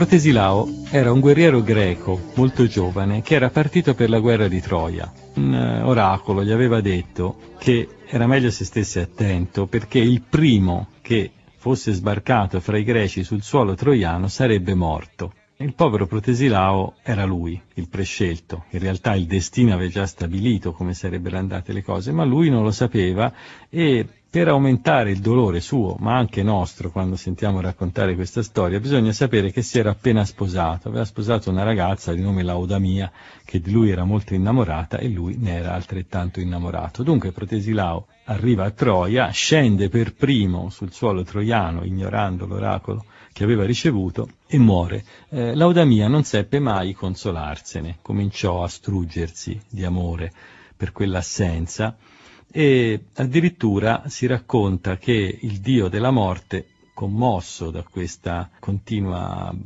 pianto, da questo dolore continuo di Laudamia, gli permise al fantasma di Protesilao di tornare a trovare la moglie innamorata solo per pochi secondi per poi tornarsene nel mondo dei morti. Secondo alcune versioni del mito, Laudamia morì di lì a poco. Però ce n'è una che ci interessa di più perché si torna qui a parlare di immagini immagini che non solo comunicano, ma immagini che, come abbiamo detto anche prima, anche in passato, sostituiscono e rimpiazzano. Dunque il mito, il racconto di Protesilao e Laudamia andava anche in questo modo. Sembra che Laudamia fosse rinchiusa in casa sua, che soffriva, ma a un certo punto il padre si accorse che non usciva più di camera. Voleva, pretendeva che il cibo, le bevande le fossero portate in camera, non usciva, non accettava nessun invito, nessuna sollecitazione. Il padre non era di quei padri buoni come Butade, il padre della ragazza di Corinto, per la quale aveva fatto il ritratto del fidanzato che se n'era andato. Era anzi un padre di quelli antipatici, un po' gelosi della figlia, un po' ostili alla figlia, un padre autoritario si direbbe oggi, che non accettava l'idea che questa figlia si rinchiudesse in camera così e cominciò a concepire dei sospetti, arrivò a pensare che avesse addirittura un amante che faceva entrare di nascosto e quindi andò a spiarla. Si accorse che Laudamia teneva nel letto una statua, una statua di cera che riproduceva perfettamente le sembianze del marito morto. Si era fatta fare un'immagine del povero Protesilao e la teneva nel letto per confortarsi come poteva con quell'immagine l'immagine di nuovo non solo comunica qualche cosa, trasmette delle, delle sembianze o delle rassomiglianze, ma veramente sostituisce a tutti gli effetti l'originale che non c'è più. Quel padre, lo dicevo, era piuttosto cattivo, fece prendere la statua di cera e eh, la fece bruciare. Laodamia, naturalmente, morì di dolore nel vedere per la seconda volta il suo protesilao scomparire, non più nel mondo dei morti stavolta, ma disfacendosi nella cera della statua gettata nel fuoco. Ovidio, che racconta anche lui la storia di Protesilao e Laudamia, come sempre c'ha una bella espressione per definire che cosa sta succedendo. Parlando del ritratto di Protesilao che Laudamia teneva con sé, lui dice quell'immagine vale di più del suo sembiante, vale di più del suo sembrare, cioè un'immagine vale per quello che sembra, per quello che comunica, per quello che trasmette, per il modo in cui appare, però nel caso di Laudamia l'immagine valeva di più di quel che sembrava, perché? Perché al di là del comunicare le fattezze di Protesilao era Protesilao per Laudamia e questo ci fa entrare in un campo di immagini leggermente inquietanti di cui però vale sicuramente la pena di parlare. La più celebre storia di immagini che rimpiazzano qualcuno è probabilmente quella di Alcesti e di suo marito Admeto. È un mito greco, anche questo, che fu poi trattato in una tragedia di Euripide e la storia molto semplice è questa. Admeto deve morire, di questo abbiamo già parlato molte puntate fa, Admeto deve morire, è condannato, ma il dio Apollo che lo protegge gli dice guarda, se vuoi io posso farti questo favore, non posso risparmiarti la morte, ma ti posso permettere di scambiare la tua morte. Se trovi qualcuno che muore al posto tuo, io accetto questa sostituzione, farò in modo che anche il dio dei morti accetti questa sostituzione. Admeto va dalla madre e gli dice tu che mi hai dato la vita vorresti adesso in un certo senso darmela una seconda volta, morendo per me. La madre dice no, va dal padre, gli chiede la stessa cosa, il padre pure gli dice no. Finalmente la giovane moglie Alcesti dice io morirò per te. Ti amo talmente, ti voglio talmente bene, che accetterò di morire al posto tuo. Così avviene, Alcesti muore e Admeto si consola appunto con una immagine. Si fa costruire una statua perfettamente identica alla moglie morta, la tiene nel letto e con lei si consola. E immaginando questo momento che già come dire, prevede nella sua testa, subito prima che la povera Alcesti muoia, le dice guarda io non vorrò mai nessun'altra donna, l'unica donna che vorrò sei tu e la vorrò nella forma di questa statua che terrò nel mio letto, con la quale mi consolerò, a cui rivolgerò parole d'amore, parole dolci, e nessun'altra donna mi avrà mai nelle sue braccia. Questa volta l'immagine non solo comunica un ricordo, un'immagine, un viso, un volto, un corpo che non ci sono più. Non solo li rimpiazza effettivamente perché sta nel letto, ma addirittura funziona nella forma di una promessa. Prendere un'immagine, tenerla con sé e dire io sarò sempre attaccato a questa immagine, non vorrò mai perderla, in qualche modo equivale a dire io ti sarò fedele. A volte non si pensa che tenere un'immagine nel portafoglio o una fotografia sulla scrivania o appesa al muro ripete in qualche modo il gesto di Amleto. Ma che cosa significa quando qualcuno tiene un'immagine di un altro nel portafoglio o sulla scrivania? Significa io non ti ho dimenticato, significa io ti sono ancora fedele, significa io ho ancora un patto con te e questo patto intendo onorarlo. E la fotografia nel portafoglio o l'immagine appoggiata sulla scrivania li potremmo proprio definire il gesto di Admeto. Siamo tanti admeti quando facciamo questo. Lui lo fece nella maniera, diciamo, nobile, solenne, un po' misteriosa, magica del mito, facendosi addirittura costruire una statua in bronzo, infilandosela nel letto. Noi, moderni o non moderni, molto più modestamente, ci limitiamo a tenere una piccola immagine con noi o nel luogo dove abitiamo. Però ugualmente, attraverso il conservare quell'immagine, noi proclamiamo a quella persona ti siamo ancora fedeli. Che le immagini esprimano fedeltà del resto, basterebbe dimostrarlo l'uso di erigere delle statue nelle nostre piazze, lo stesso uso che avevano gli antichi, i greci, i romani, i quali ugualmente erigevano delle statue nelle loro città o nelle loro piazze. Che cosa significa erigere una statua a qualcuno? Ma sicuramente significa onorarlo, ritenerlo degno di essere riprodotto, il che significa dargli uno statuto superiore a quello di una persona normale ahimè, non tutti siamo degni di essere riprodotti in statue e piazzati in una piazza che, che porta il nostro nome.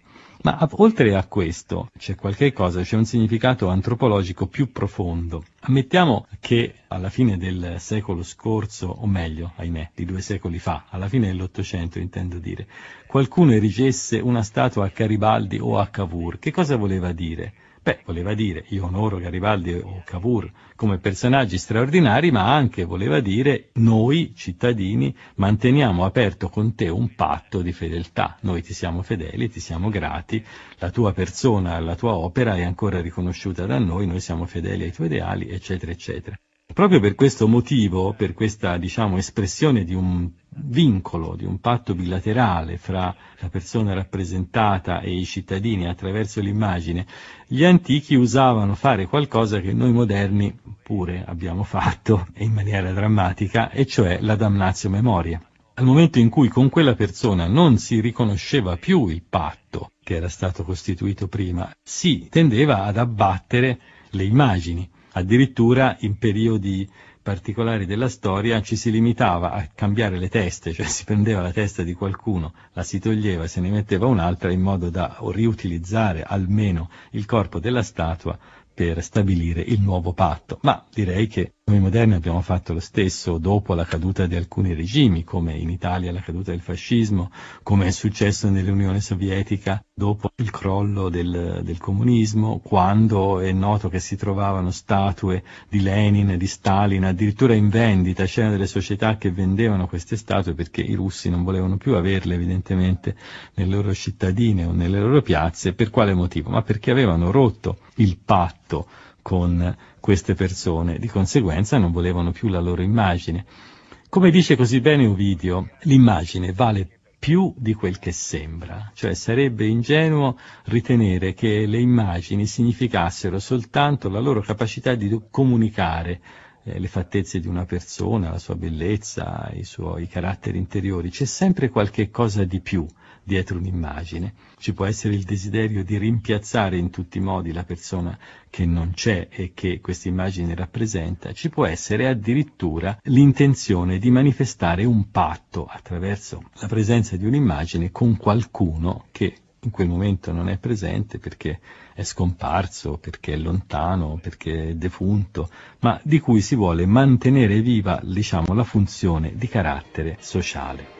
Non so se ce ne siamo resi conto, ma imboccando questa strada si può finire niente meno che nel Don Giovanni. Quello che viene chiamato più o meno propriamente il mito di Don Giovanni, non so se sia veramente un mito, di sicuro però è un grande racconto, quello di Don Giovanni, pieno di significati, che come è noto culmina in una scena delle più impressionanti e delle più agghiaccianti. Dunque, Don Giovanni ha ucciso il commendatore di Siviglia, che è il padre della donna che intendeva sedurre, tempo dopo, passando dello stesso luogo in cui ha commesso quel, quel terribile omicidio, vede la statua di costui eretta. A questo punto, per massimo di scherno, che cosa fa? Invita a cena la statua del commendatore. E la statua del commendatore, come è noto anche dal melodramma di Mozart e da Ponte, la statua del commendatore viene viene e provoca in questo modo la punizione e la rovina del libertino punito. Proviamo a riflettere per un attimo su questa scena, che è una delle più perturbanti, delle più sconvolgenti dell'invenzione letteraria. La sfida, l'insulto, lo sberleffo a una statua, una statua non si invita a cena, e l'inattesa risposta di quella statua. Io verrò, il fatto che la statua viene, si manifesta.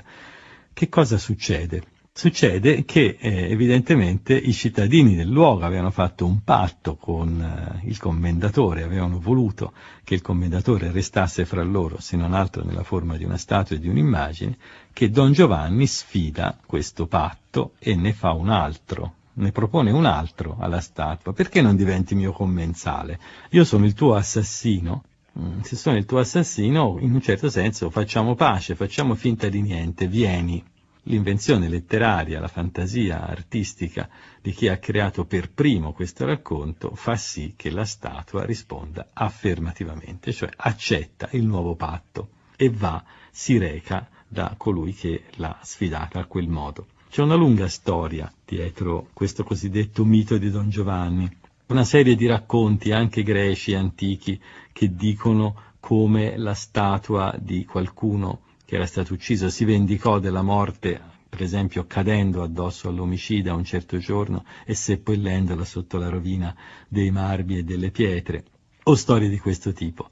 Quello che manca naturalmente nelle storie greche è questa sublime mascalzonaggine di Don Giovanni che arriva, diciamo, dell'omicida, che arriva a insultare per l'ennesima volta il morto invitandolo a cena e la risposta in attesa della statua che viene Don Giovanni, soprattutto la statua del commendatore, ci dicono un'altra cosa a cui in genere non si pensa quando si guardano delle statue e delle immagini, che alle statue e alle immagini bisogna prestare attenzione. Cioè le statue e le immagini non sono innocue.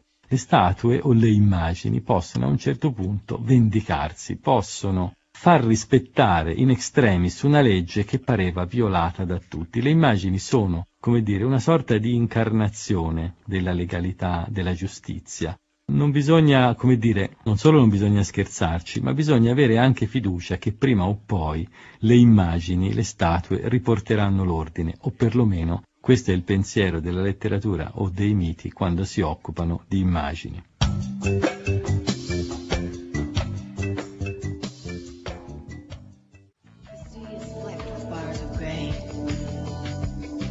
Se dovessimo metterci qui a fare l'elenco di tutti coloro che si portarono appresso l'immagine di un amato o di un'amata, di un innamorato o innamorata che avevano perduto e che in qualche modo cercavano di rimpiazzare attraverso un dipinto, una statuetta, un disegno, beh, credo che la faremo abbastanza lunga perché la storia antica e moderna pullola di questi racconti. Si pensa immediatamente, per esempio, a Petrarca che di Laura si era fatto fare un ritratto. Ma si può pensare anche a un personaggio un po' più inquietante, un po' più triste, un re di cui parla il libro della Sapienza nella Bibbia, che era così afflitto e così triste per la morte del figlio che se ne fece fare una statua per il desiderio di consolarsi con questa presenza in forma di immagine.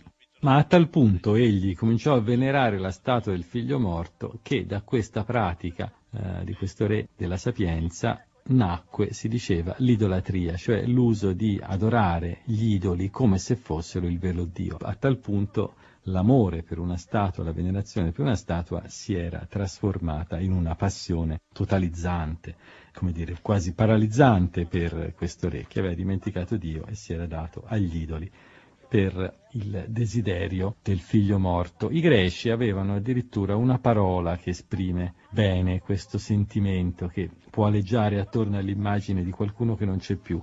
I greci la chiamavano, infatti questo sentimento lo chiamavano pozos. Pozos è una forma di desiderio inappagabile. Si chiama così tutto ciò che si desidera sapendo che non si potrà mai avere, quindi è un misto di desiderio e noi diremmo di rimpianto. Quel re della sapienza era finito in eh, pieno pozos, i latini avrebbero detto era finito nel desiderium, che è sostanzialmente la stessa cosa. Noi desideriamo ciò che possiamo avere, anzi la nostra società è tutta costruita sul desiderare e sull'appagare, ma per un latino questo non avrebbe senso perché desiderare vuol dire bramare qualcosa quando si sa di non poterlo avere. In tutta questa turbinio, in questa, eh, come dire, pullulare di storie di gente che si costruì l'immagine di qualcuno che non poteva avere, ci sta anche un personaggio abbastanza inatteso, e cioè Paride. Paride, il principe troiano che si era innamorato di Elena, come tutti sanno, sanno i lettori dell'Iliade, ma insomma lo sanno tutti coloro che amano un po' il mito e la cultura greca, rapì Elena e se la portò via, tant'è vero che i greci fecero poi la guerra di Troia per riportarsela a casa. Si narrava però, c'erano, come dire, delle varianti un po' strane, un po' inattese di questa vicenda. Una di queste varianti era la seguente, che in realtà Paride non si era portato via Elena da Troia, neanche per idea. Si era portato via semplicemente una immagine di Elena, cioè una tavola dipinta con la quale si era imbarcato frettolosamente lasciando la città in cui aveva rapito Elena e proprio assieme a questa tavola si era rifugiato di nuovo a Troia, il che apre poi tutta una serie di domande abbastanza curiose, ma insomma, se a Troia era stata portata solo un'immagine di, di Elena, ma perché i greci si misero a fare la guerra, visto che Elena non era stata rapita? E perché i troiani non dissero ai greci che lì c'avevano soltanto un bel dipinto di Elena, ma Elena non c'era.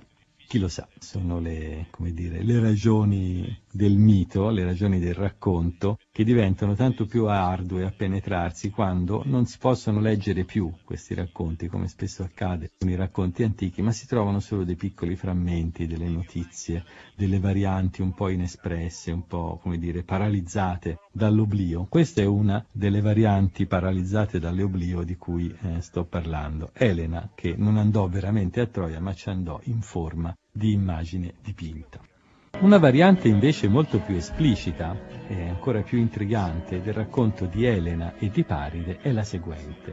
Dunque si diceva che Elena non era andata a Troia, e fin qui va bene come l'altra, salvo che non si trattava di un ritratto. Non è che Paride si fosse portato a Troia un ritratto, un'immagine dipinta di Elena su cui spargeva evidentemente calde lacrime e sospiri d'amore. No, no, niente affatto a Troia lui si sarebbe portato un perfettissimo doppio di Elena. Era accaduto infatti che Era, la dea Era, per proteggere Elena da questo seduttore frigio, che era noto come mascalzone, aveva costruito un doppio d'aria perfettamente somigliante alla Elena medesima e Paride, tratto in inganno da questa similitudine, si era portato via il doppio. Elena vera in realtà non era rimasta neanche a Sparta, ma era stata portata in custodia presso un saggio re egiziano che si chiamava Proteo, che abitava a Memphis, e lì era rimasta per tutto il tempo in cui si era svolta la guerra. La storia è delle più, come dire, sconvolgenti ma anche delle più istruttive per noi nel senso che qui abbiamo un'immagine che effettivamente sostituisce in tutto e per tutto l'originale, proprio perché non è un'immagine qualunque, è un'immagine animata. Così infatti ci viene descritto questo doppio, come una immagine che si muoveva, come un doppio d'aria che aveva la capacità di respirare, di muoversi, agire, parlare, un automa perfettissimo, come lo poteva fare una dea. È talmente perfetto da sedurre Paride, il quale se ne andò Troia portandosi appresso semplicemente un doppio d'aria, da sedurre tutti quanti i troiani, i quali a dispetto dei lutti, della guerra, delle morti che la, la guerra di Troia si portò con sé, vollero tenere Elena a tutti i costi, come se non bastasse capace anche di sedurre Menelao, il marito tradito. Perché? Beh, qui c'è un po' la malignità ironica di Euripide, che è lui che sviluppa questa variante nell'Elena. Era infatti accaduto che quando Menelao finalmente riuscì a, penetrare dentro Troia incendiata, andò a cercare la moglie infedele, la trovò, che cosa fece? La prese per i capelli e se la portò sulla nave come forma di punizione, la trascinò per i capelli, trascinandosi in realtà un doppio, non la vera Elena che se ne stava tranquilla da Proteo il che, come dicono alcuni, depone per la buona qualità dei doppi che si facevano una volta, che avevano evidentemente dei capelli così sani così buoni che se anche uno li trascinava per i capelli non succedeva niente.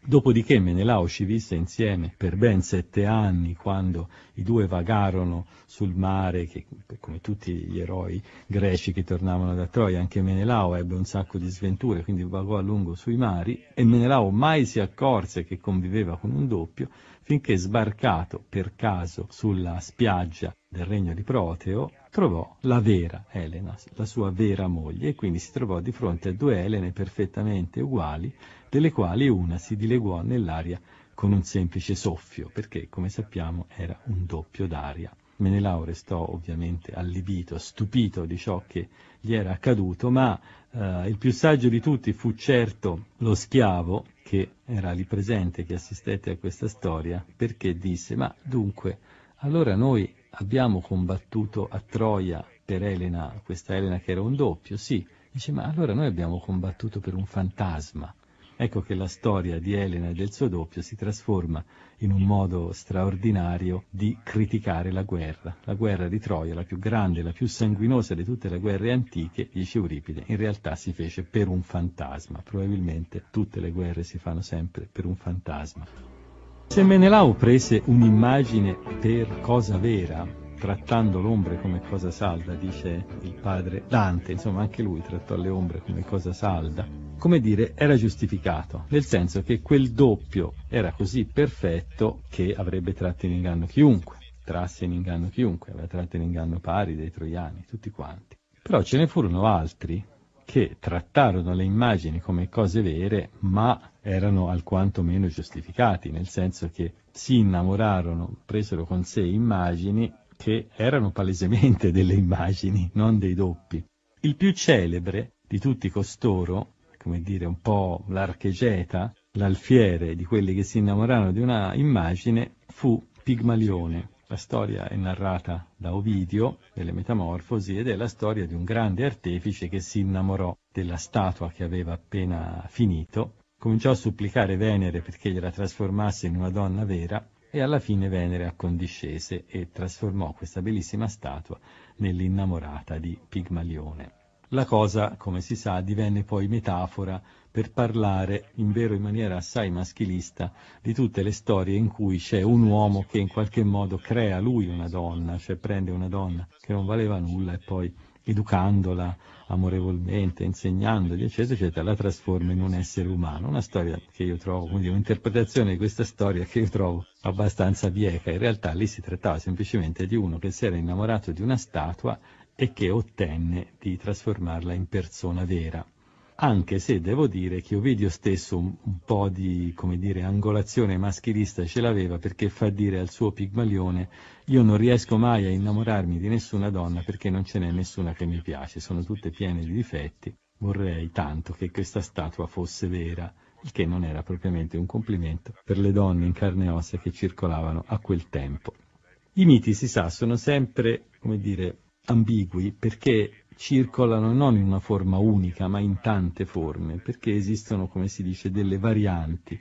Conosciamo in questo senso una interessante variante del mito di Pigmalione che ci avvia alle altre storie che dovremo raccontare adesso. Si diceva infatti che Pigmalione non fosse affatto un artista. Questo in un certo senso è una specie di scoop. Pigmalione non era un artista. Ci viene detto che Pigmalione era un re di Cipro ed era un re di Cipro pazzo che non sapeva scolpire, non sapeva dipingere, non sapeva fare nulla, era proprio un re che regnava e che si innamorò di una statua.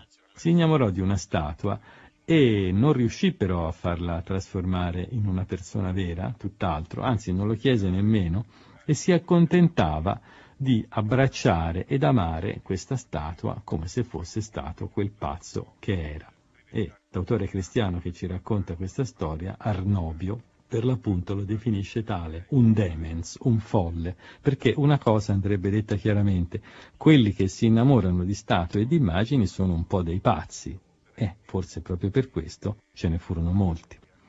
Un retore antico definiva questi amori per una statua o per un'immagine in questo modo, amori paradossali, anzi, amori ridicoli. In effetti c'è qualcosa di comico nell'idea di qualcuno che si innamora di una statua o di un'immagine, perché per definizione la statua o l'immagine non può ricambiare questo amore. L'idea di pensare che qualcuno è lì affannato, innamorato attorno a una statua può fare anche ridere. In realtà sembra molto chiaramente che chi prova questi sentimenti non ride affatto. Non ride affatto come dimostra la storia, forse la più celebre degli amatori di statue, di un certo Alceta di Rodi. Sappiamo tutto stavolta sappiamo il nome dell'innamorato, sappiamo dove la storia si svolse, insomma abbiamo tutte le informazioni del caso perché ce le dà Luciano, che era un tipo abbastanza indiscreto e curioso e quindi prese la storia molto sul serio anche nei dettagli. Allora questo Alceta di Rodi si innamorò di una bellissima Afrodite nuda che era stata fatta da Prassitele e se ne innamorò al punto tale che la notte si infilò nel tempio e cominciò a fare delle proposte alla dea. Una cosa, tra l'altro, anche di grande fibris, direbbero i greci, insomma una roba molto offensiva, ma come si va da una dea forse a dirgli vuoi fare all'amore con me? La dea non rispondeva, non fosse altro perché era una statua, e allora lui cominciò a insistere e disse, vabbè, facciamo così, se tu non mi vuoi rispondere, giochiamo almeno a dadi, se io faccio il colpo che si chiama il colpo di Venere, vuol dire che tu sei d'accordo che facciamo all'amore.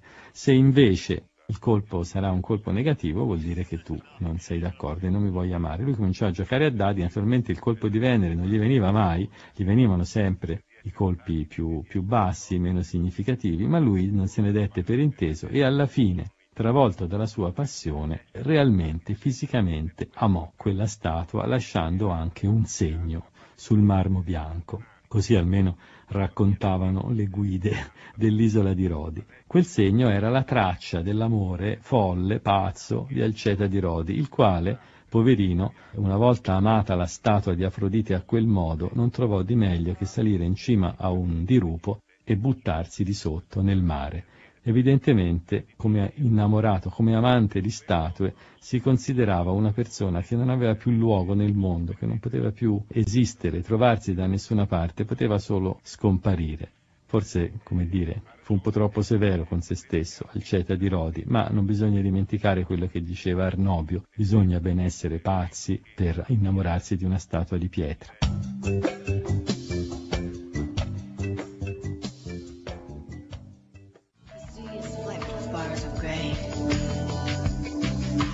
Di tutti coloro che si innamorarono di un'immagine, certamente il più pazzo di tutti fu Narciso. Fu Narciso perché si innamorò della sua. Gli altri, tipo Alceta di Rodi, quello che si innamorò della statua di Afrodite fatta da Prassitele, o Pigmalione, il mitico artefice che si innamorò della statua che aveva fatto lui, almeno si innamorarono di qualche cosa che c'era, anche se a dir la verità un po' freddo e alquanto incapace di ricambiare il sentimento, cioè una statua però innamorarsi addirittura della propria immagine riflessa è un po' troppo. Ma è esattamente questo che accadde a Narciso, un giovanetto greco di cui il solito video ci racconta la storia. La storia per la verità è piuttosto nota, diceva André Gide, in una delle sue opere che si chiama appunto Il trattato nel Narciso, diceva la storia la sapete eppure io la racconterò ancora. Dice il fatto è che tutte le cose sono state già dette, ma siccome nessuno sta mai a sentire, bisogna sempre ricominciare da capo. E allora anche noi questa volta ricominciamo da capo, cioè riraccontiamo la storia di Narciso. Narciso aveva una compagna, si chiamava Eco. Eco era innamorata di lui, ma eh, Narciso non la ricambiava. Allora la poverina cominciò a struggersi d'amore fino al momento in cui restò nella forma di pura voce, quella che appunto anche noi oggi chiamiamo la Eco. In realtà una ninfa che si era sciolta d'amore per il bellissimo Narciso e che resiste nella forma di sola voce. Un video ci racconta questa storia, ci fa sentire con una serie di abili giochi di parola quello che fa eco, cioè che ripete semplicemente il finale delle frasi che le vengono rivolte e quindi eh, dà l'illusione di essere una persona vera mentre è semplicemente un rimbalzo, è semplicemente appunto un eco di quello che si ascolta. Tanta crudeltà costò cara a Narciso perché in un certo senso ebbe anche lui una, una fine analoga, come quella che lo amava e che lui non ricambiava si ridusse a pura voce, a pura icona sonora, a pura immagine sonora di se stessa, anche lui in un certo senso si ridusse a pura immagine di se stesso perché si innamorò di quella che proiettava in una fontana. E Ovidio, che è sempre un grande narratore, un grande descrittore, ce lo descrive lì questo Narciso sopra la fontana che prende se stesso per uh, un altro, per un bellissimo giovane di cui ci si può innamorare e che alla fine però capisce quello che gli sta accadendo e dice Narciso io ho già quel che desidero, la mia stessa ricchezza mi fa povero, cioè il fatto di avere già me stesso mi rende povero perché non posso amare me stesso. E preso da questo folle amore per sé medesimo, alla fine Narciso reclinerà il capo sopra la fontana, morirà e si trasformerà nell'omonimo fiore in Narciso. La storia di Narciso ha dato eh, il via a una straordinaria quantità non solo di varianti del racconto, ma anche di interpretazioni di questo racconto. La più celebre, senz'altro, almeno ai tempi nostri, è quella di Freud, il quale da questo mito trasse appunto ciò che ancora chiamiamo narcisismo, ossia quella pulsione ad amare se stessi, ad amare troppo se stessi, che secondo lui rispecchiava l'antico mito che voleva appunto Narciso innamorato della sua immagine. Queste sono, come dire, interpretazioni, varianti nobili, varianti colte, erudite di questo straordinario racconto di Ovidio. Ce ne sono però di varianti un po' più popolari, ma tutto sommato più divertenti. Per esempio, che effetto vi farebbe scoprire che è esistito anche un narciso sostanzialmente imbecille? Cioè, anche, anche, i narcisi possono essere imbecilli, non tutti, non arriverei a dire questo, però certo ne sono esistiti di narcisi imbecilli e ahimè devo dire che questo Narciso Sciocco era un professore, era uno scolasticos, come dice il testo greco da cui traggo questa storia, era un professore, non con questo che voglia dire che i professori sono spesso narcisi e un po' stupidi anche perché direi male di me stesso, però in un certo senso a volte i professori grammatici un pochino ingenui sono, ma insomma lasciamo perdere questi preamboli e raccontiamo la storiella. Viene dal Filogelos, praticamente una raccolta di barzellette di età bizantina. Allora, il figlio di un professore, di uno scolasticos, giocava a palla la palla cadde in un pozzo e il ragazzo si chinò per riprenderla. Vista la sua immagine, le chiese la palla, ma quella non gliela diede. Eh, il ragazzo cominciò a dire alla sua immagine, scusi, per favore mi può dare quella palla, ma l'immagine non dava la palla. Allora il ragazzo si lamentò con suo padre perché non riusciva a ottenere indietro quel che voleva. Il professore si chinò a sua volta sul pozzo, vide la sua propria immagine e disse Signore, eh, per favore vorrebbe dire a quel ragazzo se ridà indietro la palla a mio figlio. A un narciso così sciocco non poteva che fare riscontro un narciso brutto. Beh, uno i narcisi se li immagina sempre belli, invece sono esistiti nella tradizione antica anche dei narcisi brutti e questo viene dall'antologia palatina, una raccolta di epigrammi greci molto belli, anche molto famosi, in cui ce n'è uno in cui si fanno delle raccomandazioni a un certo olimpico, il quale evidentemente tanto bello non era. Dice il poeta, con quel muso che hai, olimpico, non andarci alla fonte, e non guardarti in un'acqua chiara. Anche tu, infatti, come Narciso, vedendo il tuo viso chiaramente, potresti morirne, ma non di amore, bensì di odio. Narciso non la smette mai di stupire. Perché? Abbiamo visto che esiste un narciso sciocco, che esiste un narciso brutto, ma che cosa direste se io vi raccontassi la storia di un narciso cavallo, un narciso animale? Sembra strano, ma la storia ci viene da un erudito romano, Columella, persona abbastanza seria, almeno quando racconta come si fa a coltivare questo e quell'altro, quando bisogna raccogliere il grano e così via. Stavolta invece parla di animali, parla di cavalli e ci dice che cosa può accadere alle cavalle. Dice Columella, è raro Beh, meno male che è raro. È raro, ma talvolta prende le cavalle un furore di questo tipo. Vista la propria immagine riflessa nell'acqua, sono colte da vano amore e per causa di ciò, dimentiche del pascolo, muoiono, sfinite da questa brama. Le cavalle si vedono nella fonte e si innamorano di se stesse, proprio come Narciso. La passione, continua Columella, la passione si manifesta allorché le si vede ricorrere qua e là per i pascoli, come perseguitate da un tafano, e guardandosi attorno sembrano cercare e rimpiangere qualcosa. Questo errore della loro fantasia si dissolve se si taglia in modo ineguale la criniera della cavalla e la si conduce all'acqua, perché allora Vista finalmente la sua deformità, essa cancella il ricordo dell'immagine precedente. Ma guarda un po' che strano, eh, come si guarisce dal narcisismo secondo Culumella. Se la cavalla si, vede, si innamora di se stessa e non riesce più a fare a meno della propria immagine, impazzisce, basta tagliuzzare la criniera in modo che sembri brutta. Vedendosi brutta, la cavalla guarisce dalla sua folle passione per sé medesima. Evidentemente il narciso vero, quello di Ovidio, non ebbe la forza di vedersi brutto. Se si fosse visto brutto, avesse avuto il coraggio di spettinarsi, di fare delle smorfie, delle linguacce, probabilmente sarebbe guarito dal suo attacco di narcisismo. Invece lui rimase lì a contemplare se medesimo e così morì con Narciso si potrebbe continuare all'infinito, altre storie ci sono, quella per esempio del giovinetto Eutelida, che anche lui si innamorò di se stesso, soprattutto si innamorò dei, dei suoi riccioli.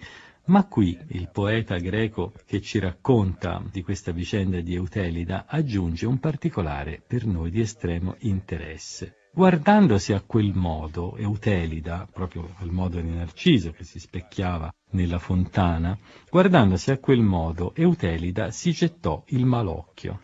Per questo fu colto dalla passione per se stesso, per questo poi morì di consunzione, perché guardandosi si affascinò, cioè si gettò il fascinum, lo sguardo cattivo, lo sguardo che fa morire. Questa potrebbe essere un'altra appassionante interpretazione del mito di Narciso. In realtà Narciso sarebbe morto di consunzione per se stesso non tanto perché era un narcisista, quanto perché non fece caso, non badò alla potenza dei suoi stessi occhi. Alcune persone infatti posseggono, secondo la cultura, la mentalità degli antichi, il potere di affascinare attraverso i loro occhi, hanno il malocchio, come ancora oggi noi possiamo dire. Forse Narciso aveva anche lui questo dono, aveva il potere di affascinare gli altri e poi impadronirsi di loro, farli morire di consunzione, ma il caso volle che lui stesse guardando dentro i suoi stessi occhi, in questo modo affascinò se stesso e morì di consunzione. Di tutte le varianti che possediamo del racconto di Narciso, forse la più sottile, la più elegante, ma anche la più profondamente ironica, è quella di Oscar Wilde. Anche Oscar Wilde scrisse un breve Narciso e che prevedeva stavolta un dialogo fra lo scrittore e la fontana. in cui Narciso si era specchiato. In effetti non ci si pensa mai, ma c'è almeno un testimone, se non un interlocutore importante nel racconto di Narciso, che è questa famosa fontana in cui lui si specchiava.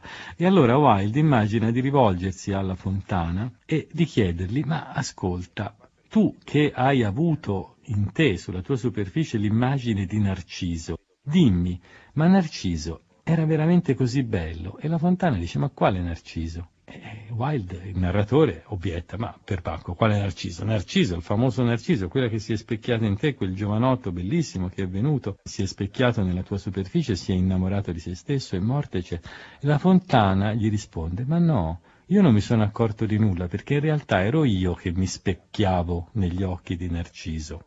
Dunque lasciamolo lì, il nostro Narciso, sul bordo della fontana, mentre si contempla, Wilde insinua il sospetto, il dubbio che in realtà sia tutto il contrario, che la vera narcisista sia la fontana, la quale si specchia lei dentro gli occhi di lui, lasciamolo lì che sia la fontana, che sia Narciso, il narcisista, non ci importa molto, sappiamo come andrà a finire, sappiamo che Narciso è condannato a morte, sappiamo che da questa morte, da questa consunzione dovrà nascere un fiore bellissimo, il narciso, e dovrà nascere anche una teoria psicanalitica, il narcisismo, però lasciamoli lì, ma non pensiamo che sia finita qui la storia, perché in realtà i miti greci, per la straordinaria ricchezza del loro dispositivo narrativo, hanno sempre in serbo delle sorprese.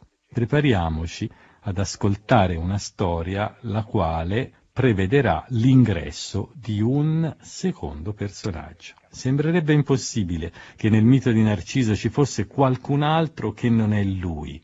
Qui vorrei, eh, se mi riuscisse preparare, suscitare un po' di attesa da parte dell'ascoltatore, eh, dicendogli questo. Esiste una storia in cui nel mito di Narciso, il mito dell'io per eccellenza, che è solo io, io, io innamorato di io, in cui entra un tu, ma in cui entra un tu che paradossalmente è pure lui quasi un io e questa sarà la variante del mito di Narciso che ha in serbo per noi il geografo e viaggiatore Pausania. Al viaggiatore Pausania, infatti, il mito di Narciso, così come gli veniva raccontato, pareva stupido. Ecco perché, lui dice, esiste un'altra variante del racconto, meno nota, ma estremamente più convincente per lui. La variante era la seguente. Narciso aveva una sorella gemella, in tutto simile a lui nella capigliatura, nel vestire, andavano sempre a caccia insieme e Narciso di questa sorella era in realtà profondamente innamorato. Ma un giorno la fanciulla morì e Narciso fu preso da un tale dolore, da un tale dispiacere che si recava ogni volta, ogni giorno, sul bordo di quella famosa fontana non per guardare se stesso, ma in realtà per vedervi l'immagine di sua sorella. Quella gemella era talmente simile a lui che guardando se medesimo egli vedeva l'altra, di cui era innamorato. Questa improvvisa triangolazione che si apre in questo rapporto che è solo bilaterale fra io e io, insomma, fra me e me medesimo, rilancia un discorso più ampio e forse più, ancora più affascinante di quello di Narciso, che è il discorso che riguarda i gemelli.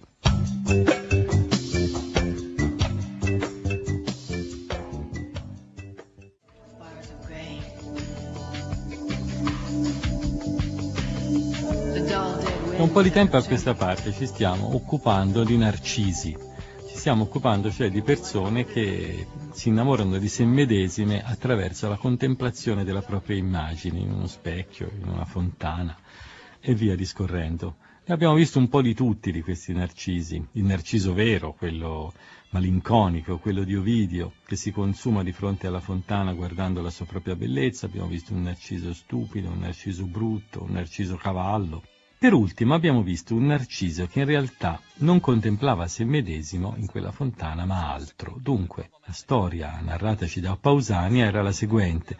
Narciso aveva una sorella gemella di cui era innamorato, lei era morta e Narciso, contemplandosi nella fontana, in realtà voleva rivedere non l'immagine sua di se medesimo, ma l'immagine della sorella. Potrebbe sembrare una variante, come dire, del mito un po' lambiccata, un po' bizzarra, anche se personalmente la trovo bellissima. Ma in realtà non è così perché ne possediamo anche altre di storie simili che riguardano i gemelli e la loro immagine, addirittura una storia eh, relativa a Romolo e Remo, in cui Romolo avrebbe sì ucciso Remo, secondo diciamo, la buona tradizione della fondazione di Roma, ma poi si sarebbe accorto che senza questo suo gemello non riusciva in realtà a regnare. Come dire, era come se la sua regalità fosse monca, e allora aveva fatto costruire un'immagine che riproduceva in tutto e per tutto il fratello ucciso, e in questo modo aveva potuto ricominciare a esercitare la sua regalità sulla città.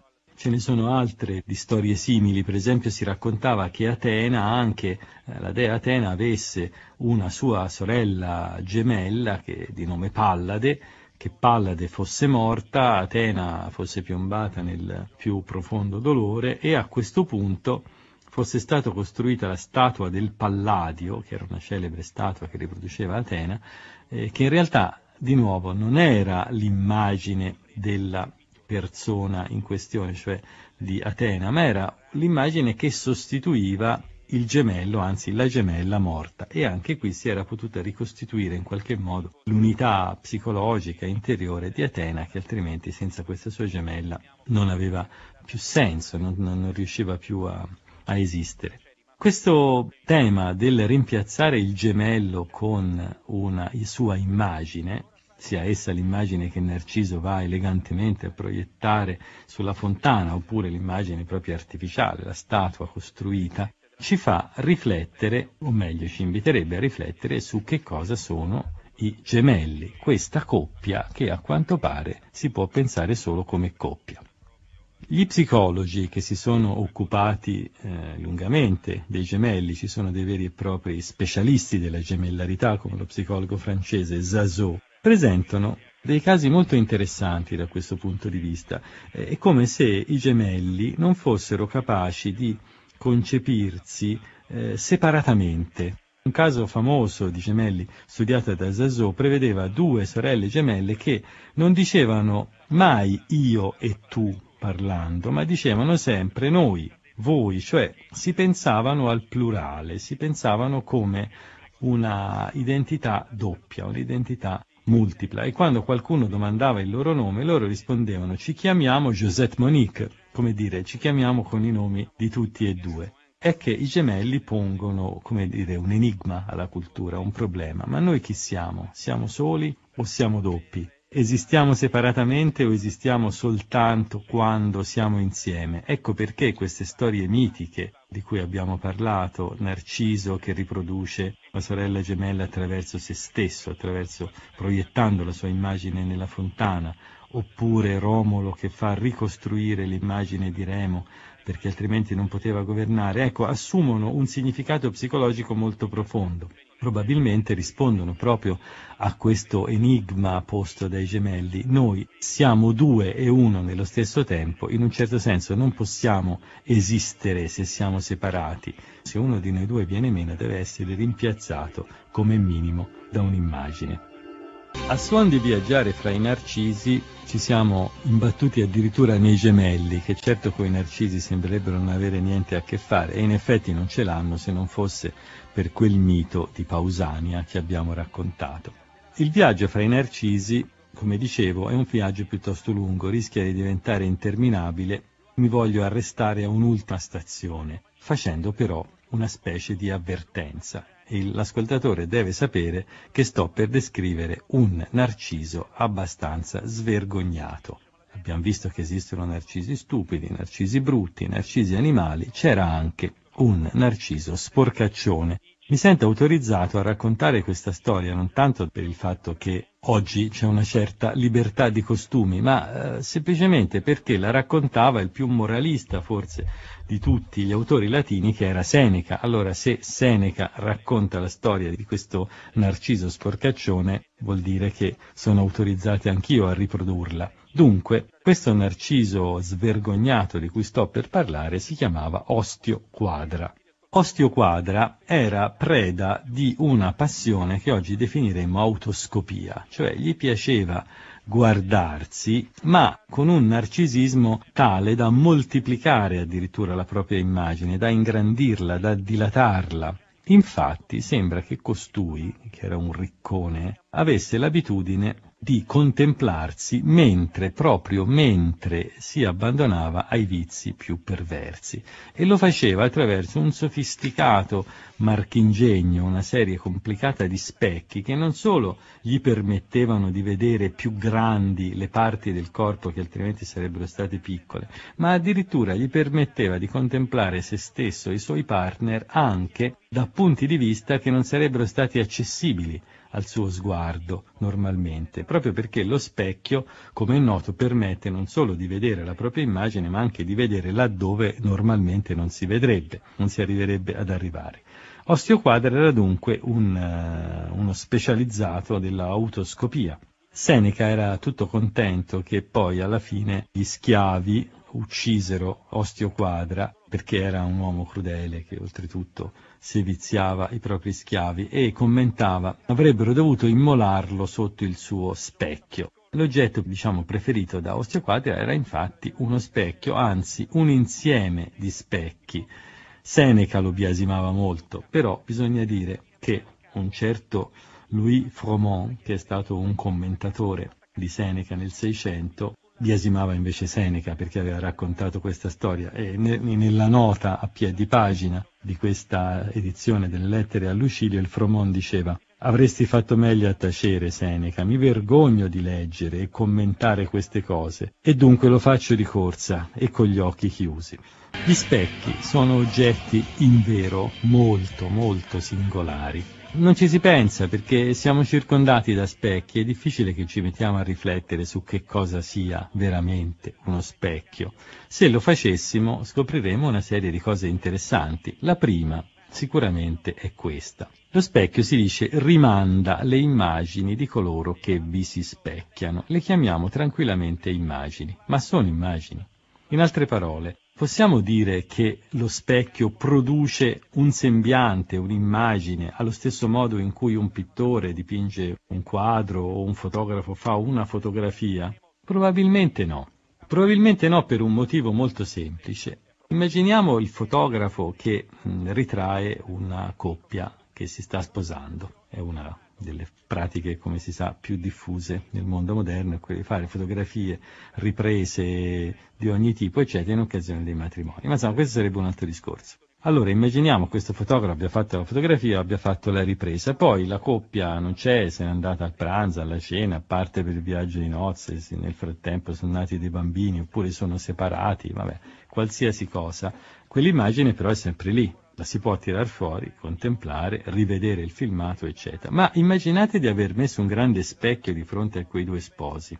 Si è prodotta un'immagine, ma se quei due sposi se ne vanno, l'immagine anche se ne va con loro. Quindi quella che lo specchio produce non è una vera e propria immagine, è un riflesso della persona, dell'oggetto, del referente, non ha una natura autonoma. Apuleio, uno scrittore latino-romano del secondo d.C. che si occupava di specchi, aveva già fatto questa osservazione e diceva sì, le immagini concrete, le immagini fatte, le immagini artificiose hanno un grande vantaggio su quella che si proietta negli specchi, che loro durano, restano lì. Però, aggiungeva, gli specchi hanno anche loro a loro volta un'immagine un grande vantaggio sulle immagini artificiose, e cioè che riproducono sempre immagini adeguate alla condizione presente della persona.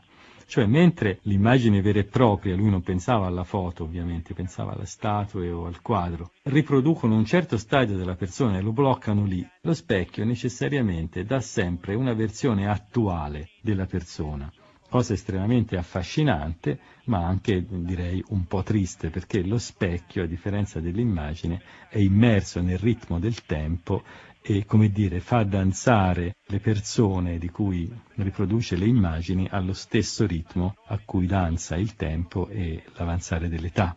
Chi pensasse però che gli specchi producono soltanto immagini di persone o di cose che sono lì di fronte a loro, cioè che hanno un po' la funzione che ha l'eco per le parole, cioè quella di far rimbalzare le persone o gli oggetti su se stessi, probabilmente sbaglierebbe. Lo specchio in realtà è molto di più di questo, è molto di più de- della semplice riflessione di ciò che c'è di fronte. Gli antichi, i greci e i romani, sapevano questo molto bene perché il modo stesso in cui definivano gli specchi invitava a una riflessione più acuta e anche un po' più sorprendente su questi oggetti. Per esempio, i, i, romani, i latini chiamavano lo specchio speculum, da cui deriva appunto il nostro specchio. Ma che cosa significa una parola molto simile a speculum, cioè specula? La specula per i romani è il punto di osservazione, la vedetta, in un certo senso anche la spia, cioè da cui si guarda, non visti, qualche cosa che non è facile vedere. Allo stesso modo anche noi continuiamo a dire speculare per dire fare delle, dei ragionamenti arzigogolati, no? immaginare, fare ipotesi, eccetera. Lo specchio in realtà, oltre che riflessione di ciò che è di fronte, è anche potente strumento di esplorazione. È strumento di esplorazione che serve a vedere più in là, a vedere di più, a vedere più in profondità le cose che altrimenti rischieremmo di eh, contemplare in maniera superficiale. Tant'è vero che i greci lo chiamavano catoptron, lo specchio, e il catoptes, che è una parola estremamente simile al catoptron, il catoptes è direttamente lo spione. Eh, l'agente segreto, insomma, dei greci era un catoptes, veniva designato quasi allo stesso modo dello specchio. Perché? Perché lo specchio è una sonda, in realtà. Lo specchio serve a guardare più addentro. Di questo, naturalmente, si impadronì ben presto, o meglio, fin dall'inizio, anche il mito, il racconto e la pratica magica. Lo specchio, infatti, era uno degli strumenti della divinazione. Ci si serviva degli specchi per conoscere il futuro. Anche noi in un certo senso lo facciamo, i nostri maghi, anche quelli dei fumetti, contemplano il futuro dentro delle sfere di cristallo, che appunto questo sono degli specchi, e si immagina che questi specchi abbiano la capacità di polarizzare, di captare, in qualche modo di far coagulare l'immagine di ciò che ancora deve venire, che ancora deve realizzarsi. Questo per esempio era la specialità del mago Nectanebo, un mago di cui si sussurrava che fosse il vero padre di Alessandro Magno, uno stregone potentissimo che nella sua reggia in Egitto possedeva un grande bacile nel quale contemplava il proprio futuro e anzi una volta vide eh, in questo bacile avanzarsi una grande quantità di navi, una flotta potentissima che intuì essere quella dei suoi nemici che venivano ad ucciderlo e proprio questo gli dette il modo di fuggire e di rifugiarsi altrove. Questo è il racconto di Nectanebo, così come sta nel romanzo di Alessandro, una vita romanzesca di Alessandro Magno, che comincia appunto con le avventure del suo padre. Però sappiamo che i greci in particolare usavano realmente gli specchi come strumento di divinazione, lo facevano in un modo un po' crudele in questo modo. Prendevano un bambino o addirittura, ahimè, una donna incinta, bendavano queste persone, li mettevano pancia in giù e le facevano stare lì a lungo. Poi li sbendavano improvvisamente e mettevano di fronte a loro una superficie riflettente il malcapitato, la malcapitata, vedeva delle cose, uno può dire, beh, per forza aveva delle allucinazioni dopo tutta quella sofferenza, e dentro quegli specchi vedeva, individuava dei messaggi segreti. Questo si chiamava catoptromanzia ed era appunto la pratica della magia, della divinazione attraverso gli specchi.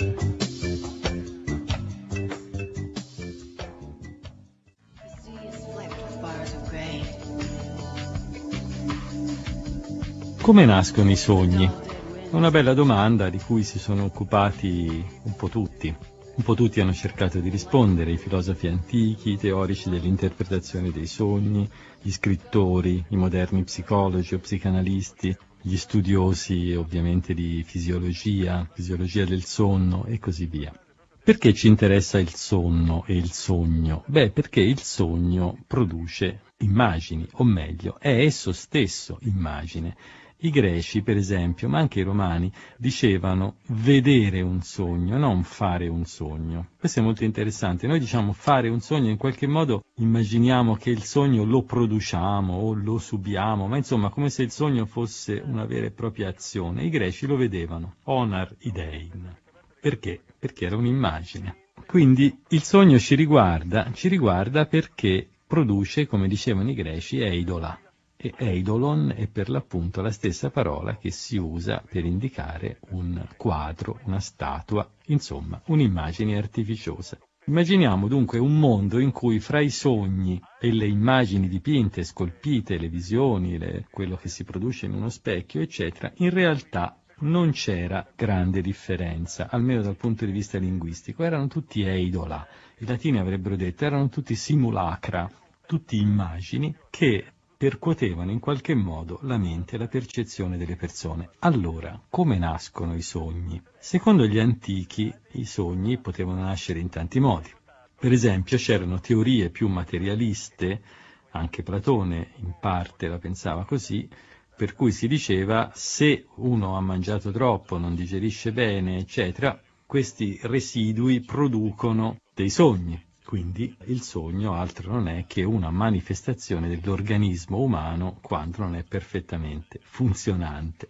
C'erano poi teorie diverse in cui il sogno aveva un significato molto più ricco, più profondo.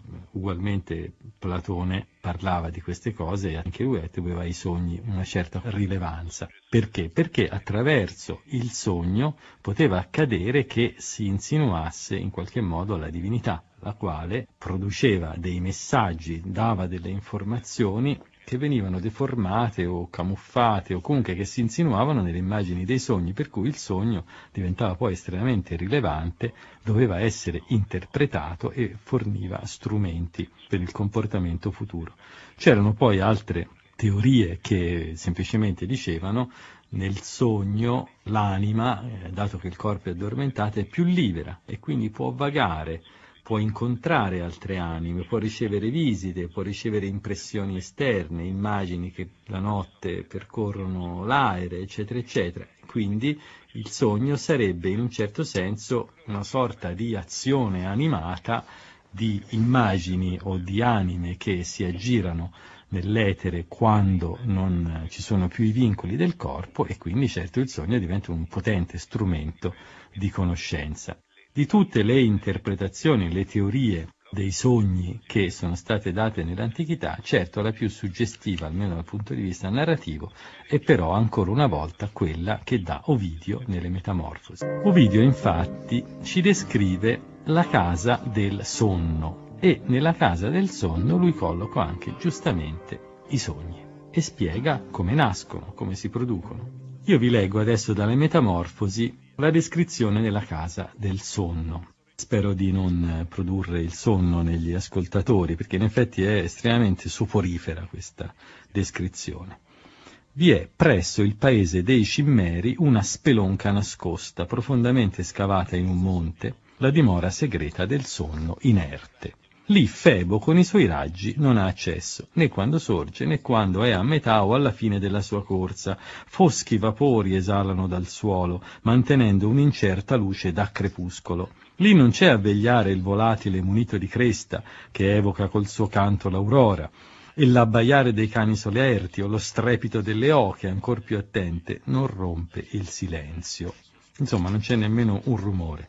In quel luogo non si odono versi di fiere né di animali domestici, non rumore di rami mossi dal vento, né vivace prorompere di voci umane, vi domina una calma assoluta.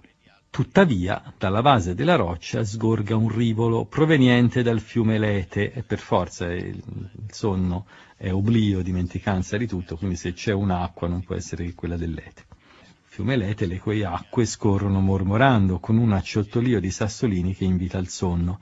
Davanti all'ingresso della grotta c'è un'abbondante fioritura di, ovviamente, papaveri, insieme ad altre svariate erbe da cui l'umida notte estrae un lattice che produce sopore e lo sparge sulla terra immersa nell'oscurità. Non c'è porta che strida sui cardidi, non ce n'è affatto in tutta la casa come non c'è chi stia a guardia di essa. Nel mezzo si trova un letto alto sui piedi di nero ebano, imbottito di piume, tutto di un solo colore, coperto da veli scuri, sul quale sta sdraiato il Dio in persona, col corpo languidamente abbandonato. C'è il Dio sonno che dorme in un letto tutto scuro, tutto nero, coperto di veli neri. E intorno a lui, qua e là, riproducendo le forme più svariate, giacciono i sogni inconsistenti, tanti quante sono le spighe in un campo di grano, o le fronde in un bosco, o i granelli di sabbia in una spiaggia. Dunque questa è la casa del sonno, una casa estremamente soporifera, piena di papaveri, però piena anche di visioni, piena di sogni, che sono tanto numerose quante sono le spighe in un campo di grano. La storia Ovidio la racconta perché viene mandata da lui, dal, dal dio sonno, Iride, la messaggera degli dei, per eh, realizzare un certo compito, che altro poi non è che ingannare una povera donna, che si chiama Alcione, e farle credere che il marito è morto. In realtà poi il marito è morto davvero, ma si costruisce tutta una messa in scena come se effettivamente apparisse ad Alcione l'anima del marito che è appena affogato. È una storia abbastanza curiosa perché uno potrebbe dire ma perché non viene mandata direttamente l'anima, la psiche di questo marito che si chiamava Ceice da Alcione? Perché non appare direttamente quest'anima? Eh no, Ovidio inventa un meccanismo assai più complicato per esprimere e descrivere l'origine dei sogni. Nei sogni non accade semplicemente che l'anima di Tizio o il Dio tale si muovano e si rechino nella mente di un altro, cioè appaiano a qualcuno. A svolgere questa funzione c'è qualcun altro. Dunque, spiega Ovidio, in realtà quando si sogna accade questo. Ci sono tre dei che si aggirano sempre attorno lì alla casa dove dorme beatamente, beato lui, il sonno in quel buio continuo e perenne, ci sono tre dei che si chiamano uno Morfeo, o Morfeo, chiamiamolo Morfeo, uno Fantaso e uno Fobetore.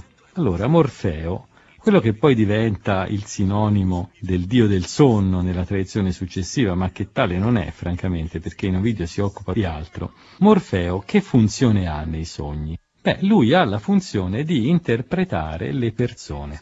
In altre parole, se a qualcuno appare l'ombra del marito morto, oppure qualsiasi altro personaggio, un amico, anche se è vivo, chiunque insomma, non bisogna pensare che sia effettivamente l'anima di quell'amico, ma nemmeno una vana immagine di lui, un'immagine falsa. No, è Morfeo. È Morfeo il quale è una specie di dio imitatore, diciamo, che entra nella testa delle persone imitando il personaggio del sogno. Morfeo un attore. Del resto, lui deriva, il suo nome deriva da Morfè, che in greco vuol dire sia forma, sia anche, come l'italiano, smorfia. La nostra smorfia altro non è che un derivato del greco Morfè. E quindi Morfeo chi è?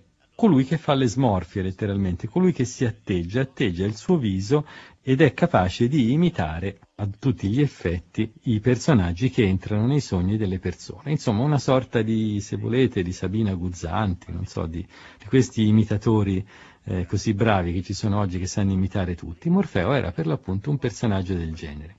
Come se non bastasse, c'era poi quest'altro dio, Fobetore, il quale era invece quello che si occupava di interpretare gli animali. Se uno sogna degli animali, non sta sognando effettivamente degli animali, sta sognando piuttosto Fobetore che interpreta degli animali per lui. Infine c'era un altro dio, che si chiamava Fantaso, che era quello paesaggista, che si occupava di creare, di simulare nella percezione dei dormienti i paesaggi, i luoghi in cui questi sogni si realizzavano. Tutti e tre, Morfeo, Morfeo, Fobetore e Fantaso, formavano i tre attori, la triade che creava e produceva i sogni. Se dobbiamo credere a un video, dunque, che cosa sono i sogni? Non sono niente e sono tutto, nel senso che non c'è nulla di vero nei sogni. Nei sogni non appare nessuna vera e propria anima, non appare nessun vero e proprio Dio. Quello che appare nei sogni sono delle imitazioni, sono delle finzioni. I sogni, dunque, sono prodotti falsi non c'è niente di buono là dentro. In un certo senso Ovidio dà ragione a quello che tanti secoli dopo dirà Roger Caillois in un celebre libretto sui sogni, il quale sosteneva contro Freud e contro la psicanalisi che i sogni non significano proprio niente.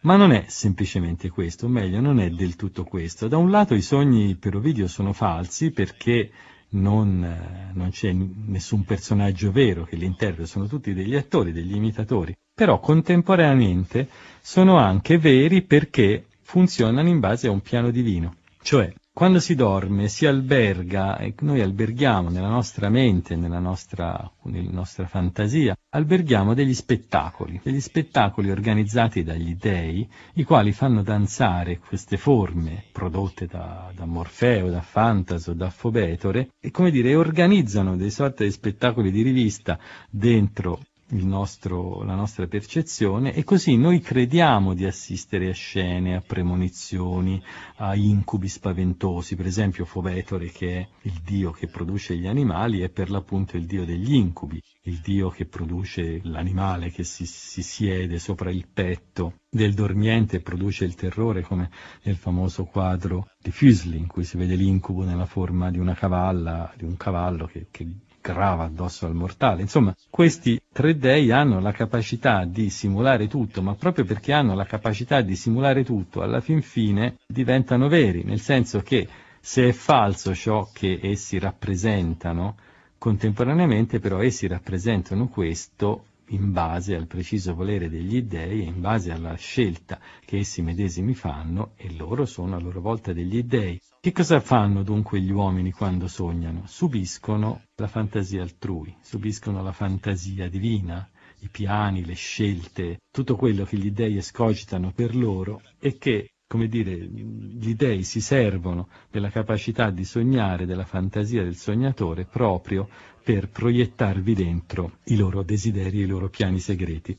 Se volete possiamo sviluppare un parallelo con la società contemporanea a questo punto, però dobbiamo uscire dal mondo dei sogni per entrare dentro un mondo che certo col sogno ha ancora molto a che fare, ma che noi abbiamo il torto o la ragione, la fortuna o la sfortuna di collegare invece nell'esperienza diurna, nell'esperienza reale, ossia la televisione. La televisione somiglia terribilmente al mondo dei sogni così come era stato escogitato da Ovidio. Anche nella televisione infatti abbiamo una serie di, di Morfei, di Fantasy, di Fobetori che per noi interpretano una quantità di visioni, di azioni virtuali e quindi possiamo dire di sogni, i quali realizzano quelle che sono le volontà, il piano, la regia, come ancora noi oggi diciamo, di, che, di coloro che organizzano per noi questi spettacoli. La grande differenza qual è? Beh, la grande differenza l'abbiamo già detta, che mentre Ovidio immaginava che tutta questa fantasia creata appunto da Fantaso, da Fobetere, da Morfeo, eccetera, si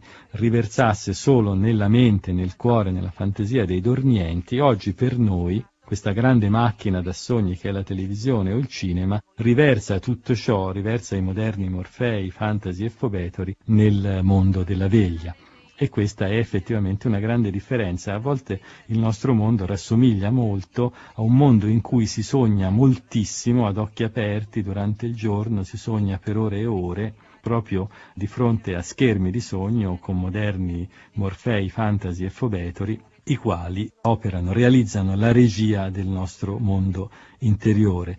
In questo senso noi continuiamo a, dare ragione a Ovidio, i sogni non significano nulla, così come nulla significano molto spesso gli spettacoli a cui assistiamo in televisione, ma nello stesso tempo significano molto, significano moltissimo, significano la volontà di coloro che tutto ciò realizzano per imprimere con esso la nostra fantasia. E da questo schermo del sonno e del sogno, e da questo schermo della moderna televisione, io torno eh, conclusivamente a questo mondo senza schermi, ma con molti sogni però, che è la radio. Eh, la radio attraverso la quale io ho potuto parlare con voi per molte settimane e non posso che esprimere tutta la mia gratitudine verso questo mezzo che permette di parlare ancora con tanta semplicità e tanta facilità e non posso soprattutto che esprimere la mia gratitudine e la mia simpatia per tutti coloro che mi hanno ascoltato e che idealmente hanno dialogato con me per tutte queste settimane. Arrivederci.